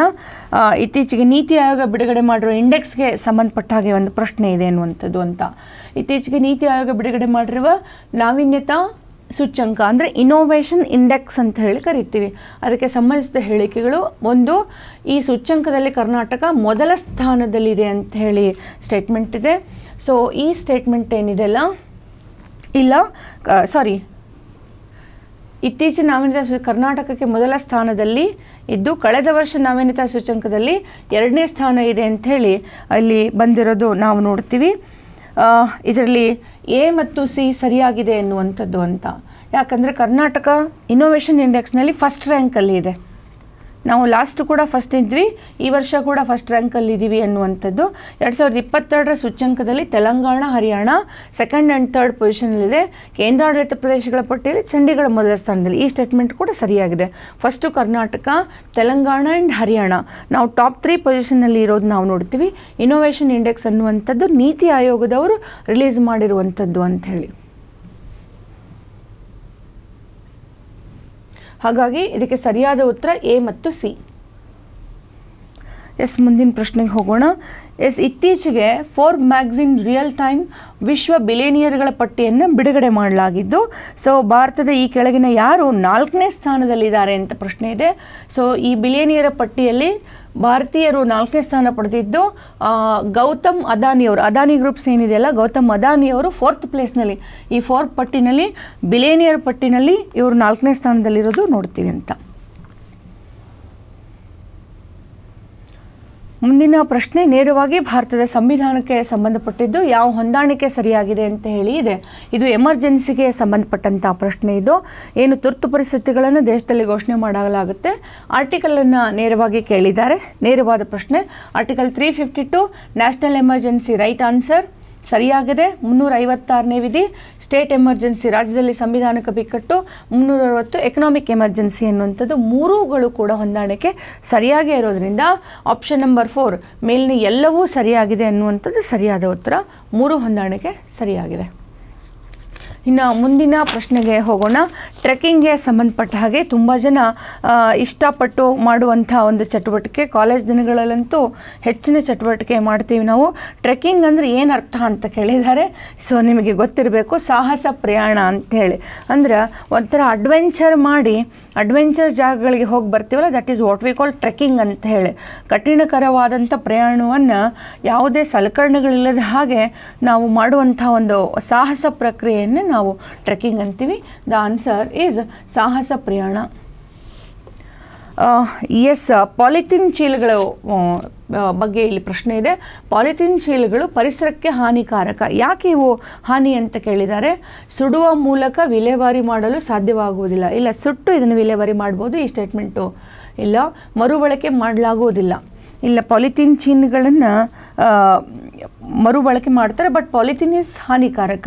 ನೀರು ನಿರೋಧಕ ಇಲ್ಲ ಬಟ್ ಇದು ಯಾಕೆ ಹಾನಿಕಾರಕ ಅಂತ ಪ್ರಶ್ನೆ ಬಂದಾಗ, ಇದು ಜೈವಿಕವಾಗಿ ವಿಘಟನೀಯವಲ್ಲ, ಅಂದರೆ ಸಂಪೂರ್ಣವಾಗಿ ಇದನ್ನು ವಿಘಟನೆ ಮಾಡಿ ಸೇರಿಸಲಿಕ್ಕೆ ಬರೋಂಗಿಲ್ಲ. ಇದು ಮತ್ತೂ ಪರಿಸರದಲ್ಲಿ ಉಳಿದುಕೊಂಡು ಪರಿಸರಕ್ಕೆ ಹಾನಿಯನ್ನು ಮಾಡುತ್ತೆ.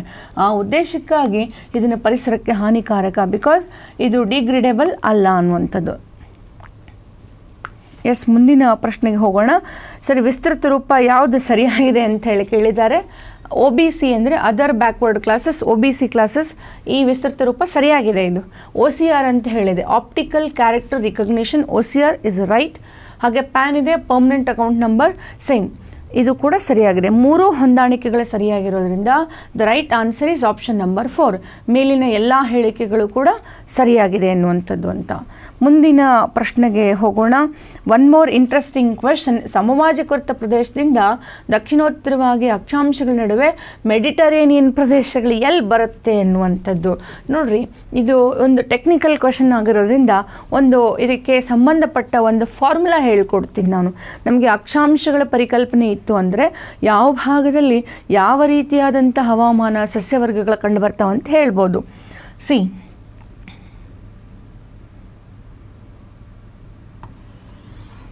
this is zero degree ಅಂತ ತಗೊಳ್ರಿ. ಝೀರೋ ಡಿಗ್ರಿ ಅಕ್ಷಾಂಶ ಅಂತ ತಗೊಳ್ರಿ. Zero to ten degree zero to ten degree ಈ ಬೆಲ್ಟ್ ಏನು ಬರ್ತದೆ? ಇದನ್ನು ಏನಂತ ಕರೀತಾರೆ ಅಂತಂದರೆ ಎವರ್ ಗ್ರೀನ್ ಅಂತ ಕರೀತಾರೆ. ನಿತ್ಯ ಹರಿದ್ವರ್ಣ ಅಂತ ಕರೀತಾರೆ. So zero to ten degree ಜಗತ್ತಿನ ಯಾವುದೇ ಭಾಗಕ್ಕೆ ಹೋಗ್ರಿ ನೀವು, ಅಲ್ಲಿ ಕಾಲಗಳೇ ಇಲ್ಲ. ಹನ್ನೆರಡು ತಿಂಗಳು ಮಳೆಗಾಲ, ಹನ್ನೆರಡು ತಿಂಗಳು ಬಿಸಿಲಿರ್ತದೆ. ಕಾಲಗಳೇ ಇಲ್ಲ ಇಲ್ಲಿ. ಸೀಸನ್, ಸೀಸನ್ಲೆಸ್ ಬಯೋಮ್ ಅಂತಾರೆ ಇದಕ್ಕೆ. ಅತಿಯಾದ ಮಳೆ, ಅತಿಯಾದ ಅರಣ್ಯ, ಅತಿಯಾದ ಬಿಸಿಲು. ಲೈಕ್ ಆಫ್ರಿಕನ್ ಸ್ಟೇಟ್ಸ್ಗಳು ಅದು. ನೋಡಿರಿ ಟೆನ್ ಟು ಥರ್ಟಿ ಡಿಗ್ರಿ ನೀವು ಟೆನ್ ಟು ಥರ್ಟಿ ಡಿಗ್ರಿಯನ್ನು ನಾನು ಇದನ್ನು ಕಾಲಮ್ ಮಾಡ್ಕೊತೀನಿ. This is west margin this is east margin this is continental ಅಂತ ಕರೀತಾರೆ. ನೀವು ten to thirty degree west margin ಅಂತ ಹೋದಾಗ ಜಗತ್ತಿನ ಯಾವುದೇ ಭಾಗಕ್ಕೆ ಹೋಗಿ ನೋಡ್ರಿ ನೀವು, ಡೆಸರ್ಟ್ಗಳಿರ್ತಾವೆ, ಮರುಭೂಮಿಗಳಿರ್ತಾವೆ. ನೀವು ಎಲ್ಲೇ ಹೋಗ್ರಿ ನಮ್ಮದು ನಮ್ಮದೇ ಥಾರ್ ಮರುಭೂಮಿ ಸಾರಿ ನಮ್ಮದು ಥಾರ್ ಡೆಸರ್ಟ್ ತಗೊಳ್ರಿ ನೀವು. ಹೌದ್ರಿ? ನಮೀಬಿಯಾ ಡೆಸರ್ಟ್ ಅಂತ ಹೇಳಿ ಬರ್ತದೆ, ಕರೆಕ್ಟ್, ಕಲಹಾರಿ ಡೆಸರ್ಟ್ ಅಂತ ಹೇಳಿ ಬರ್ತದೆ. ನೋಡ್ರಿ, ವೆಸ್ಟ್ ಮಾರ್ಜಿನ್ನಲ್ಲಿ, ಪಶ್ಚಿಮ ಭಾಗದಲ್ಲಿ ಯಾವಾಗಲೂ ಡೆಸರ್ಟ್ಸ್ ಇರ್ತಾವೆ. ಹಾಗೆ ten to thirty degree east margin ಏನಿದೆ ಅಲ್ವಾ? ಆ ಕಡೆ ಭಾಗ ಏನಂತ ಕರಿತೀವಲ್ಲ? ಇದನ್ನು ನಾವು ಮಾನ್ಸೂನ್ ಅಂತ ಸಾರಿ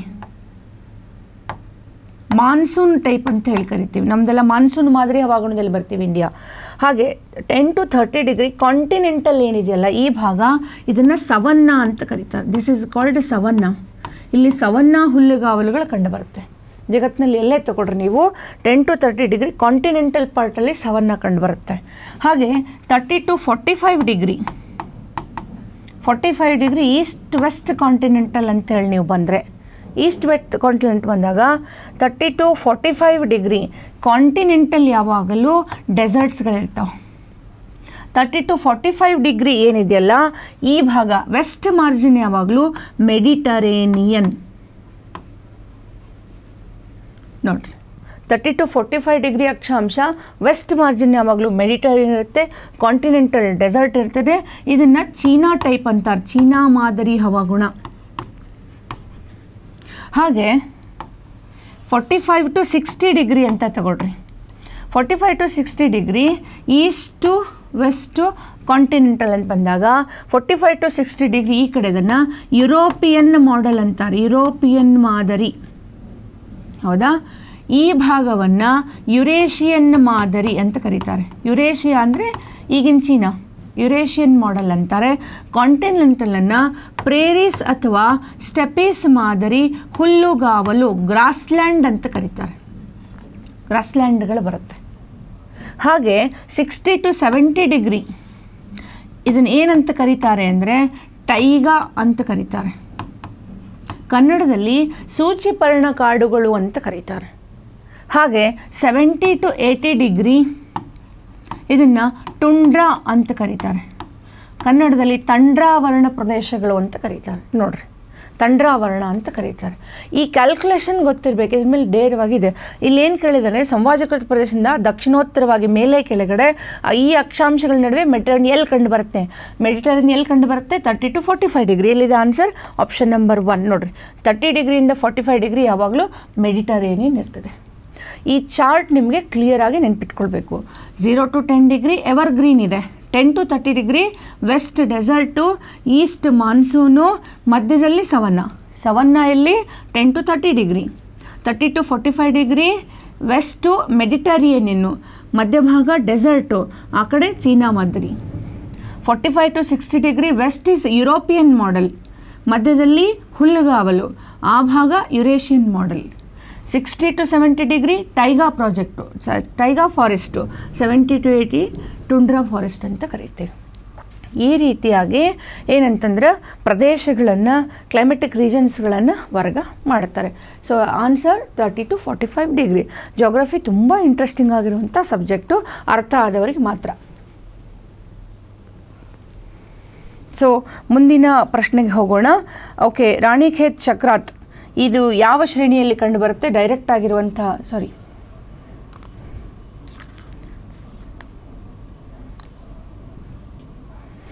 ಎಸ್, ಎಪ್ಪತ್ತೈದನೇ ಕ್ವಶನ್ ಪ್ರಶ್ನೆಗೆ ಹೋಗೋಣ. ಮಾನವ ಆವಿಷ್ಕಾರ ಮಾಡಿದಂಥ ಮೊದಲ ಲೋಹ ತಾಮ್ರ ಅಂತ ಹೇಳುತ್ತೆ. ಫಸ್ಟ್ ಸ್ಟೇಟ್ಮೆಂಟು ಸರಿಯಾಗಿದೆ. ಫಸ್ಟ್ ನಾವು ಕಂಡುಹಿಡಿದಿದೆ ತಾಮ್ರವನ್ನು.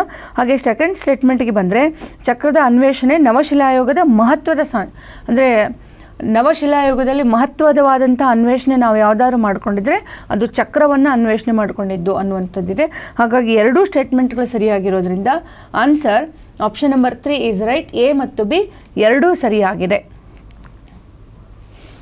ಮುಂದಿನ ಪ್ರಶ್ನೆಗೆ ಹೋಗೋಣ. ಎಸ್ ಕೆಳಗಿನ ಹೇಳಿಕೆಗಳನ್ನು ಗಮನಿಸಿ, ಸಹಾಯದಿಂದ ಉತ್ತರಿಸಿ ಅಂತ ಹೇಳಿ ಹೇಳಿದರೆ, ಜಗತ್ತಿನ ಸಾಗರಗಳಲ್ಲಿ ಪೆಸಿಫಿಕ್ ಸಾಗರ ಅತಿ ದೊಡ್ಡದು ಮತ್ತು ಹೆಚ್ಚು ಆಳವಾಗಿದೆ. Exactly correct Pacific Ocean is ಬಹಳ ದೊಡ್ಡದಾದಂಥ ಓಷನ್ ಅದಾದಮೇಲೆ ಅಟ್ಲಾಂಟಿಕ್ ಸಾಗರ ಅತಿ ಚಿಕ್ಕದು ಮತ್ತು ಕಡಿಮೆ ಆಳ ಅಂತಿದೆ. ಇದು ತಪ್ಪಾಗಿದೆ ಸ್ಟೇಟ್ಮೆಂಟ್ ಯಾಕಂದರೆ, ಅತಿ ದೊಡ್ಡದು ಪೆಸಿಫಿಕ್ಕು ಎರಡನೇ ದೊಡ್ಡದು ಅಟ್ಲಾಂಟಿಕ್ ಮೂರನೇ ದೊಡ್ಡದು ಹಿಂದೂ ಮಹಾಸಾಗರ ಇಂಡಿಯನ್ ಓಷನ್ನು ಹಾಗಾಗಿ ಅತಿ ಚಿಕ್ಕದು ಅನ್ನುವಂಥ ಅಟ್ಲಾಂಟಿಕ್ ಏನಿದೆಯಲ್ಲ, ಇದು ತಪ್ಪಾಗಿರುವಂಥ ಸ್ಟೇಟ್ಮೆಂಟು ಇದರಲ್ಲಿ ಆಪ್ಷನ್ ಅಂದರೆ ಎ ಮಾತ್ರ ಸರಿಯಾಗಿರೋದ್ರಿಂದ option number one is right A ಸರಿ. ಎ ಸರಿಯಾಗಿದೆ, ಬಿ ತಪ್ಪಾಗಿದೆ ಎನ್ನುವಂಥದ್ದು ಸರಿಯಾದ ಉತ್ತರ. So option number one so ಮುಂದಿನ ಪ್ರಶ್ನೆಗೆ ಹೋಗೋಣ. ಎಸ್, ಗಾಜಿನ ಸೇತುವೆಯನ್ನು ನಿರ್ಮಿಸಿದ ದೇಶದ ಮೊದಲ ರಾಜ್ಯ ಅಂತ ಯಾರಿಗೆ ಈ ಹೆಗ್ಗಳಿಕೆ ಇದೆ ಅನ್ನುವಂಥದ್ದು ಎಸ್, ಇತ್ತೀಚೆಗೆ ಮಾಡಿದ್ದು ನೀವು ಚೀನಾ ಮಾದರಿನಲ್ಲಿ ಗಾಜಿನ ಒಂದು ಹ್ಯಾಂಗಿಂಗ್ ಸೇತುವೆಯನ್ನು ಕಟ್ಟಲಾಗಿದೆ. ಎಲ್ಲಿ? ಬಿಹಾರ್ ರಾಜ್ಗಿರ್ನಲ್ಲಿ ಕಟ್ಟಿದ್ದಾರೆ ನೋಡ್ರಿ. ಸುಮಾರು ಒಂದು ಆರು ಫೀಟ್ ಅಗಲ ಸುಮಾರು ಒಂದು ಎಂಬತ್ತೊಂದು ಫೀಟ್ನಷ್ಟು ಅಷ್ಟು ಉದ್ದ ಇರುವಂಥ ಒಂದು ಹ್ಯಾಂಗಿಂಗ್ ಆಗಿರುವಂಥ ಗಾಜಿನ ಸೇತುವೆಯನ್ನು ನಿರ್ಮಾಣ ಮಾಡಲಾಗಿದೆ. ಇದು ಎಟ್ ಎ ಟೈಮ್ ಸುಮಾರು ನಲವತ್ತು ಜನ ಪ್ರವಾಸಿಗರನ್ನು ಅದ್ರ ಮೇಲೆ ನಿಂತ್ಕೊಳ್ಬೋದಂತೆ ಗಾಜಿನ ಸೇತುವೆ ಮೇಲೆ. ಅಷ್ಟು ಕೆಪಾಸಿಟಿ ಇದೆಯಂತೆ ಅದಕ್ಕೆ. ಆ ಒಂದು ಪ್ರವಾಸೋದ್ಯಮದ ಒಂದು ಇಂಪ್ರೂವ್ಮೆಂಟ್ಗಾಗಿ ಮಾಡಿರುವಂಥದ್ದು. The answer is Rajgir, Bihar. ಪ್ರಧಾನಮಂತ್ರಿಯವರು ಇದನ್ನು ಉದ್ಘಾಟನೆ ಮಾಡಿದ್ದು ನಾವು ನೋಡ್ತೀವಿ ಅಂಥೇಳಿ ಇದು ಚೀನಾ ಮಾಡೆಲ್ನಲ್ಲಿ ನಮ್ಮ ದೇಶದಲ್ಲಿ ಮಾಡಿದಂಥ ಒಂದು ಪ್ರಯತ್ನ. ಈ ಕೆಳಗಿನವುಗಳಲ್ಲಿ ಯಾವುದು ಸ್ಥಾಯಿ ಸಮಿತಿ ಅಲ್ಲ ಅಂತ ಹೇಳಿ ಇದೆ. ನಿಮಗೆ ಗೊತ್ತಿದೆ ಸಂವಿಧಾನದಲ್ಲಿ ಅಂತ ಬಂದಾಗ ನಮ್ಮ ಸಂಸತ್ತಿನಲ್ಲಿ ಸಮಿತಿಗಳಂತ ಬರ್ತವೆ. ಹೌದಾ?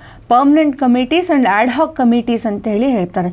ಶಾಶ್ವತ ಸಮಿತಿಗಳು ಅಥವಾ ಸ್ಥಾಯಿ ಸಮಿತಿಗಳು ಅಂತೇಳಿ ಕರಿತೀವಿ. ತಾತ್ಕಾಲಿಕ ಸಮಿತಿಗಳು ಅಂಥೇಳಿ ಕರೀತಾರೆ. ಸೊ ಇವುಗಳಲ್ಲಿ ನಾವು ನೋಡಿದಾಗ ರೈಲ್ವೆ ಸಮಾವೇಶ ಸಮಿತಿ ಅನ್ನುವಂಥದ್ದು ಇದು ಸ್ಥಾಯಿ ಸಮಿತಿ ಅಲ್ಲ. ಈ ಉಳಿದವುಗಳಲ್ಲೂ ಕೂಡ ಬಿಸ್ನೆಸ್ ಅಡ್ವೈಸರಿ ಕಮಿಟಿ ಅಂತಿದೆ ಎಥಿಕ್ಸ್ ಕಮಿಟಿ ಅಂತ ಬರ್ತದೆ public accounts P A C ಅಂತ ಹೇಳಿ ಹೇಳ್ತೀವಿ ನಾವು. ಇವೆಲ್ಲ ಸ್ಥಾಯಿ ಸಮಿತಿಗಳು. ರೈಲ್ವೆ ಸಮಾವೇಶ ಸಮಿತಿ ಅನ್ನುವಂಥದ್ದು ಸ್ಥಾಯಿ ಸಮಿತಿ ಅಲ್ಲ. ಹಾಗಾಗಿ option number four is right answer ಹಾಗೆ ಕ್ವಶನ್ ನಂಬರ್ ಎಪ್ಪತ್ತೊಂಬತ್ತಕ್ಕೆ ಹೋಗೋಣ. ರಾಣಿಖೇಟ್ ಚಕ್ರಾತ್ ಅನ್ನುವಂಥದ್ದು ಯಾವ ಹಿಮಾಲಯ ಶ್ರೇಣಿಯಲ್ಲಿ ಕಂಡುಬರುತ್ತೆ ಅಂತೇಳಿ ಇದೆ.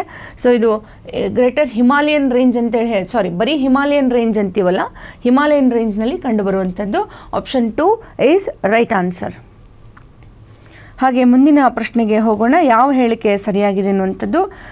ಬೇಸಿಗೆಯಲ್ಲಿ ಸೂರ್ಯಾಸ್ತದ ನಂತರ ಧ್ರುವ ಜ್ಯೋತಿಗಳು ಅಂತೇಳಿ ಮ್, ಹೇಳ್ತೀವಿ ನಾವು ಧ್ರುವ ಜ್ಯೋತಿಗಳು ಅಯಾನು ಮಂಡಲದಲ್ಲಿ ಕಂಡು ಬರುತ್ತೆ ಅಂಥೇಳಿ ಅರೋರಾ ಬೋರಿಲಾಸ್ ಅಂತ ಹೇಳುತ್ತೆ ಇಲ್ಲ, ಇವು ಎಲ್ಲಿ ಕಂಡುಬರೋದು? ಬಾಹ್ಯಮಂಡಲ ಎಕ್ಸೋಸ್ಫಿಯರ್ನಲ್ಲಿ ಕಂಡುಬರುವಂಥ ಆಕ್ಟಿವ್ಸ್ಗಳಿವು ಅಯಾನು ಮಂಡಲದಲ್ಲಿ ಕಂಡುಬರಲ್ಲ.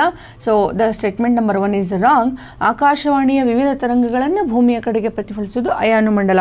ಅಯೋನೋಸ್ಫಿಯರ್ನಲ್ಲೇ ಕಂಡುಬರೋದು. ಈ ಸ್ಟೇಟ್ಮೆಂಟ್ ಸರಿಯಾಗಿದೆ. ಇದೇನಿದೆ? ಎಕ್ಸೋಸ್ಫಿಯರ್ನಲ್ಲಿ ಕಂಡುಬರುತ್ತೆ. ಬಾಹ್ಯಮಂಡಲದಲ್ಲಿ ಈ ಜ್ಯೋತಿಗಳು ಕಂಡುಬರ್ತವ. ಬಿ ಮಾತ್ರ ಸರಿಯಾಗಿರೋದ್ರಿಂದ option number two is right answer ಮುಂದಿನ ಪ್ರಶ್ನೆಗೆ ಹೋಗೋಣ. ಆದಾಯ ಮತ್ತು ಅನುಭೋಗದ ನಡುವಿನ ಸಂಬಂಧವನ್ನು ತಿಳಿಸುವಂಥ ರೇಖೆ ಯಾವುದು ಅಂತ ಕೇಳಿದ್ದಾರೆ. ಇದು ಎಕನಾಮಿಕ್ಸ್ ಪ್ರಶ್ನೆ ಇದು. ಸೊ ಆದಾಯ ಇನ್ಕಮ್ ಆ್ಯಂಡ್ ಕನ್ಸಂಪ್ಷನ್ ನಡುವಿನ ರಿಲೇಷನ್ ಹೇಳುವಂಥದ್ದು ಏಂಜಲ್ ಕರ್ವ್ ಅಂತ ಹೇಳ್ತೀವಿ ನಾವು. ಏಂಜಲ್ ಕರ್ವ್ ಆದಾಯ ಮತ್ತು ಅನುಭೋಗದ ನಡುವಿನ ಸಂಬಂಧವನ್ನು ಹೇಳುತ್ತೆ. ನೀವು ಫಿಲಿಪ್ಸ್ ಕರ್ವ್ ಅಂತ ಬಂದರೆ ಇಟ್ ಈಸ್ ಅನ್ಎಂಪ್ಲಾಯ್ಮೆಂಟ್ ನಿರುದ್ಯೋಗ. ನಿರುದ್ಯೋಗ ಮತ್ತು ಹಣದುಬ್ಬರದ ನಡುವೆ ಇನ್ಫ್ಲೇಷನ್ ಅಂತೀವಿ ನಾವು. ನಿರುದ್ಯೋಗ ಮತ್ತು ಹಣದುಬ್ಬರದ ನಡುವೆನ ಫಿಲಿಪ್ಸ್ ಕರ್ವ್ನಲ್ಲಿ ತೋರಿಸಲಾಗ್ತದೆ. ಲಾಫರ್ ಕರ್ವ್ ಏನಿದೆಯಲ್ಲ? ಟ್ಯಾಕ್ಸ್ ರೇಟ್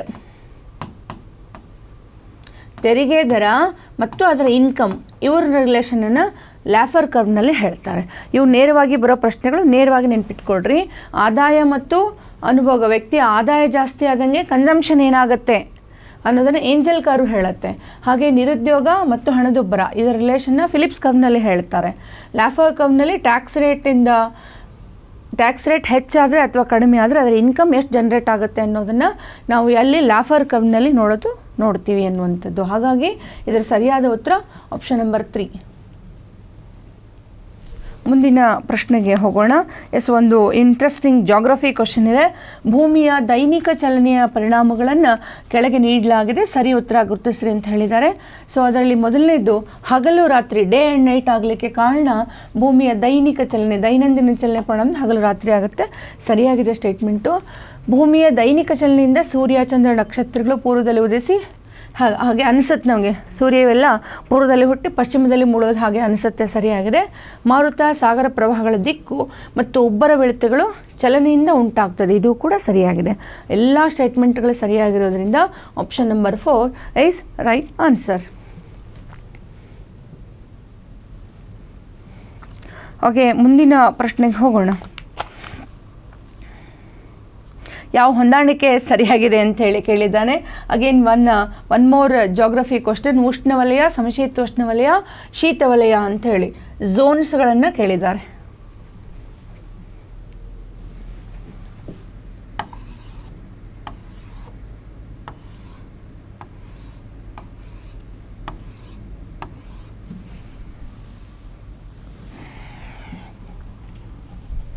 ನೋಡ್ರಿ. ಮೊದಲನೇದು ಉಷ್ಣವಲಯ, ಕರ್ಕಾಟಕ ಸಂಕ್ರಾಂತಿ ಮತ್ತು ಮಕರ ಸಂಕ್ರಾಂತಿ ವೃತ್ತಗಳ ಭಾಗ. ನೋಡ್ರಿ, ಈ ಭಾಗ. Thirty three and half correct ಉಷ್ಣವಲಯ ಟ್ರಾಪಿಕ್ ಝೋನ್ ಅಂತ ಹೇಳಿ ಕರಿತೀವಿ. ಆಮೇಲೆ ಸಮಶೀತೋಷ್ಣವಲಯ ಅಂತೇಳಿ thirty three to sixty six and half ಈ ಪಾರ್ಟ್ ಇದೆ ನೋಡ್ರಿ.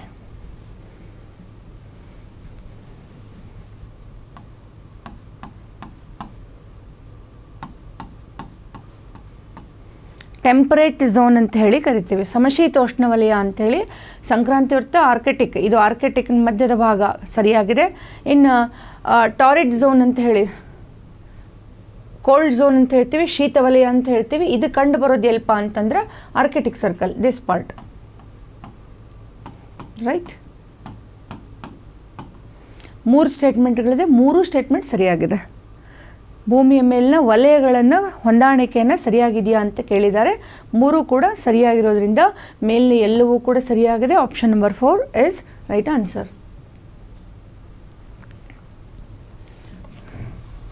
yes ಮುಂದಿನ ಪ್ರಶ್ನೆಗೆ ಹೋಗೋಣ. ಯಾವುದನ್ನು ಮಾರುಕಟ್ಟೆ ಆಧಾರ ಸ್ತಂಭ ಅಂತ ಹೇಳಿ ಕರೀತಾರೆ ಅಂತ ಯಾವುದಿದ್ರೆ ಮಾರ್ಕೆಟ್ ಇರುತ್ತೆ ಅಂತ. ಮಾರ್ಕೆಟ್ನ ಮೂಲ ಉದ್ದೇಶ, ಮಾರ್ಕೆಟ್ ಅಂದ್ರೆ ಏನಪ್ಪ? ಎಲ್ಲಿ ಕೊಡುವಿಕೆ ಮತ್ತು ಕೊಂಡುಕೊಳ್ಳುವಿಕೆ ನಡೆಯತ್ತೋ ಅದನ್ನೇ ಮಾರ್ಕೆಟ್ ಅಂತೀವಿ. ಹಾಗಾಗಿ ಒಂದು ಮಾರ್ಕೆಟ್ನ ಮೂಲ ಕೆಲಸ ಏನಪ್ಪ? ಬೇಡಿಕೆ ಮತ್ತು ಪೂರೈಕೆ. ಹಾಗಾಗಿ the right answer is option number three. ಮಾರುಕಟ್ಟೆ ಆಧಾರ ಸ್ತಂಭ ಅಂದರೆ ಬೇಡಿಕೆ ಮತ್ತು ಪೂರೈಕೆ. ಸೊ ನೇರವಾಗಿ ಮುಂದಿನ ಪ್ರಶ್ನೆಗೆ ಹೋಗೋಣ. ಸೊ ಒಂದು ವರ್ಷದಲ್ಲಿ ಗೋಚರಿತ ರಫ್ತು, ಗೋಚರಿತ ಅಂದರೆ ಗೂಡ್ಸ್, ರಫ್ತಿನ ಮೌಲ್ಯ ಮತ್ತು ಗೋಚರಿತ, ರಫ್ತಿನ ಆಮದುಗಳ ವ್ಯತ್ಯಾಸವನ್ನು ಏನಂತ ಕರೀತಾರೆ ಅಂತ. ಗೋಚರಿತ ಅಂದರೆ ಕಾಣುವಂಥದ್ದು ಅಂತ ಹೇಳಿ, ಅಂದರೆ ಗೂಡ್ಸ್ ಅಂತ ಅರ್ಥ. ಅಂದರೆ ಸರಕು ಅಂತ ಅರ್ಥ. ಒಂದು ವರ್ಷದಲ್ಲಿ ಸರಕಿನ, ರಫ್ತಿನ ಮೌಲ್ಯ ಮತ್ತು ಆಮದಿನ ವ್ಯತ್ಯಾಸವನ್ನು ಯಾವಾಗಲೂ ವ್ಯಾಪಾರ ಶಿಲ್ಕು ಅಂತ ಕರೀತಾರೆ. ಸರಕು ಮತ್ತು ಸೇವೆಗಳು ಬಂದರೆ ಸಂದಾಯ ಶಿಲ್ಕು ಅಂಥೇಳಿ ಕರಿತೀವಿ ನಾವು, ಸಂದಾಯ ಬಾಕಿ ಅಂತೀವಿ. ಸರಕು ಮತ್ತು ಸೇವೆಗಳು ಬಂದರೆ ಸಂದಾಯ ಬಾಕಿ ಆಗ್ತದೆ. ಬರೀ ಸರಕುಗಳು, ಗೋಚರಿತ ರಫ್ತು ಅಂದರೆ ಸರಕುಗಳು ಅಂತ ಅರ್ಥ, ಗೂಡ್ಸ್ ಅಂತ ಅರ್ಥ. ಸೊ ಗೂಡ್ಸ್ಗೆ ಯಾವಾಗಲೂ ನಾವೇನಂತೀವಿ ವ್ಯಾಪಾರ ಶಿಲ್ಕು ಅಂತ ಕರಿತೀವಿ. ಆಮದು ಮತ್ತು ರಫ್ತಿನ ವ್ಯತ್ಯಾಸವನ್ನು ವ್ಯಾಪಾರ ಶಿಲ್ಕು ಅಂತ ಕರಿತೀವಿ. ಅದರಲ್ಲಿ ಸೇವೆಗಳು ಸೇರಿಕೊಂಡ್ರೆ ಸಂದಾಯ ಬಾಕಿ ಆಗ್ತದೆ. ಸೊ ಲೇಸರ್ನ ವಿಸ್ತೃತ ರೂಪ ಕೇಳಿದ್ದಾರೆ. ಇದಕ್ಕೆ ನೇರವಾದ ಉತ್ತರ ಇದೆ. ಲೇಸರ್ ಅಂದರೆ light amplification by stimulated emission of radiation ಅಂತ ಹೇಳಿ ಕರಿತೀವಿ. Option number three right answer laser ಎಂದರೇನು ಅಂತ ನೇರವಾಗಿ ಕೇಳಿದ್ದಾನೆ. Option number three right answer yes ನೇರವಾದ ಪ್ರಶ್ನೆ, ಎಂಬತ್ತೇಳನೇ ಪ್ರಶ್ನೆ. ವಿಟ್ ವಾಟರ್ಲ್ಯಾಂಡ್ ಗಣಿಗಾರಿಕೆ ಕೆಳಗಿನ ಯಾವುದಕ್ಕೆ ಸಂಬಂಧಪಟ್ಟಿದೆ ಅಂತೇಳಿ. ಆ್ಯಕ್ಚುಲಿ ಇದು ಆಫ್ರಿಕಾದಲ್ಲಿ ಕಂಡುಬರುವಂಥದ್ದು. ವಾಟರ್ಲ್ಯಾಂಡ್ ನಾವು ಆರೆಂಜ್ ರಿವರ್ ಅಂತೇನು ಕಳಿತೀವಿ ಅಲ್ಲಿ ಅಲುವಿಯಲ್, ಅದರಲ್ಲಿ ಆ ನದಿಯಲ್ಲಿ ನಮಗೆ ಗೋಲ್ಡ್ ಸಿಗುವಂಥದ್ದು ನಾವು ನೋಡ್ತೀವಿ ನಾವು. ಸೊ ಅಲ್ಲಿ ಏನು ಮೈನಿಂಗ್ ನಡೆಯುತ್ತೆ? ಅದನ್ನ ವಿಟ್ ವಾಟರ್ಲ್ಯಾಂಡ್ ಮಣ್ಣಿಂಗ್ ಅಂತ ಕರೀತಾರೆ. ಇದು ನೇರವಾಗಿ ಪ್ರಸಿದ್ಧಿ ಪಡೆದಿರೋದು ಬಂಗಾರಕ್ಕೋಸ್ಕರ ಗೋಲ್ಡ್ ಮೈನಿಂಗಿಗೆ ಸಂಬಂಧಪಟ್ಟಿದ್ದು. ಆಫ್ರಿಕಾದಲ್ಲಿ ಪ್ರಾರಂಭಗೊಂಡಿರೋದು ಇದು. So answer is gold yes ಒಂದು ಮೆಂಟಲಬಿಲಿಟಿ ಪ್ರಶ್ನೆ ಇದೆ. ಗಡಿಯಾರ ಒಂದರಲ್ಲಿ ಮಧ್ಯಾಹ್ನ ಹನ್ನೆರಡು ಗಂಟೆ ಆದಾಗ ಎರಡು ಮುಳ್ಳುಗಳು ಈಶಾನ್ಯ ದಿಕ್ಕನ್ನು ತೋರಿಸ್ತಿದ್ವು. ಆಗ್ನೇಯ ನೈಋತ್ಯ ವಾಯವ್ಯ ಈಶಾನ್ಯ ದಿಕ್ಕನ್ನು ತೋರಿಸ್ತಾ ಇದ್ವು. ಆ ಗಡಿಯಾರದಲ್ಲಿ ಒಂದು ಗಂಟೆ ಆದಾಗ ಗಂಟೆ ಮುಳ್ಳು ಯಾವ ದಿಕ್ಕನ್ನು ಸೂಚಿಸುತ್ತೆ? ಒಂದು ಮೂವತ್ತಾದಾಗ ಅಂತ ಕೇಳಿದ್ದಾರೆ. ಸೊ ಇದು ಡೈರೆಕ್ಟ್ ಆದಂಥ ಪ್ರಶ್ನೆ the answer option number one is right answer ಪೂರ್ವವನ್ನು ತೋರಿಸುತ್ತೆ ಅನ್ನುವಂಥದ್ದು ರೈಟ್ ಆನ್ಸರ್ ನೆಕ್ಸ್ಟ್ ಪ್ರಶ್ನೆಗೆ ಹೋಗೋಣ. ಈ ಮಾಹಿತಿಯನ್ನು ಓದಿ ಉತ್ತರಿಸ್ರಿ ಅಂತ ಹೇಳಿ ಸಿ, ಮೆಂಟಲಬಿಲಿಟಿ ಪ್ರಶ್ನೆಗಳನ್ನು ಸಾಲ್ವ್ ಮಾಡಲಿಕ್ಕೆ ಅದನ್ನು ಸಂಪೂರ್ಣವಾಗಿ ತಗೊಂಡ್ರೆ ಸಮಯದ ಅಭಾವ ನನಗಿರೋದ್ರಿಂದ ನಾನು ಸಂಪೂರ್ಣವಾಗಿ ಬಿಡಿಸ್ತಾ ಇಲ್ಲ. ಬಟ್ ಕೆಲವೊಂದಕ್ಕೆ ನಾನು ಇಲ್ಲಿ ಟೆಕ್ನಿಕ್ಗಳನ್ನು ಹೇಳೋ ಪ್ರಯತ್ನ ಮಾಡ್ತೀನಿ. ನೋಡಿರಿ, ಇಲ್ಲೇ ಅವನೇನು ಮಾಡಿದ್ದಾರೆ ಅಂದರೆ ಬೇರೆ ಬೇರೆ ವ್ಯಕ್ತಿಗಳು ಅವರು ಬೈಕ್ನಲ್ಲಿ ಬರ್ತಾರ, ಕಾರಲ್ಲಿ ಬರ್ತಾರ, ಯಾವ ಸಬ್ಜೆಕ್ಟನ್ನು ಬೋಧಿಸ್ತಾರೆ ಅನ್ನೋದಿದೆ. ಅದರ ಆಧಾರದ ಮೇಲೆ ಪ್ರಶ್ನೆಗಳನ್ನು ಕೇಳ್ತಾ ಬರ್ತಾರೆ ಇದರಲ್ಲಿ ಅನ್ನುವಂಥದ್ದು ಅಂತ. ಹೌದಾ? ಈ ಥರದ ಪ್ರಶ್ನೆಗಳು ಬಂದಾಗ ಏನು ಮಾಡಬೇಕು? ನೋಡ್ರಿ ಕಾಲಮ್ಸ್ಗಳನ್ನು ಹಾಕೋದಕ್ಕೆ ಕಲೀರಿ. ಇಲ್ಲಿ ವ್ಯಕ್ತಿಗಳಿದ್ದಾರೆ ಹೌದಾ? ಇಲ್ಲಿ ವ್ಯಕ್ತಿಗಳು ಬರ್ತಾರೆ. ಯಾರ್ಯಾರು? ರಾವ್, ರಾಜ್, ರಾಮ್, ರಾಯ್. ರಾವ್, ರಾಜ್, ರಾಮ್, ರಾಯ್. ಹೌದಾ? ನಾಲ್ಕು ಜನ ವ್ಯಕ್ತಿಗಳು. ಇವ್ರು ಏನು ಮಾಡ್ತಾರೆ? ಬೇರೆ ಬೇರೆ ಕಾಲೇಜ್ನಲ್ಲಿ ಬೇರೆ ಬೇರೆ ಸಬ್ಜೆಕ್ಟ್ ಪಾಠ ಮಾಡ್ತಾರೆ. ಹೌದ್ರಿ? ಸಬ್ಜೆಕ್ಟ್ಗಳನ್ನು ಪಾಠ ಮಾಡ್ತಾರಲ್ಲ, ಏನೇನು ಮಾಡ್ತಾರೆ?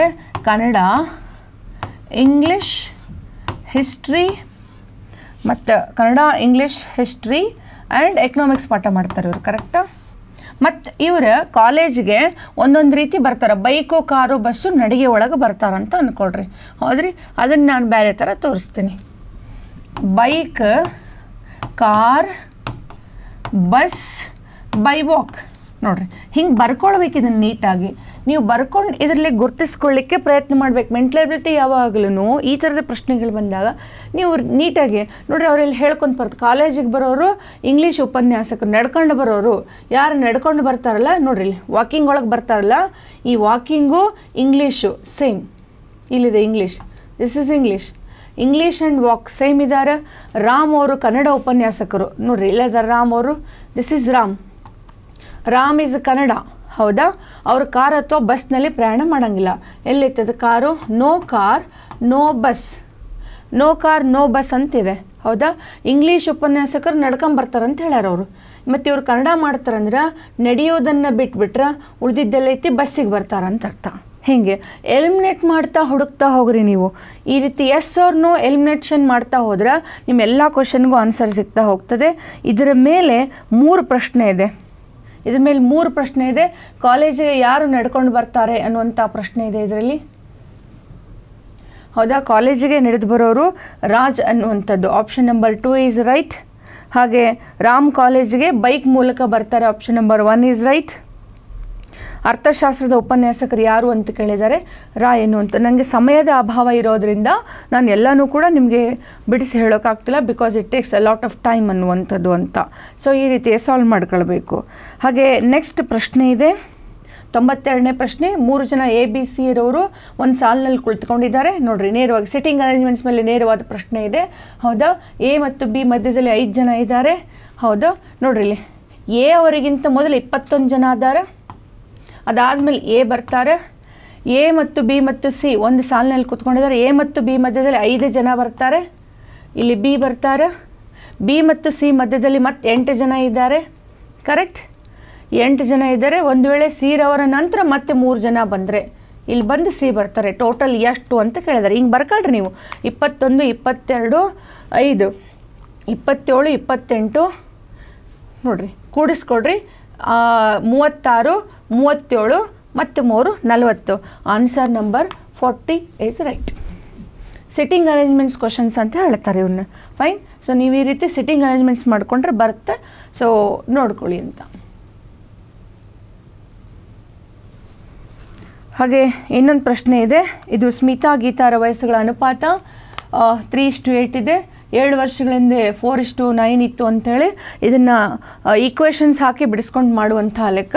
ಇದರ right answer is option number one ಐವತ್ತಾರು ವರ್ಷ ಅಂತ. ಈ ಗೀತಾರವರು ಎಸ್ ಎಷ್ಟಿದೆ ಅಂತ ಕೇಳಿದ್ದಾನೆ ಐವತ್ತಾರು ಇಸ್ ಅ ರೈಟ್ ಆನ್ಸರ್ ನೋಡ್ರಿ ಕ್ಯಾಲೆಂಡರ್ ಮೇಲೆ ಕೂಡ ಕ್ವಶನ್ ಇದೆ which is very much simple calendar question ತುಂಬ ಸರಳವಾಗಿರುತ್ತೆ. ಒಂದು ತಿಂಗಳ ಮೂರನೇ ತಾರೀಕು ಸೋಮವಾರ ಅಂತ ಹೇಳಿದ್ದಾರೆ. See Monday third is Monday ಅಂದಾಗ ಈ ತಿಂಗಳ ಇಪ್ಪತ್ತೊಂದನೇ ತಾರೀಕಿನ ನಂತರ ಐದನೇ ದಿನ ಯಾವುದು ದಿನ ಬರುತ್ತೆ ಅಂತ ತುಂಬ ಸಿಂಪಲ್ ಆಗಿದೆ. ಸಿ ಮೂರು ಮಂಡೇ ಅಂದಾಗ ಇದಕ್ಕೆ ಏಳು ಕೂಡಿಸಿದ್ರೆ ಎಷ್ಟಾಗ್ತದೆ? ಹತ್ತನೇ ತಾರೀಕು ಅಗೇನ್ ಮಂಡೇ ಇರುತ್ತೆ. ಹದಿನೇಳನೇ ತಾರೀಕು ಅಗೇನ್ ಮಂಡೇ ಇರುತ್ತೆ ಕರೆಕ್ಟ್ ರೀ? ಹದಿನೇಳರಂತ ಇಪ್ಪತ್ತೊಂದು ಐತಿ. ಹೌದಾ? ನೆಕ್ಸ್ಟ್ ಹದಿನೇಳರ ನಂತರ ಇಪ್ಪತ್ನಾಲ್ಕು ಬರ್ತದೆ. ಇಪ್ಪತ್ನಾಲ್ಕು ಮಂಡೇ ಬರುತ್ತೆ. ನಮ್ಗೆ ಇಪ್ಪತ್ತೊಂದರಿಂದ ಐದನೇ ದಿನ ಅಂತ ಹೇಳಿದ್ದಾರೆ. ಕರೆಕ್ಟ್ ರೀ? ಇಪ್ಪತ್ತೊಂದರಿಂದ ಐದನೇದು ಅಂತಂದರೆ ಇಪ್ಪತ್ತೊಂದು ಬಿಟ್ಟು ಐದು. ಇಪ್ಪತ್ತೆರಡು, ಇಪ್ಪತ್ತ್ಮೂರು, ಇಪ್ಪತ್ತ್ನಾಲ್ಕು, ಇಪ್ಪತ್ತೈದು, ಇಪ್ಪತ್ತಾರು ಬರ್ಬೇಕು ನಮಗೀಗ ಟ್ವೆಂಟಿ ಸಿಕ್ಸ್ ಬರಬೇಕು ಇಲ್ಲಿ ಮಂಡೇ ಐತಿ ಅಂತಂದರೆ, ಯಾಕಂದ್ರೆ ಟ್ವೆಂಟಿ ಫೋರ್ ಏನೈತಿ ನಮ್ಗೆ? ಮಂಡೇ ಐತಿ, ಸೋಮವಾರ ಐತಿ. ಟ್ವೆಂಟಿ ಫೋರ್ ಮಂಡೇ ಆದಾಗ ಕೌಂಟ್ ಮಾಡ್ಕೊಂಡು ಬರ್ರಿ.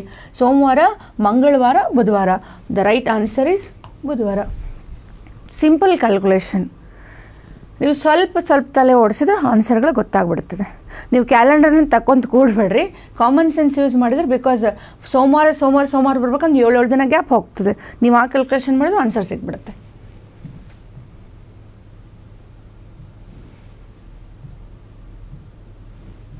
ಮುಂದಿನ ಪ್ರಶ್ನೆಗೆ ಹೋಗೋಣ. ಅಕ್ಕಿ ಬೆಲೆಗೆ ಸಂಬಂಧಪಟ್ಟದ್ದು ಅಗೇನ್ ಪರ್ಸೆಂಟೇಜ್ ಇನ್ಕ್ರೀಸ್ ಬಗ್ಗೆ ಕೇಳಿದ್ದಾರೆ. ಭಾಳ ನೇರವಾದಂಥ ಉತ್ತರ ಇರುತ್ತೆ. ಇಪ್ಪತ್ತು ಪರ್ಸೆಂಟ್ ಕಡಿಮೆ ಆದರೆ ಗೃಹಿಣಿ ವಸ್ತುವಿನ ಮೇಲೆ ಖರ್ಚಿನ ಪ್ರಮಾಣ ಅಷ್ಟೇ ಉಳಿಲಿಕ್ಕೆ ಎಷ್ಟು ಬಳಕೆ ಜಾಸ್ತಿ ಮಾಡಬೇಕಂತಿದೆ. So answer is twenty five percent ನೇರವಾದಂಥ ಉತ್ತರ ಇದೆ. ಎಸ್ ಜಾನ್ಸನ್ ಸೈಕಲ್ ಮಾರೋದ್ರಿಂದ ಹತ್ತು ಪರ್ಸೆಂಟ್ ನಷ್ಟ ಅನುಭವಿಸ್ತಾರೆ. ಅಗೇನ್ ಇದು ಪರ್ಸೆಂಟೇಜ್ಗೆ ಸಂಬಂಧಪಟ್ಟ ಹಾಗೆ ನೀವು ಇಲ್ಲೇನು ಮಾಡಬೇಕು? ಒಂದು ಅಪ್ರಾಕ್ಸಿಮೇಟ್ ವ್ಯಾಲ್ಯೂ ಇಟ್ಕೊಳ್ಬೇಕು. ಸೈಕಲ್ ಬೆಲೆ ಒಂದು ಸಾವಿರ ಅನ್ಕೊಳ್ರಪ್ಪ. ಹತ್ತು ಪರ್ಸೆಂಟ್ ನಷ್ಟ ಅನುಭವಿಸ್ತಾನೆ ಅಂತಂದರೆ ಅಲ್ಲೇ ಒಂಬೈನೂರು ರೂಪಾಯಿಗೆ ಮಾಡ್ತಾನೆ ಈ ರೀತಿ ಕ್ಯಾಲ್ಕುಲೇಷನ್ ಇಟ್ಕೊಂಡು ಈ ಲೆಕ್ಕ ಮಾಡ್ತಾ ಬರಬೇಕು. ನಂಗೆ ಸಮಯ ಇಲ್ಲದೆ ಇರೋದ್ರಿಂದ ಎಕ್ಸ್ಪ್ಲೇನ್ ಮಾಡ್ತಾ ಇಲ್ಲ. ಇದರ right answer is option number one five hundred next ಮುಂದಿನ ಪ್ರಶ್ನೆಗೆ ಹೋಗೋಣ. ಸರಳ ಬಡ್ಡಿಗೆ ಸಂಬಂಧಪಟ್ಟ ಹಾಗೆ ಇದೆ. ಅರುಣ್ ಹನ್ನೆರಡು ಸಾವಿರ ರೂಪಾಯಿನ ಸರಳ ಬಡ್ಡಿಯಂತೆ ವಾರ್ಷಿಕಕ್ಕೆ ಹತ್ತರಂತೆ ಠೇವಣಿ ಇಡ್ತಾನೆ. P T R by hundred ಇದೆ. P T R by hundred formula ಹಾಕಿ ಮಾಡ್ಕೊಳ್ಳುವಂತ ಇರ್ತಿದ್ದು. ವಾರ್ಷಿಕ ಬಡ್ಡಿ ಮತ್ತೊಂದು ಮೊತ್ತ ಎರಡು ಅಮೌಂಟ್ ಕೊಟ್ಟಿದ್ದಾನೆ ಟ್ವೆಂಟಿ ಪರ್ಸೆಂಟ್ ಅಂತ ಹೇಳ್ತಾನೆ. ಸೊ ಒಂದು ವರ್ಷದ ನಂತರ ಠೇವಣಿ ಇಟ್ಟ ಒಟ್ಟು ಮೊತ್ತದ ಮೇಲೆ ಹದಿನಾಲ್ಕು ಬಡ್ಡಿ ದರದಂತೆ ಸರಳ ಬಡ್ಡಿ ಪಡಿತಾನೆ. ಸೊ ಅವನು ಒಟ್ಟು ಠೇವಣಿ ಮೊತ್ತ ಕೇಳಿದ್ದಾರೆ. The right answer is twenty thousand P T R ಫಾರ್ಮುಲಾನ ಹಾಕಬೇಕು ನೀವು.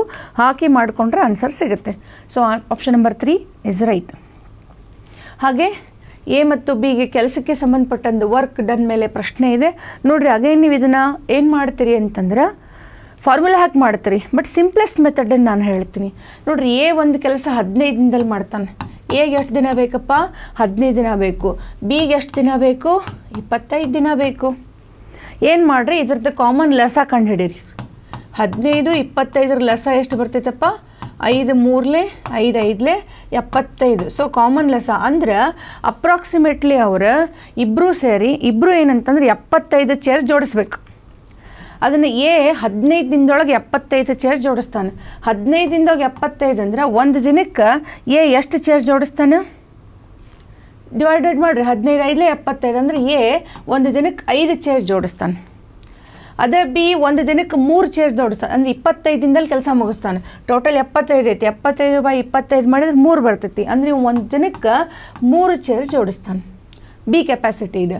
ಈ ಬಿ ಏನು ಮಾಡ್ತಾನೆ? ಈಗ ಐದು ದಿನ ಕೆಲಸ ಮಾಡ್ತಾನಂತ ಐದು ದಿನ ಮಾಡಿದರೆ ಒಂದು ದಿನಕ್ಕೆ ಮೂರು ಚೇರ್ ಅಂದರೆ ಐದು ಮೂರಲೆ ಹದಿನೈದು ಚೇರನ್ನು ಅವ ಆಲ್ರೆಡಿ ಜೋಡಿಸ್ದ. ಬಿಟ್ಟು ಹೋದ. ಈಗ ಹದಿನೈದು ಚೇರ್ ಹೋದ್ವಂದ್ರೆ ಉಳಿದಿದ್ದೆಷ್ಟು? ಅರುವತ್ತು ಚೇರ್ ಅದಾವೆ. ಇವ ಒಂದು ದಿನಕ್ಕೆ ಐದು ಜೋಡಿಸ್ತಾನಂದ್ರೆ ಐದು ಒಂದಲೇ, ಐದು ಹನ್ನೆರಡಲೇ. ಆನ್ಸರ್ ಈಸ್ ಟ್ವೆಲ್ ಸಿಂಪಲ್ ನೀವೇನು ಮಾಡ್ತೀರಿ? ಫಾರ್ಮುಲಾಗೆ ಹೋಗ್ತೀರಿ. ನಾ ಹೇಳೋದು ಲಾಜಿಕಲಿ ಆನ್ಸರ್ ಬಿಡಿಸ್ರಿ ಅಂಥೇಳಿ ಆನ್ಸರ್ ಸಿಗುತ್ತೆ. Answer is twelve okay